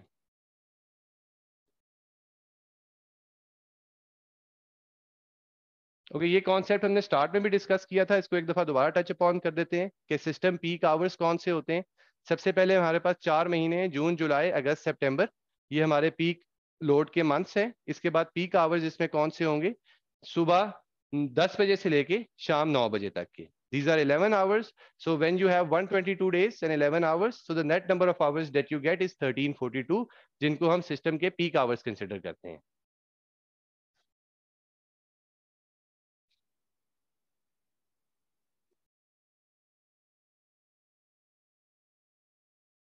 ओके. अब पहला केस हम वो ले लेते हैं कि C T B C M की ऑपरेशनलाइजेशन से पहले सी एम ओ डी जिसको हम कहते हैं, एक प्लांट है जो कि फिजिकली डिप्लॉयड है, चल रहा है, और वो इस मॉडल के अंदर अब आना चाह रहा है, ठीक है and it is a dispatchable plant तो हमारे पास क्या होगा कि उसका तीन साल का लेगेसी डाटा हमारे पास अवेलेबल होगा कि उसने पीक मंथ्स में पीक आवर्स में कितना डिस्पैच दिया, कितनी देर के लिए वो अवेलेबल रहा कितनी टाइम के लिए वो फोर्स्ट आउटेज पे रहा, कितने टाइम के ऊपर वो मेंटेनेंस के ऊपर रहा all of this data will be available with the system operator so what we will do is that हम उसकी available capacity during system peak hours in the last three years निकालेंगे and that available capacity will be average out on the number of hours और उसके through हमारे पास एक quantum आ जाएगा कि इतनी कैपेसिटी इसकी तीन साल में अवेलेबल थी during the peak hours so that will be termed as its firm capacity अब अगर एक प्लांट है जो कि एफिशिएंट नहीं है, कि जिस जो अच्छी कैपेसिटी नहीं देता ऑटोमेटिकली उसके नंबर ऑफ़ सर्टिफिकेट्स इस कैपेसिटी के अगेंस्ट उसको कम इशू होंगे। जो अच्छा प्लांट है, नया प्लांट है, उसको वो सर्टिफिकेट ज़्यादा इशू हो जाएँगे। दूसरा केस है नॉन डिस्पैचेबल यूनिट्स का। Non dispatchable units now this is tricky क्योंकि उनकी कोई फर्म कैपेसिटी एज सच आप कैसे डिफाइन करेंगे? It is dependent on the weather ठीक है? तो हम ये लेंगे, हम ये चेक करेंगे कि पिछले तीन साल में इसी ड्यूरेशन के अंदर उसने एक्चुअली कितनी एनर्जी इंजेक्ट की ग्रिड के अंदर। ठीक है? और अगर कोई ऐसा सिनेरियो किसी घंटे में आ गया, जहाँ सिस्टम ऑपरेटर ने उसको ऑर्डर किया कि आप अपनी प्रोडक्शन कम कर दें because there is a congestion somewhere और for the provision of ancillary services तो वो घंटा उसमें से निकाल दिया जाएगा उस कैलकुलेशन में से और उसकी जगह एसओ एक एस्टिमेट प्रोवाइड करेगा कि अगर ये कॉन्टीजुएंसी ना आती, अगर ये कंजेशन ना आती तो इसकी आउटपुट कितनी होती? इज़ इट क्लियर और ये जो क्वांटम हमारे पास फिर आएगा divided by time will be termed as the firm capacity of that non dispatchable plant renewable के केस में पिछले तीन साल में इन आवर्स के अंदर, उसने फिजिकली कितनी कैपेसिटी इंजेक्ट की? कितनी एनर्जी इंजेक्ट की sorry in the grid system सिवाय उन घंटों के जिसमें कोई कॉन्टीजेंसी आ गई कंजेशन कहीं आ गई, या कोई और मसला हो गया, इसकी वजह से कटेलमेंट करनी पड़ गई। उसके पास एनर्जी थी, वो प्रोवाइड कर सकता था, लेकिन सिस्टम ऑपरेटर ने उसको कटेल करवा दिया। वो कैपेसिटी बिल्कुल, उसके पास उसके अगेंस्ट फर्म कैपेसिटी सर्टिफिकेट्स आ जाएँगे, उन सर्टिफिकेट्स के ऊपर वो कॉन्ट्रैक्ट कर सकता है। जी सर जी जी वो वो भी हम आगे डिस्कस करते हैं और सीसीओपी में इसकी फर्दर डिटेल्स भी होंगी और टेक्नोलॉजी के लिए कैसे एलोकेशन होगी इस पर भी हम अभी बात करते हैं अच्छा ये तो वो लेगेसी प्लांट्स हैं जिनका डाटा हमारे पास अवेलेबल है लेकिन ऐसे प्लांट्स भी तो आएँगे जो नए होंगे जिनका कोई डाटा हमारे पास अवेलेबल नहीं होगा उनको बेंच करने के लिए फिर हमारे पास एक ही मेथड है कि हम टेक्नोलॉजी देखें और उस टेक्नोलॉजी के हिसाब से उसको बेंच करें So we have discussed this. Okay, we discussed this too. That's okay, sir.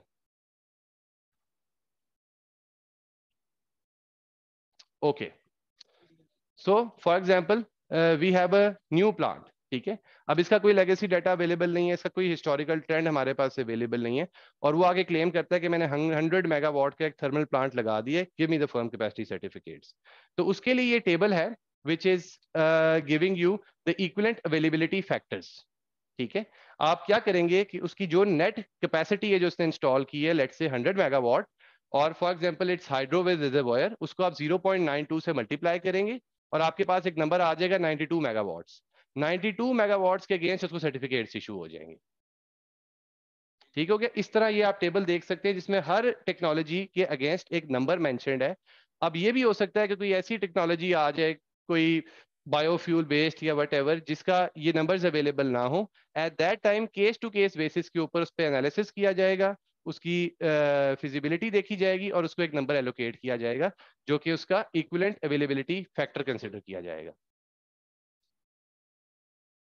Very good question अब ये जो फैक्टर्स निकले हैं इनके ये एम्फेरिकल नंबर्स हैं। इसके लिए हमने कंसल्टेंसी की अपने कंसल्ट के साथ इंटरनेशनल मार्केट्स में देखा दुनिया में देखा क्या ट्रेंड्स हैं। और ये उसका नतीजा है कि हमारे पास ये नंबर्स आ गए हैं राइट इन नंबर्स को हम बहुत ज़्यादा डिबेट इसलिए नहीं कर सकते because this is based on a study not a mathematical calculation definitely उसके पीछे कैलकुलेशन भी होंगी right so as of now because the commercial code is approved these numbers will be considered as final और इन्हीं को लेके हम आगे चल रहे होंगे। जी। बिल्कुल।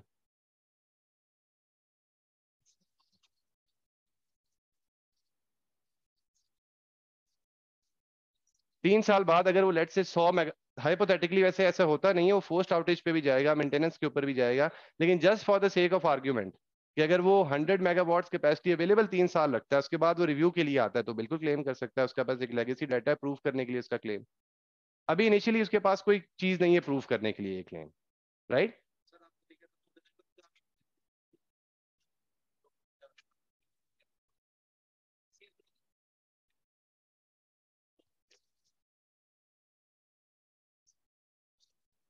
जी, बिल्कुल केस टू केस बेसिस पे। इस तरह की जितनी भी चीज़ होंगी, उनको हम केस टू केस बेसिस पे डील करेंगे, जिसके लिए हमारे पास ये प्रोगेटिव है कि हम कोई एक्सपर्ट जो सब्जेक्ट मैटर एक्सपर्ट है, उसको भी ऑन बोर्ड कर सकते हैं और अपने ओन पे भी कर सकते हैं राइट तो एसओ की भी हेल्प ले सकते हैं। So we have a lot of stakeholders which are there to you know sort this matter out लेकिन जो कुछ पेट टेक्नोलॉजीज़ हैं, जो कि जनरली यूज़ होती हैं, उसके लिए डेफिनेशन ऑलरेडी आपके कमर्शियल कोड में गिवन है। ठीक हो गया? न्यू टेक्नोलॉजीज़ की भी हमने बात कर ली।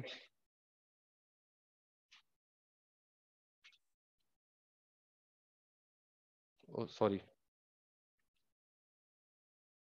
ओके अब जो आपका इनिशियल फर्म कैपेसिटी सर्टिफिकेट है, जैसे हमने डिस्कस किया कि तीन साल के बाद इसका रिव्यू होगा, ये रिव्यू अगर हम पहले करना चाहते हैं तो market operator on its own motion भी इसको इनिशिएट कर सकता है। इसके अलावा अगर मार्केट पार्टिसिपेंट कहे कि जी मेरी कैपेसिटी तो इससे ज़्यादा है आप इसका रिव्यू करें। तो उस केस में भी ये रिव्यू हो सकती है। इसके जो नंबर्स हैं वो हमने डिस्कस कर लिए कब कब होगी कितने साल में एक दफ़ा हो सकती है कितना इसका पीरियड होगा वो डिटेल्स हमने डिस्कस कर ली हैं। ये भी you discussed it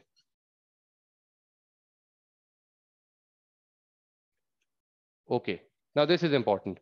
MO may review or cancel a number, certain number of certificates in these three cases.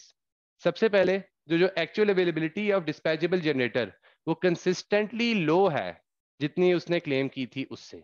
Number two the actual energy produced by non dispatchable generation unit is consistently lower than the values अब ये non dispatchable के लिए energy पे हमने benchmark किया था, और जो डिस्पैचेबल था उस पर हमने कैपेसिटी पे बेंचमार्क किया था।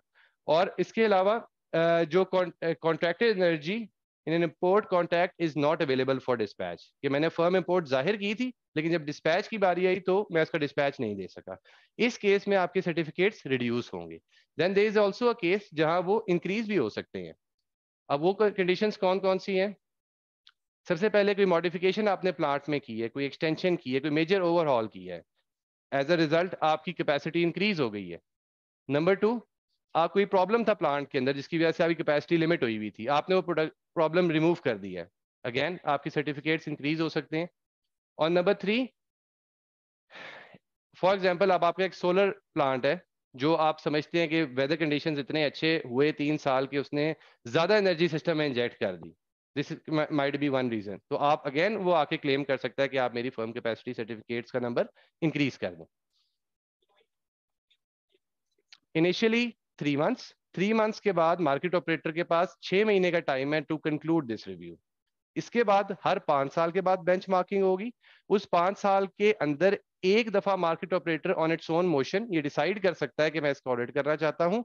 अगर वो ये डिसाइड नहीं करता तो पाँच साल बाद जब उसकी एक्सपायरी हो रही होगी, उसके बाद छह महीने का टाइम होगा, जिसमें अगेन ये रिव्यू किया जाएगा।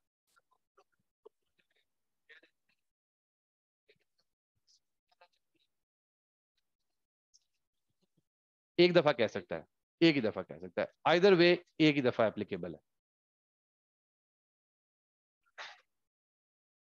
ओके okay, अब अगेन कि अब एप्लीकेशन हमारे पास लेट से एक्स वाई जी जनरेटर लेके आता है कि आप मेरे number of firm capacity certificates increase कर दें तो उसका एलिजिबिलिटी क्राइटेरिया भी कोई होना चाहिए।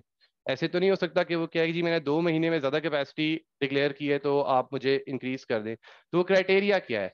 Number one that that plant is dispatched for at least 1500 hours in each of the previous two years, कि पिछले दो साल में कम से कम 1500 घंटे का उसको डिस्पैच मिला है। सेकेंडली कि जो उसकी कैपेसिटी है रेटेड कैपेसिटी से वो ऊपर चला गया। लेट से 100 मेगावाट का प्लांट था, वो क्लेम कर रहा है कि मुझे 120 मेगावाट जो है, मैं कैपेसिटी प्रोवाइड कर रहा हूँ, ठीक है? उसको, उसके अगेंस्ट 1200 आवर्स वो चला हो, यानी कि 1200 120 into hundred one lakh twenty thousand megawatt hours उसने सिस्टम को प्रोवाइड किए हों। और इसके अलावा अगर सिस्टम ऑपरेटर ने उसका प्लान टेस्ट किया है, टू सी इट्स एफिशिएंसी तो उसकी जो भी रिपोर्ट है, सिस्टम ऑपरेटर्स की जो फाइंडिंग है, वो भी उसने साथ अटैच की हो कि इसकी बेस के ऊपर मैं एक क्लेम कर रहा हूँ कि आपको मेरा फर्म कैपेसिटी सर्टिफिकेट्स इंक्रीज करने चाहिए।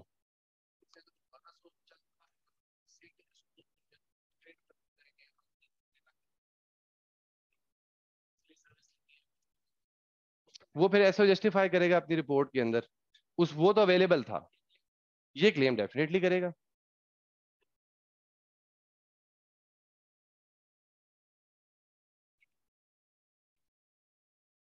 Okay on the basis of this information an assessment will be carried out by the market operator उस असेसमेंट के रिज़ल्ट के अंदर अगर ये चीज़ साबित हो जाती है कि genuinely इसकी capacity has increased, then it will be issued these firm capacity certificates और वो जो additional firm capacity certificates होंगे उससे again वो नए contracts भी कर सकता है और उनको trading के लिए use भी कर सकता है Mike.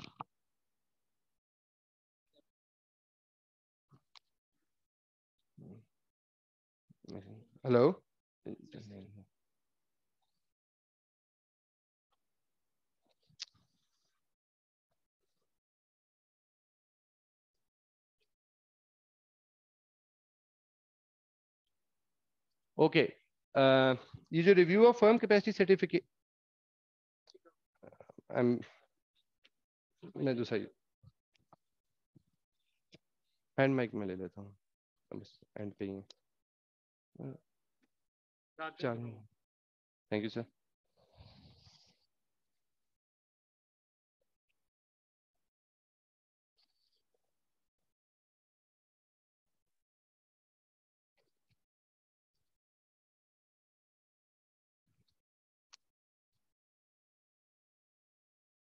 Hello? Hello? Okay. Okay. In case there is a dispute, for example, we have a dispute और एक मार्केट पार्टिसिपेंट या जो जनरेटर है वो क्लेम करता है कि जी मेरे सर्टिफिकेट्स तो इससे ज़्यादा है तो अगेन जो डिस्प्यूट रेजोल्यूशन प्रोसीजर हम कल डिस्कस कर रहे होंगे उसके अंदर ये भी सिनेरियोस कवर होंगे क्योंकि तो उसके बाद लिजिटेशन जो लीगल इश्यूज़ हैं उनको कैसे मैनेज किया जाएगा litigation sorry thank you very much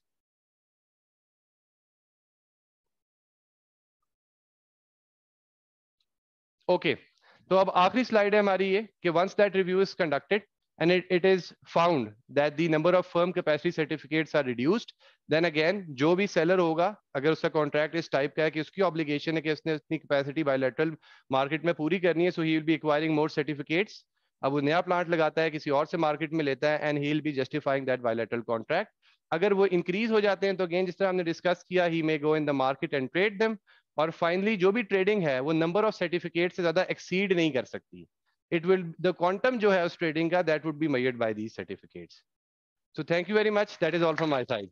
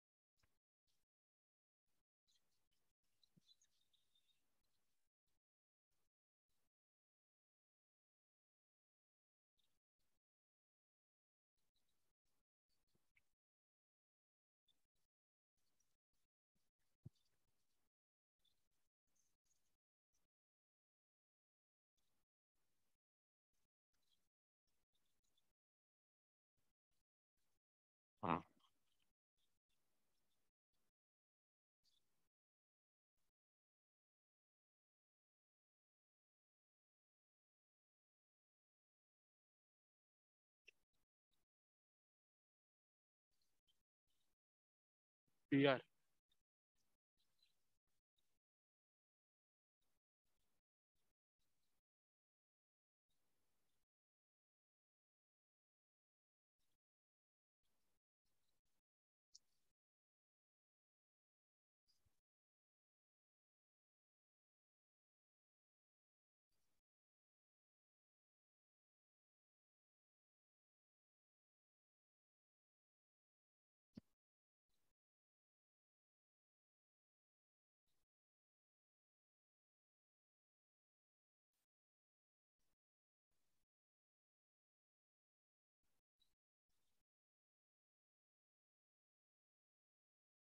Muzammil minimize कर।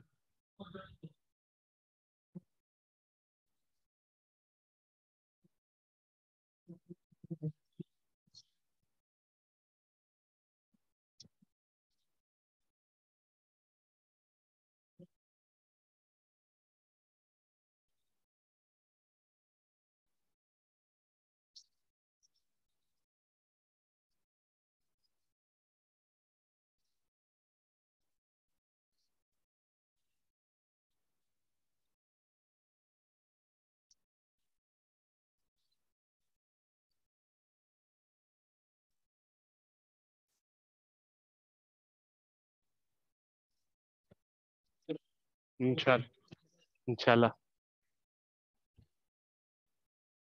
सर, अभी तो लंच करके आया सर। पौने तीन बजे वापस आए अच्छा इसमें सर, चाय करते हैं। बल्कि ऐसे करते हैं कि जो टी है, वो रनिंग टी टाइप कर लेते हैं, क्योंकि हमने जो है अच्छा ठीक है। तो बेसिकली हम इसमें अब करेंगे ये कि एक डीआर प्लान किया आप लोगों के लिए। उस डीआर में जो अभी तक हमने कॉन्सेप्ट्स पढ़े हैं, वो बेसिकली बॉयल डाउन किए हैं जाके बीएमई e पे। तो अभी फिर से वो हमने जिस तरह डिस्कस किया था कि मंथली आपकी स्टेटमेंट्स आएँगी, जिनकी फाइनेंशियल इम्प्लीकेशन फ़िलहाल कोई नहीं है बट ट्रायल रन में आएँगी, वो वेरीफाई करनी है।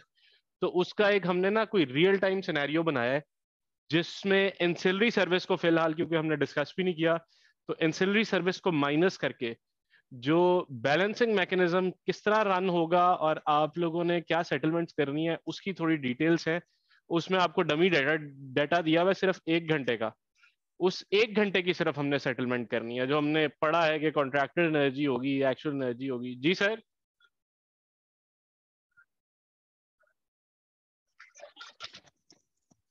जी जी। जी जी, इसमें यही सर, ये ये ये सर, यही सोचते हुए, यही सोचते हुए हमने कोई नया कॉन्सेप्ट इंट्रोड्यूस नहीं करा रहे। बेसिकली ये कॉन्सेप्ट जो है, उसी को रिवाइज करेंगे। तो इसमें आप लोगों की ब्रेन पावर कम लगेगी इनशाला हम लोग असिस्ट करेंगे साथ साथ और होपफुली वो डीआर में जो असाइनमेंट है, उसमें थोड़ा सा गाइडेंस जो है एमओ की टीम की तरफ़ से मिलती रहेगी। आप लोग सॉल्व कर लेंगे और एज अ ग्रुप एक्टिविटी है। तो हाँ जी, सर तो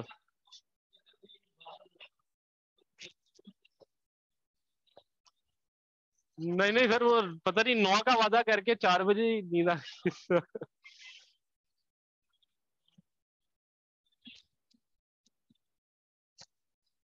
सही सर।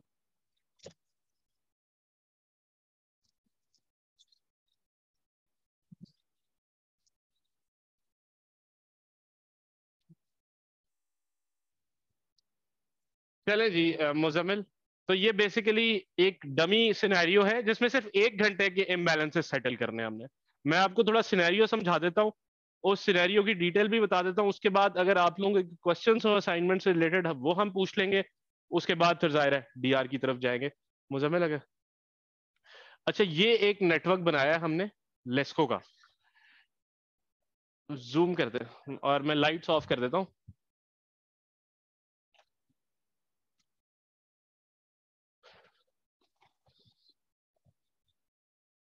सही ये बेसिकली हमने एक नेटवर्क बनाया है। इसमें तीन किस्म की जनरेशन हैं। एक का नाम पेनाश रख दिया है एक का नाम वोडाइट रख दिया। है ये दो जनरेटर्स हैं एजे के एक इम्पोर्ट रख दिया। है ये तीनों जो एक इम्पोर्ट और दो जनरेशन हैं, ये एनटीडीसी के साथ कनेक्टेड है। At C D P one twenty one thirty five one forty ये एन का नेटवर्क है। इस लाइन से नीचे तीन और सीडीपी हैं जो डिस्ट्रीब्यूशन लेवल के सीडीपी हैं। तो बेसिकली जनरेशन इस लेवल पे कनेक्टेड है, उसके बाद ट्रांसमिशन होके 132 केवी पे आ जाते हैं और यहाँ से ये लेस्को में इंडक्ट हो गए हैं तीनों सीडीपी पॉइंट्स एक एम्बेडेड जनरेशन है नोवा के नाम से, जो कि सी डी 125 है, जो जनरेशन डिस्ट्रीब्यूशन लेवल पे ही लगा हुआ है। और आपका ये एम्बेडेड जिसको हम जनरेशन सुबह से कह रहे थे, ये वो है। फिर सिर्फ़ एक बीपीसी बनाया कि एक बीपीसी है जो मार्केट में चला गया है, बाकी सारे कंज्यूमर्स रेगुलेटेड कंज्यूमर्स हैं। अब ये सिनेरियो है सिंपल अगर आप आगे आ सके मुजम्मल। इसमें हमने फिर आगे मजीद बता दिया है कि इस डमी सिनेरियो में जिसका आपको पिक्टोरियल व्यू दिखाया नेटवर्क एक डमी बना के, उसमें मार्केट पार्टिसिपेंट्स कौन है? एक लेस्को है, जो कि एसओ है, एक टिम्बर इंक है, जो बीपीसी है पेनाश एक जनरेटर है नोवा जनरेटर है वोडाइट जनरेटर है एजे के जनरेटर है। सर्विस प्रोवाइडर दो हैं, एक लेस्को है, एक एनटीडीसी है। लेस्को जो है, वो डिस्ट्रीब्यूशन सर्विस प्रोवाइडर है। इसका लॉस जो कि नेपरा की तरफ़ से अप्रूव हुआ है, वो दस फ़ीसद हो गया। और जो एनटीडीसी है, वो ट्रांसमिशन सर्विस प्रोवाइडर है, इसका लॉस आप लोग कैलकुलेट करेंगे, जिस तरह हमने डिस्कस किया था। उसके बाद मुजम्मिल सी डी पी पे आ जाए। उसके बाद सी डी पी हमने दिखा दिया है कि किस किस बेसिकली कुछ सीडीपी ऐसे हैं जो कि कमर्शियल मीटरिंग पॉइंट्स हैं। सीडीपी 120 इसमें बायर कौन है सेलर कौन है 125 इसमें कौन है कुछ हैं ट्रेडिंग पॉइंट्स जिसकी कमर्शियल सेटलमेंट उन मीटर से नहीं होनी, लेकिन वो तीन मीटर है जो कि डीएसपी और एनटीडीसी के बीच में लगे हुए हैं। तो ट्रेडिंग पॉइंट और कमर्शियल मीटरिंग सिस्टम का इधर से डिफरेंस पता चल जाएगा। ये सीडीपी डिफाइन कर दिए आगे चलिएगा। मीटरिंग डाटा जिस तरह हमने कहा था हाफ़ आवरली मीटरिंग डाटा हर एक सीडीपी uh, का गिवन है। हाफ़ आवरली दो मीटरिंग डाटा आपको एक घंटा पूरा हो गया आपका। इसकी एनर्जी नंबर्स हैं। एनर्जी नंबर्स ऐसे हैं कि 8 टू 830 आपके 32 किलोवाट आवर और 830 टू 942 किलोवाट आवर यानी टोटल घंटे में आपके 74 यूनिट्स किलोवाट आवर बने ठीक है? ये इसी तरह सारे मीटरिंग डाटा दिए हैं। उसके बाद Muzammil contract data contract data में ये मुजमिल चेंज कर दीजिएगा। ये 107 ये 202 है। इस कॉन्ट्रैक्ट डाटा में हमने बता दिया है कि बायर और सेलर ने आपस में क्या कॉन्ट्रैक्ट किया हुआ है? और उस कॉन्ट्रैक्ट की परसेंटेज क्या है? जनरेशन फॉलोइंग हंड्रेड परसेंट का मतलब है कि जितना जनरेट किया थर्टी थ्री परसेंट का मतलब है कि thirty three percent of energy होगी। ये हमने डिफरेंट कॉन्ट्रैक्ट्स इसमें से तीन सेलेक्ट किए। बेसिकली चार हो गए क्योंकि जनरेशन फॉलोइंग और वो दूसरा जो कॉन्ट्रैक्ट था हमारा, वो दोनों मोरलेस सेम थे। तीनों कॉन्ट्रैक्ट सिनेरियोज हमने कवर कर दिए।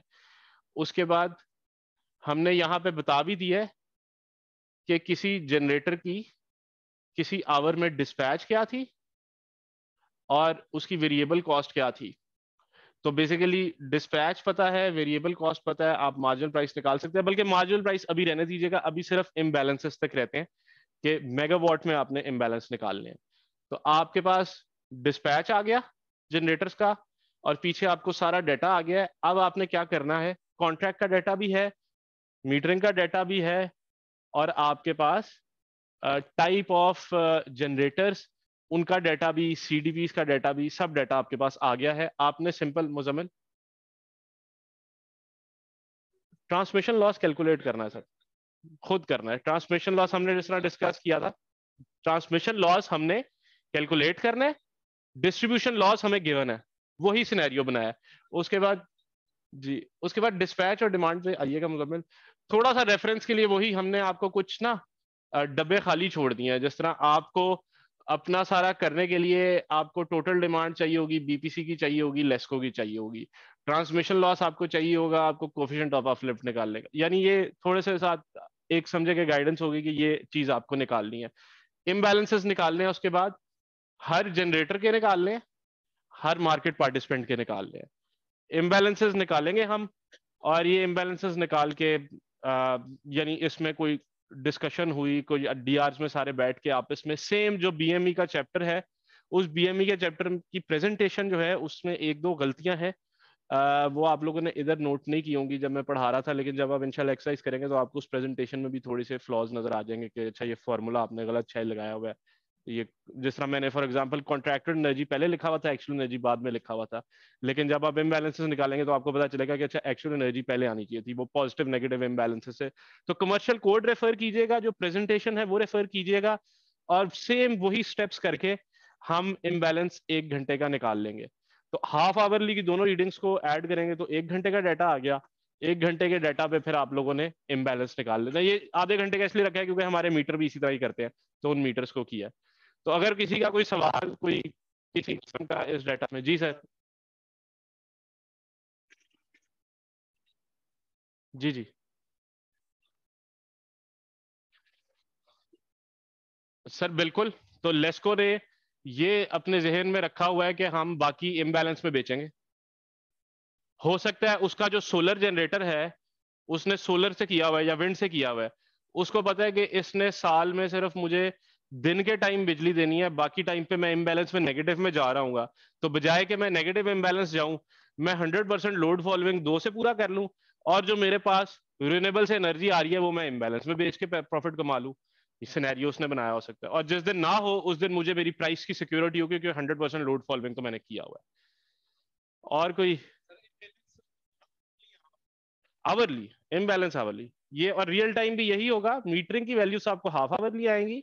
उनको किस तरह क्लब करना है और आवरली किस तरह निकालना है, ये आप लोगों ने देखना है। जी सर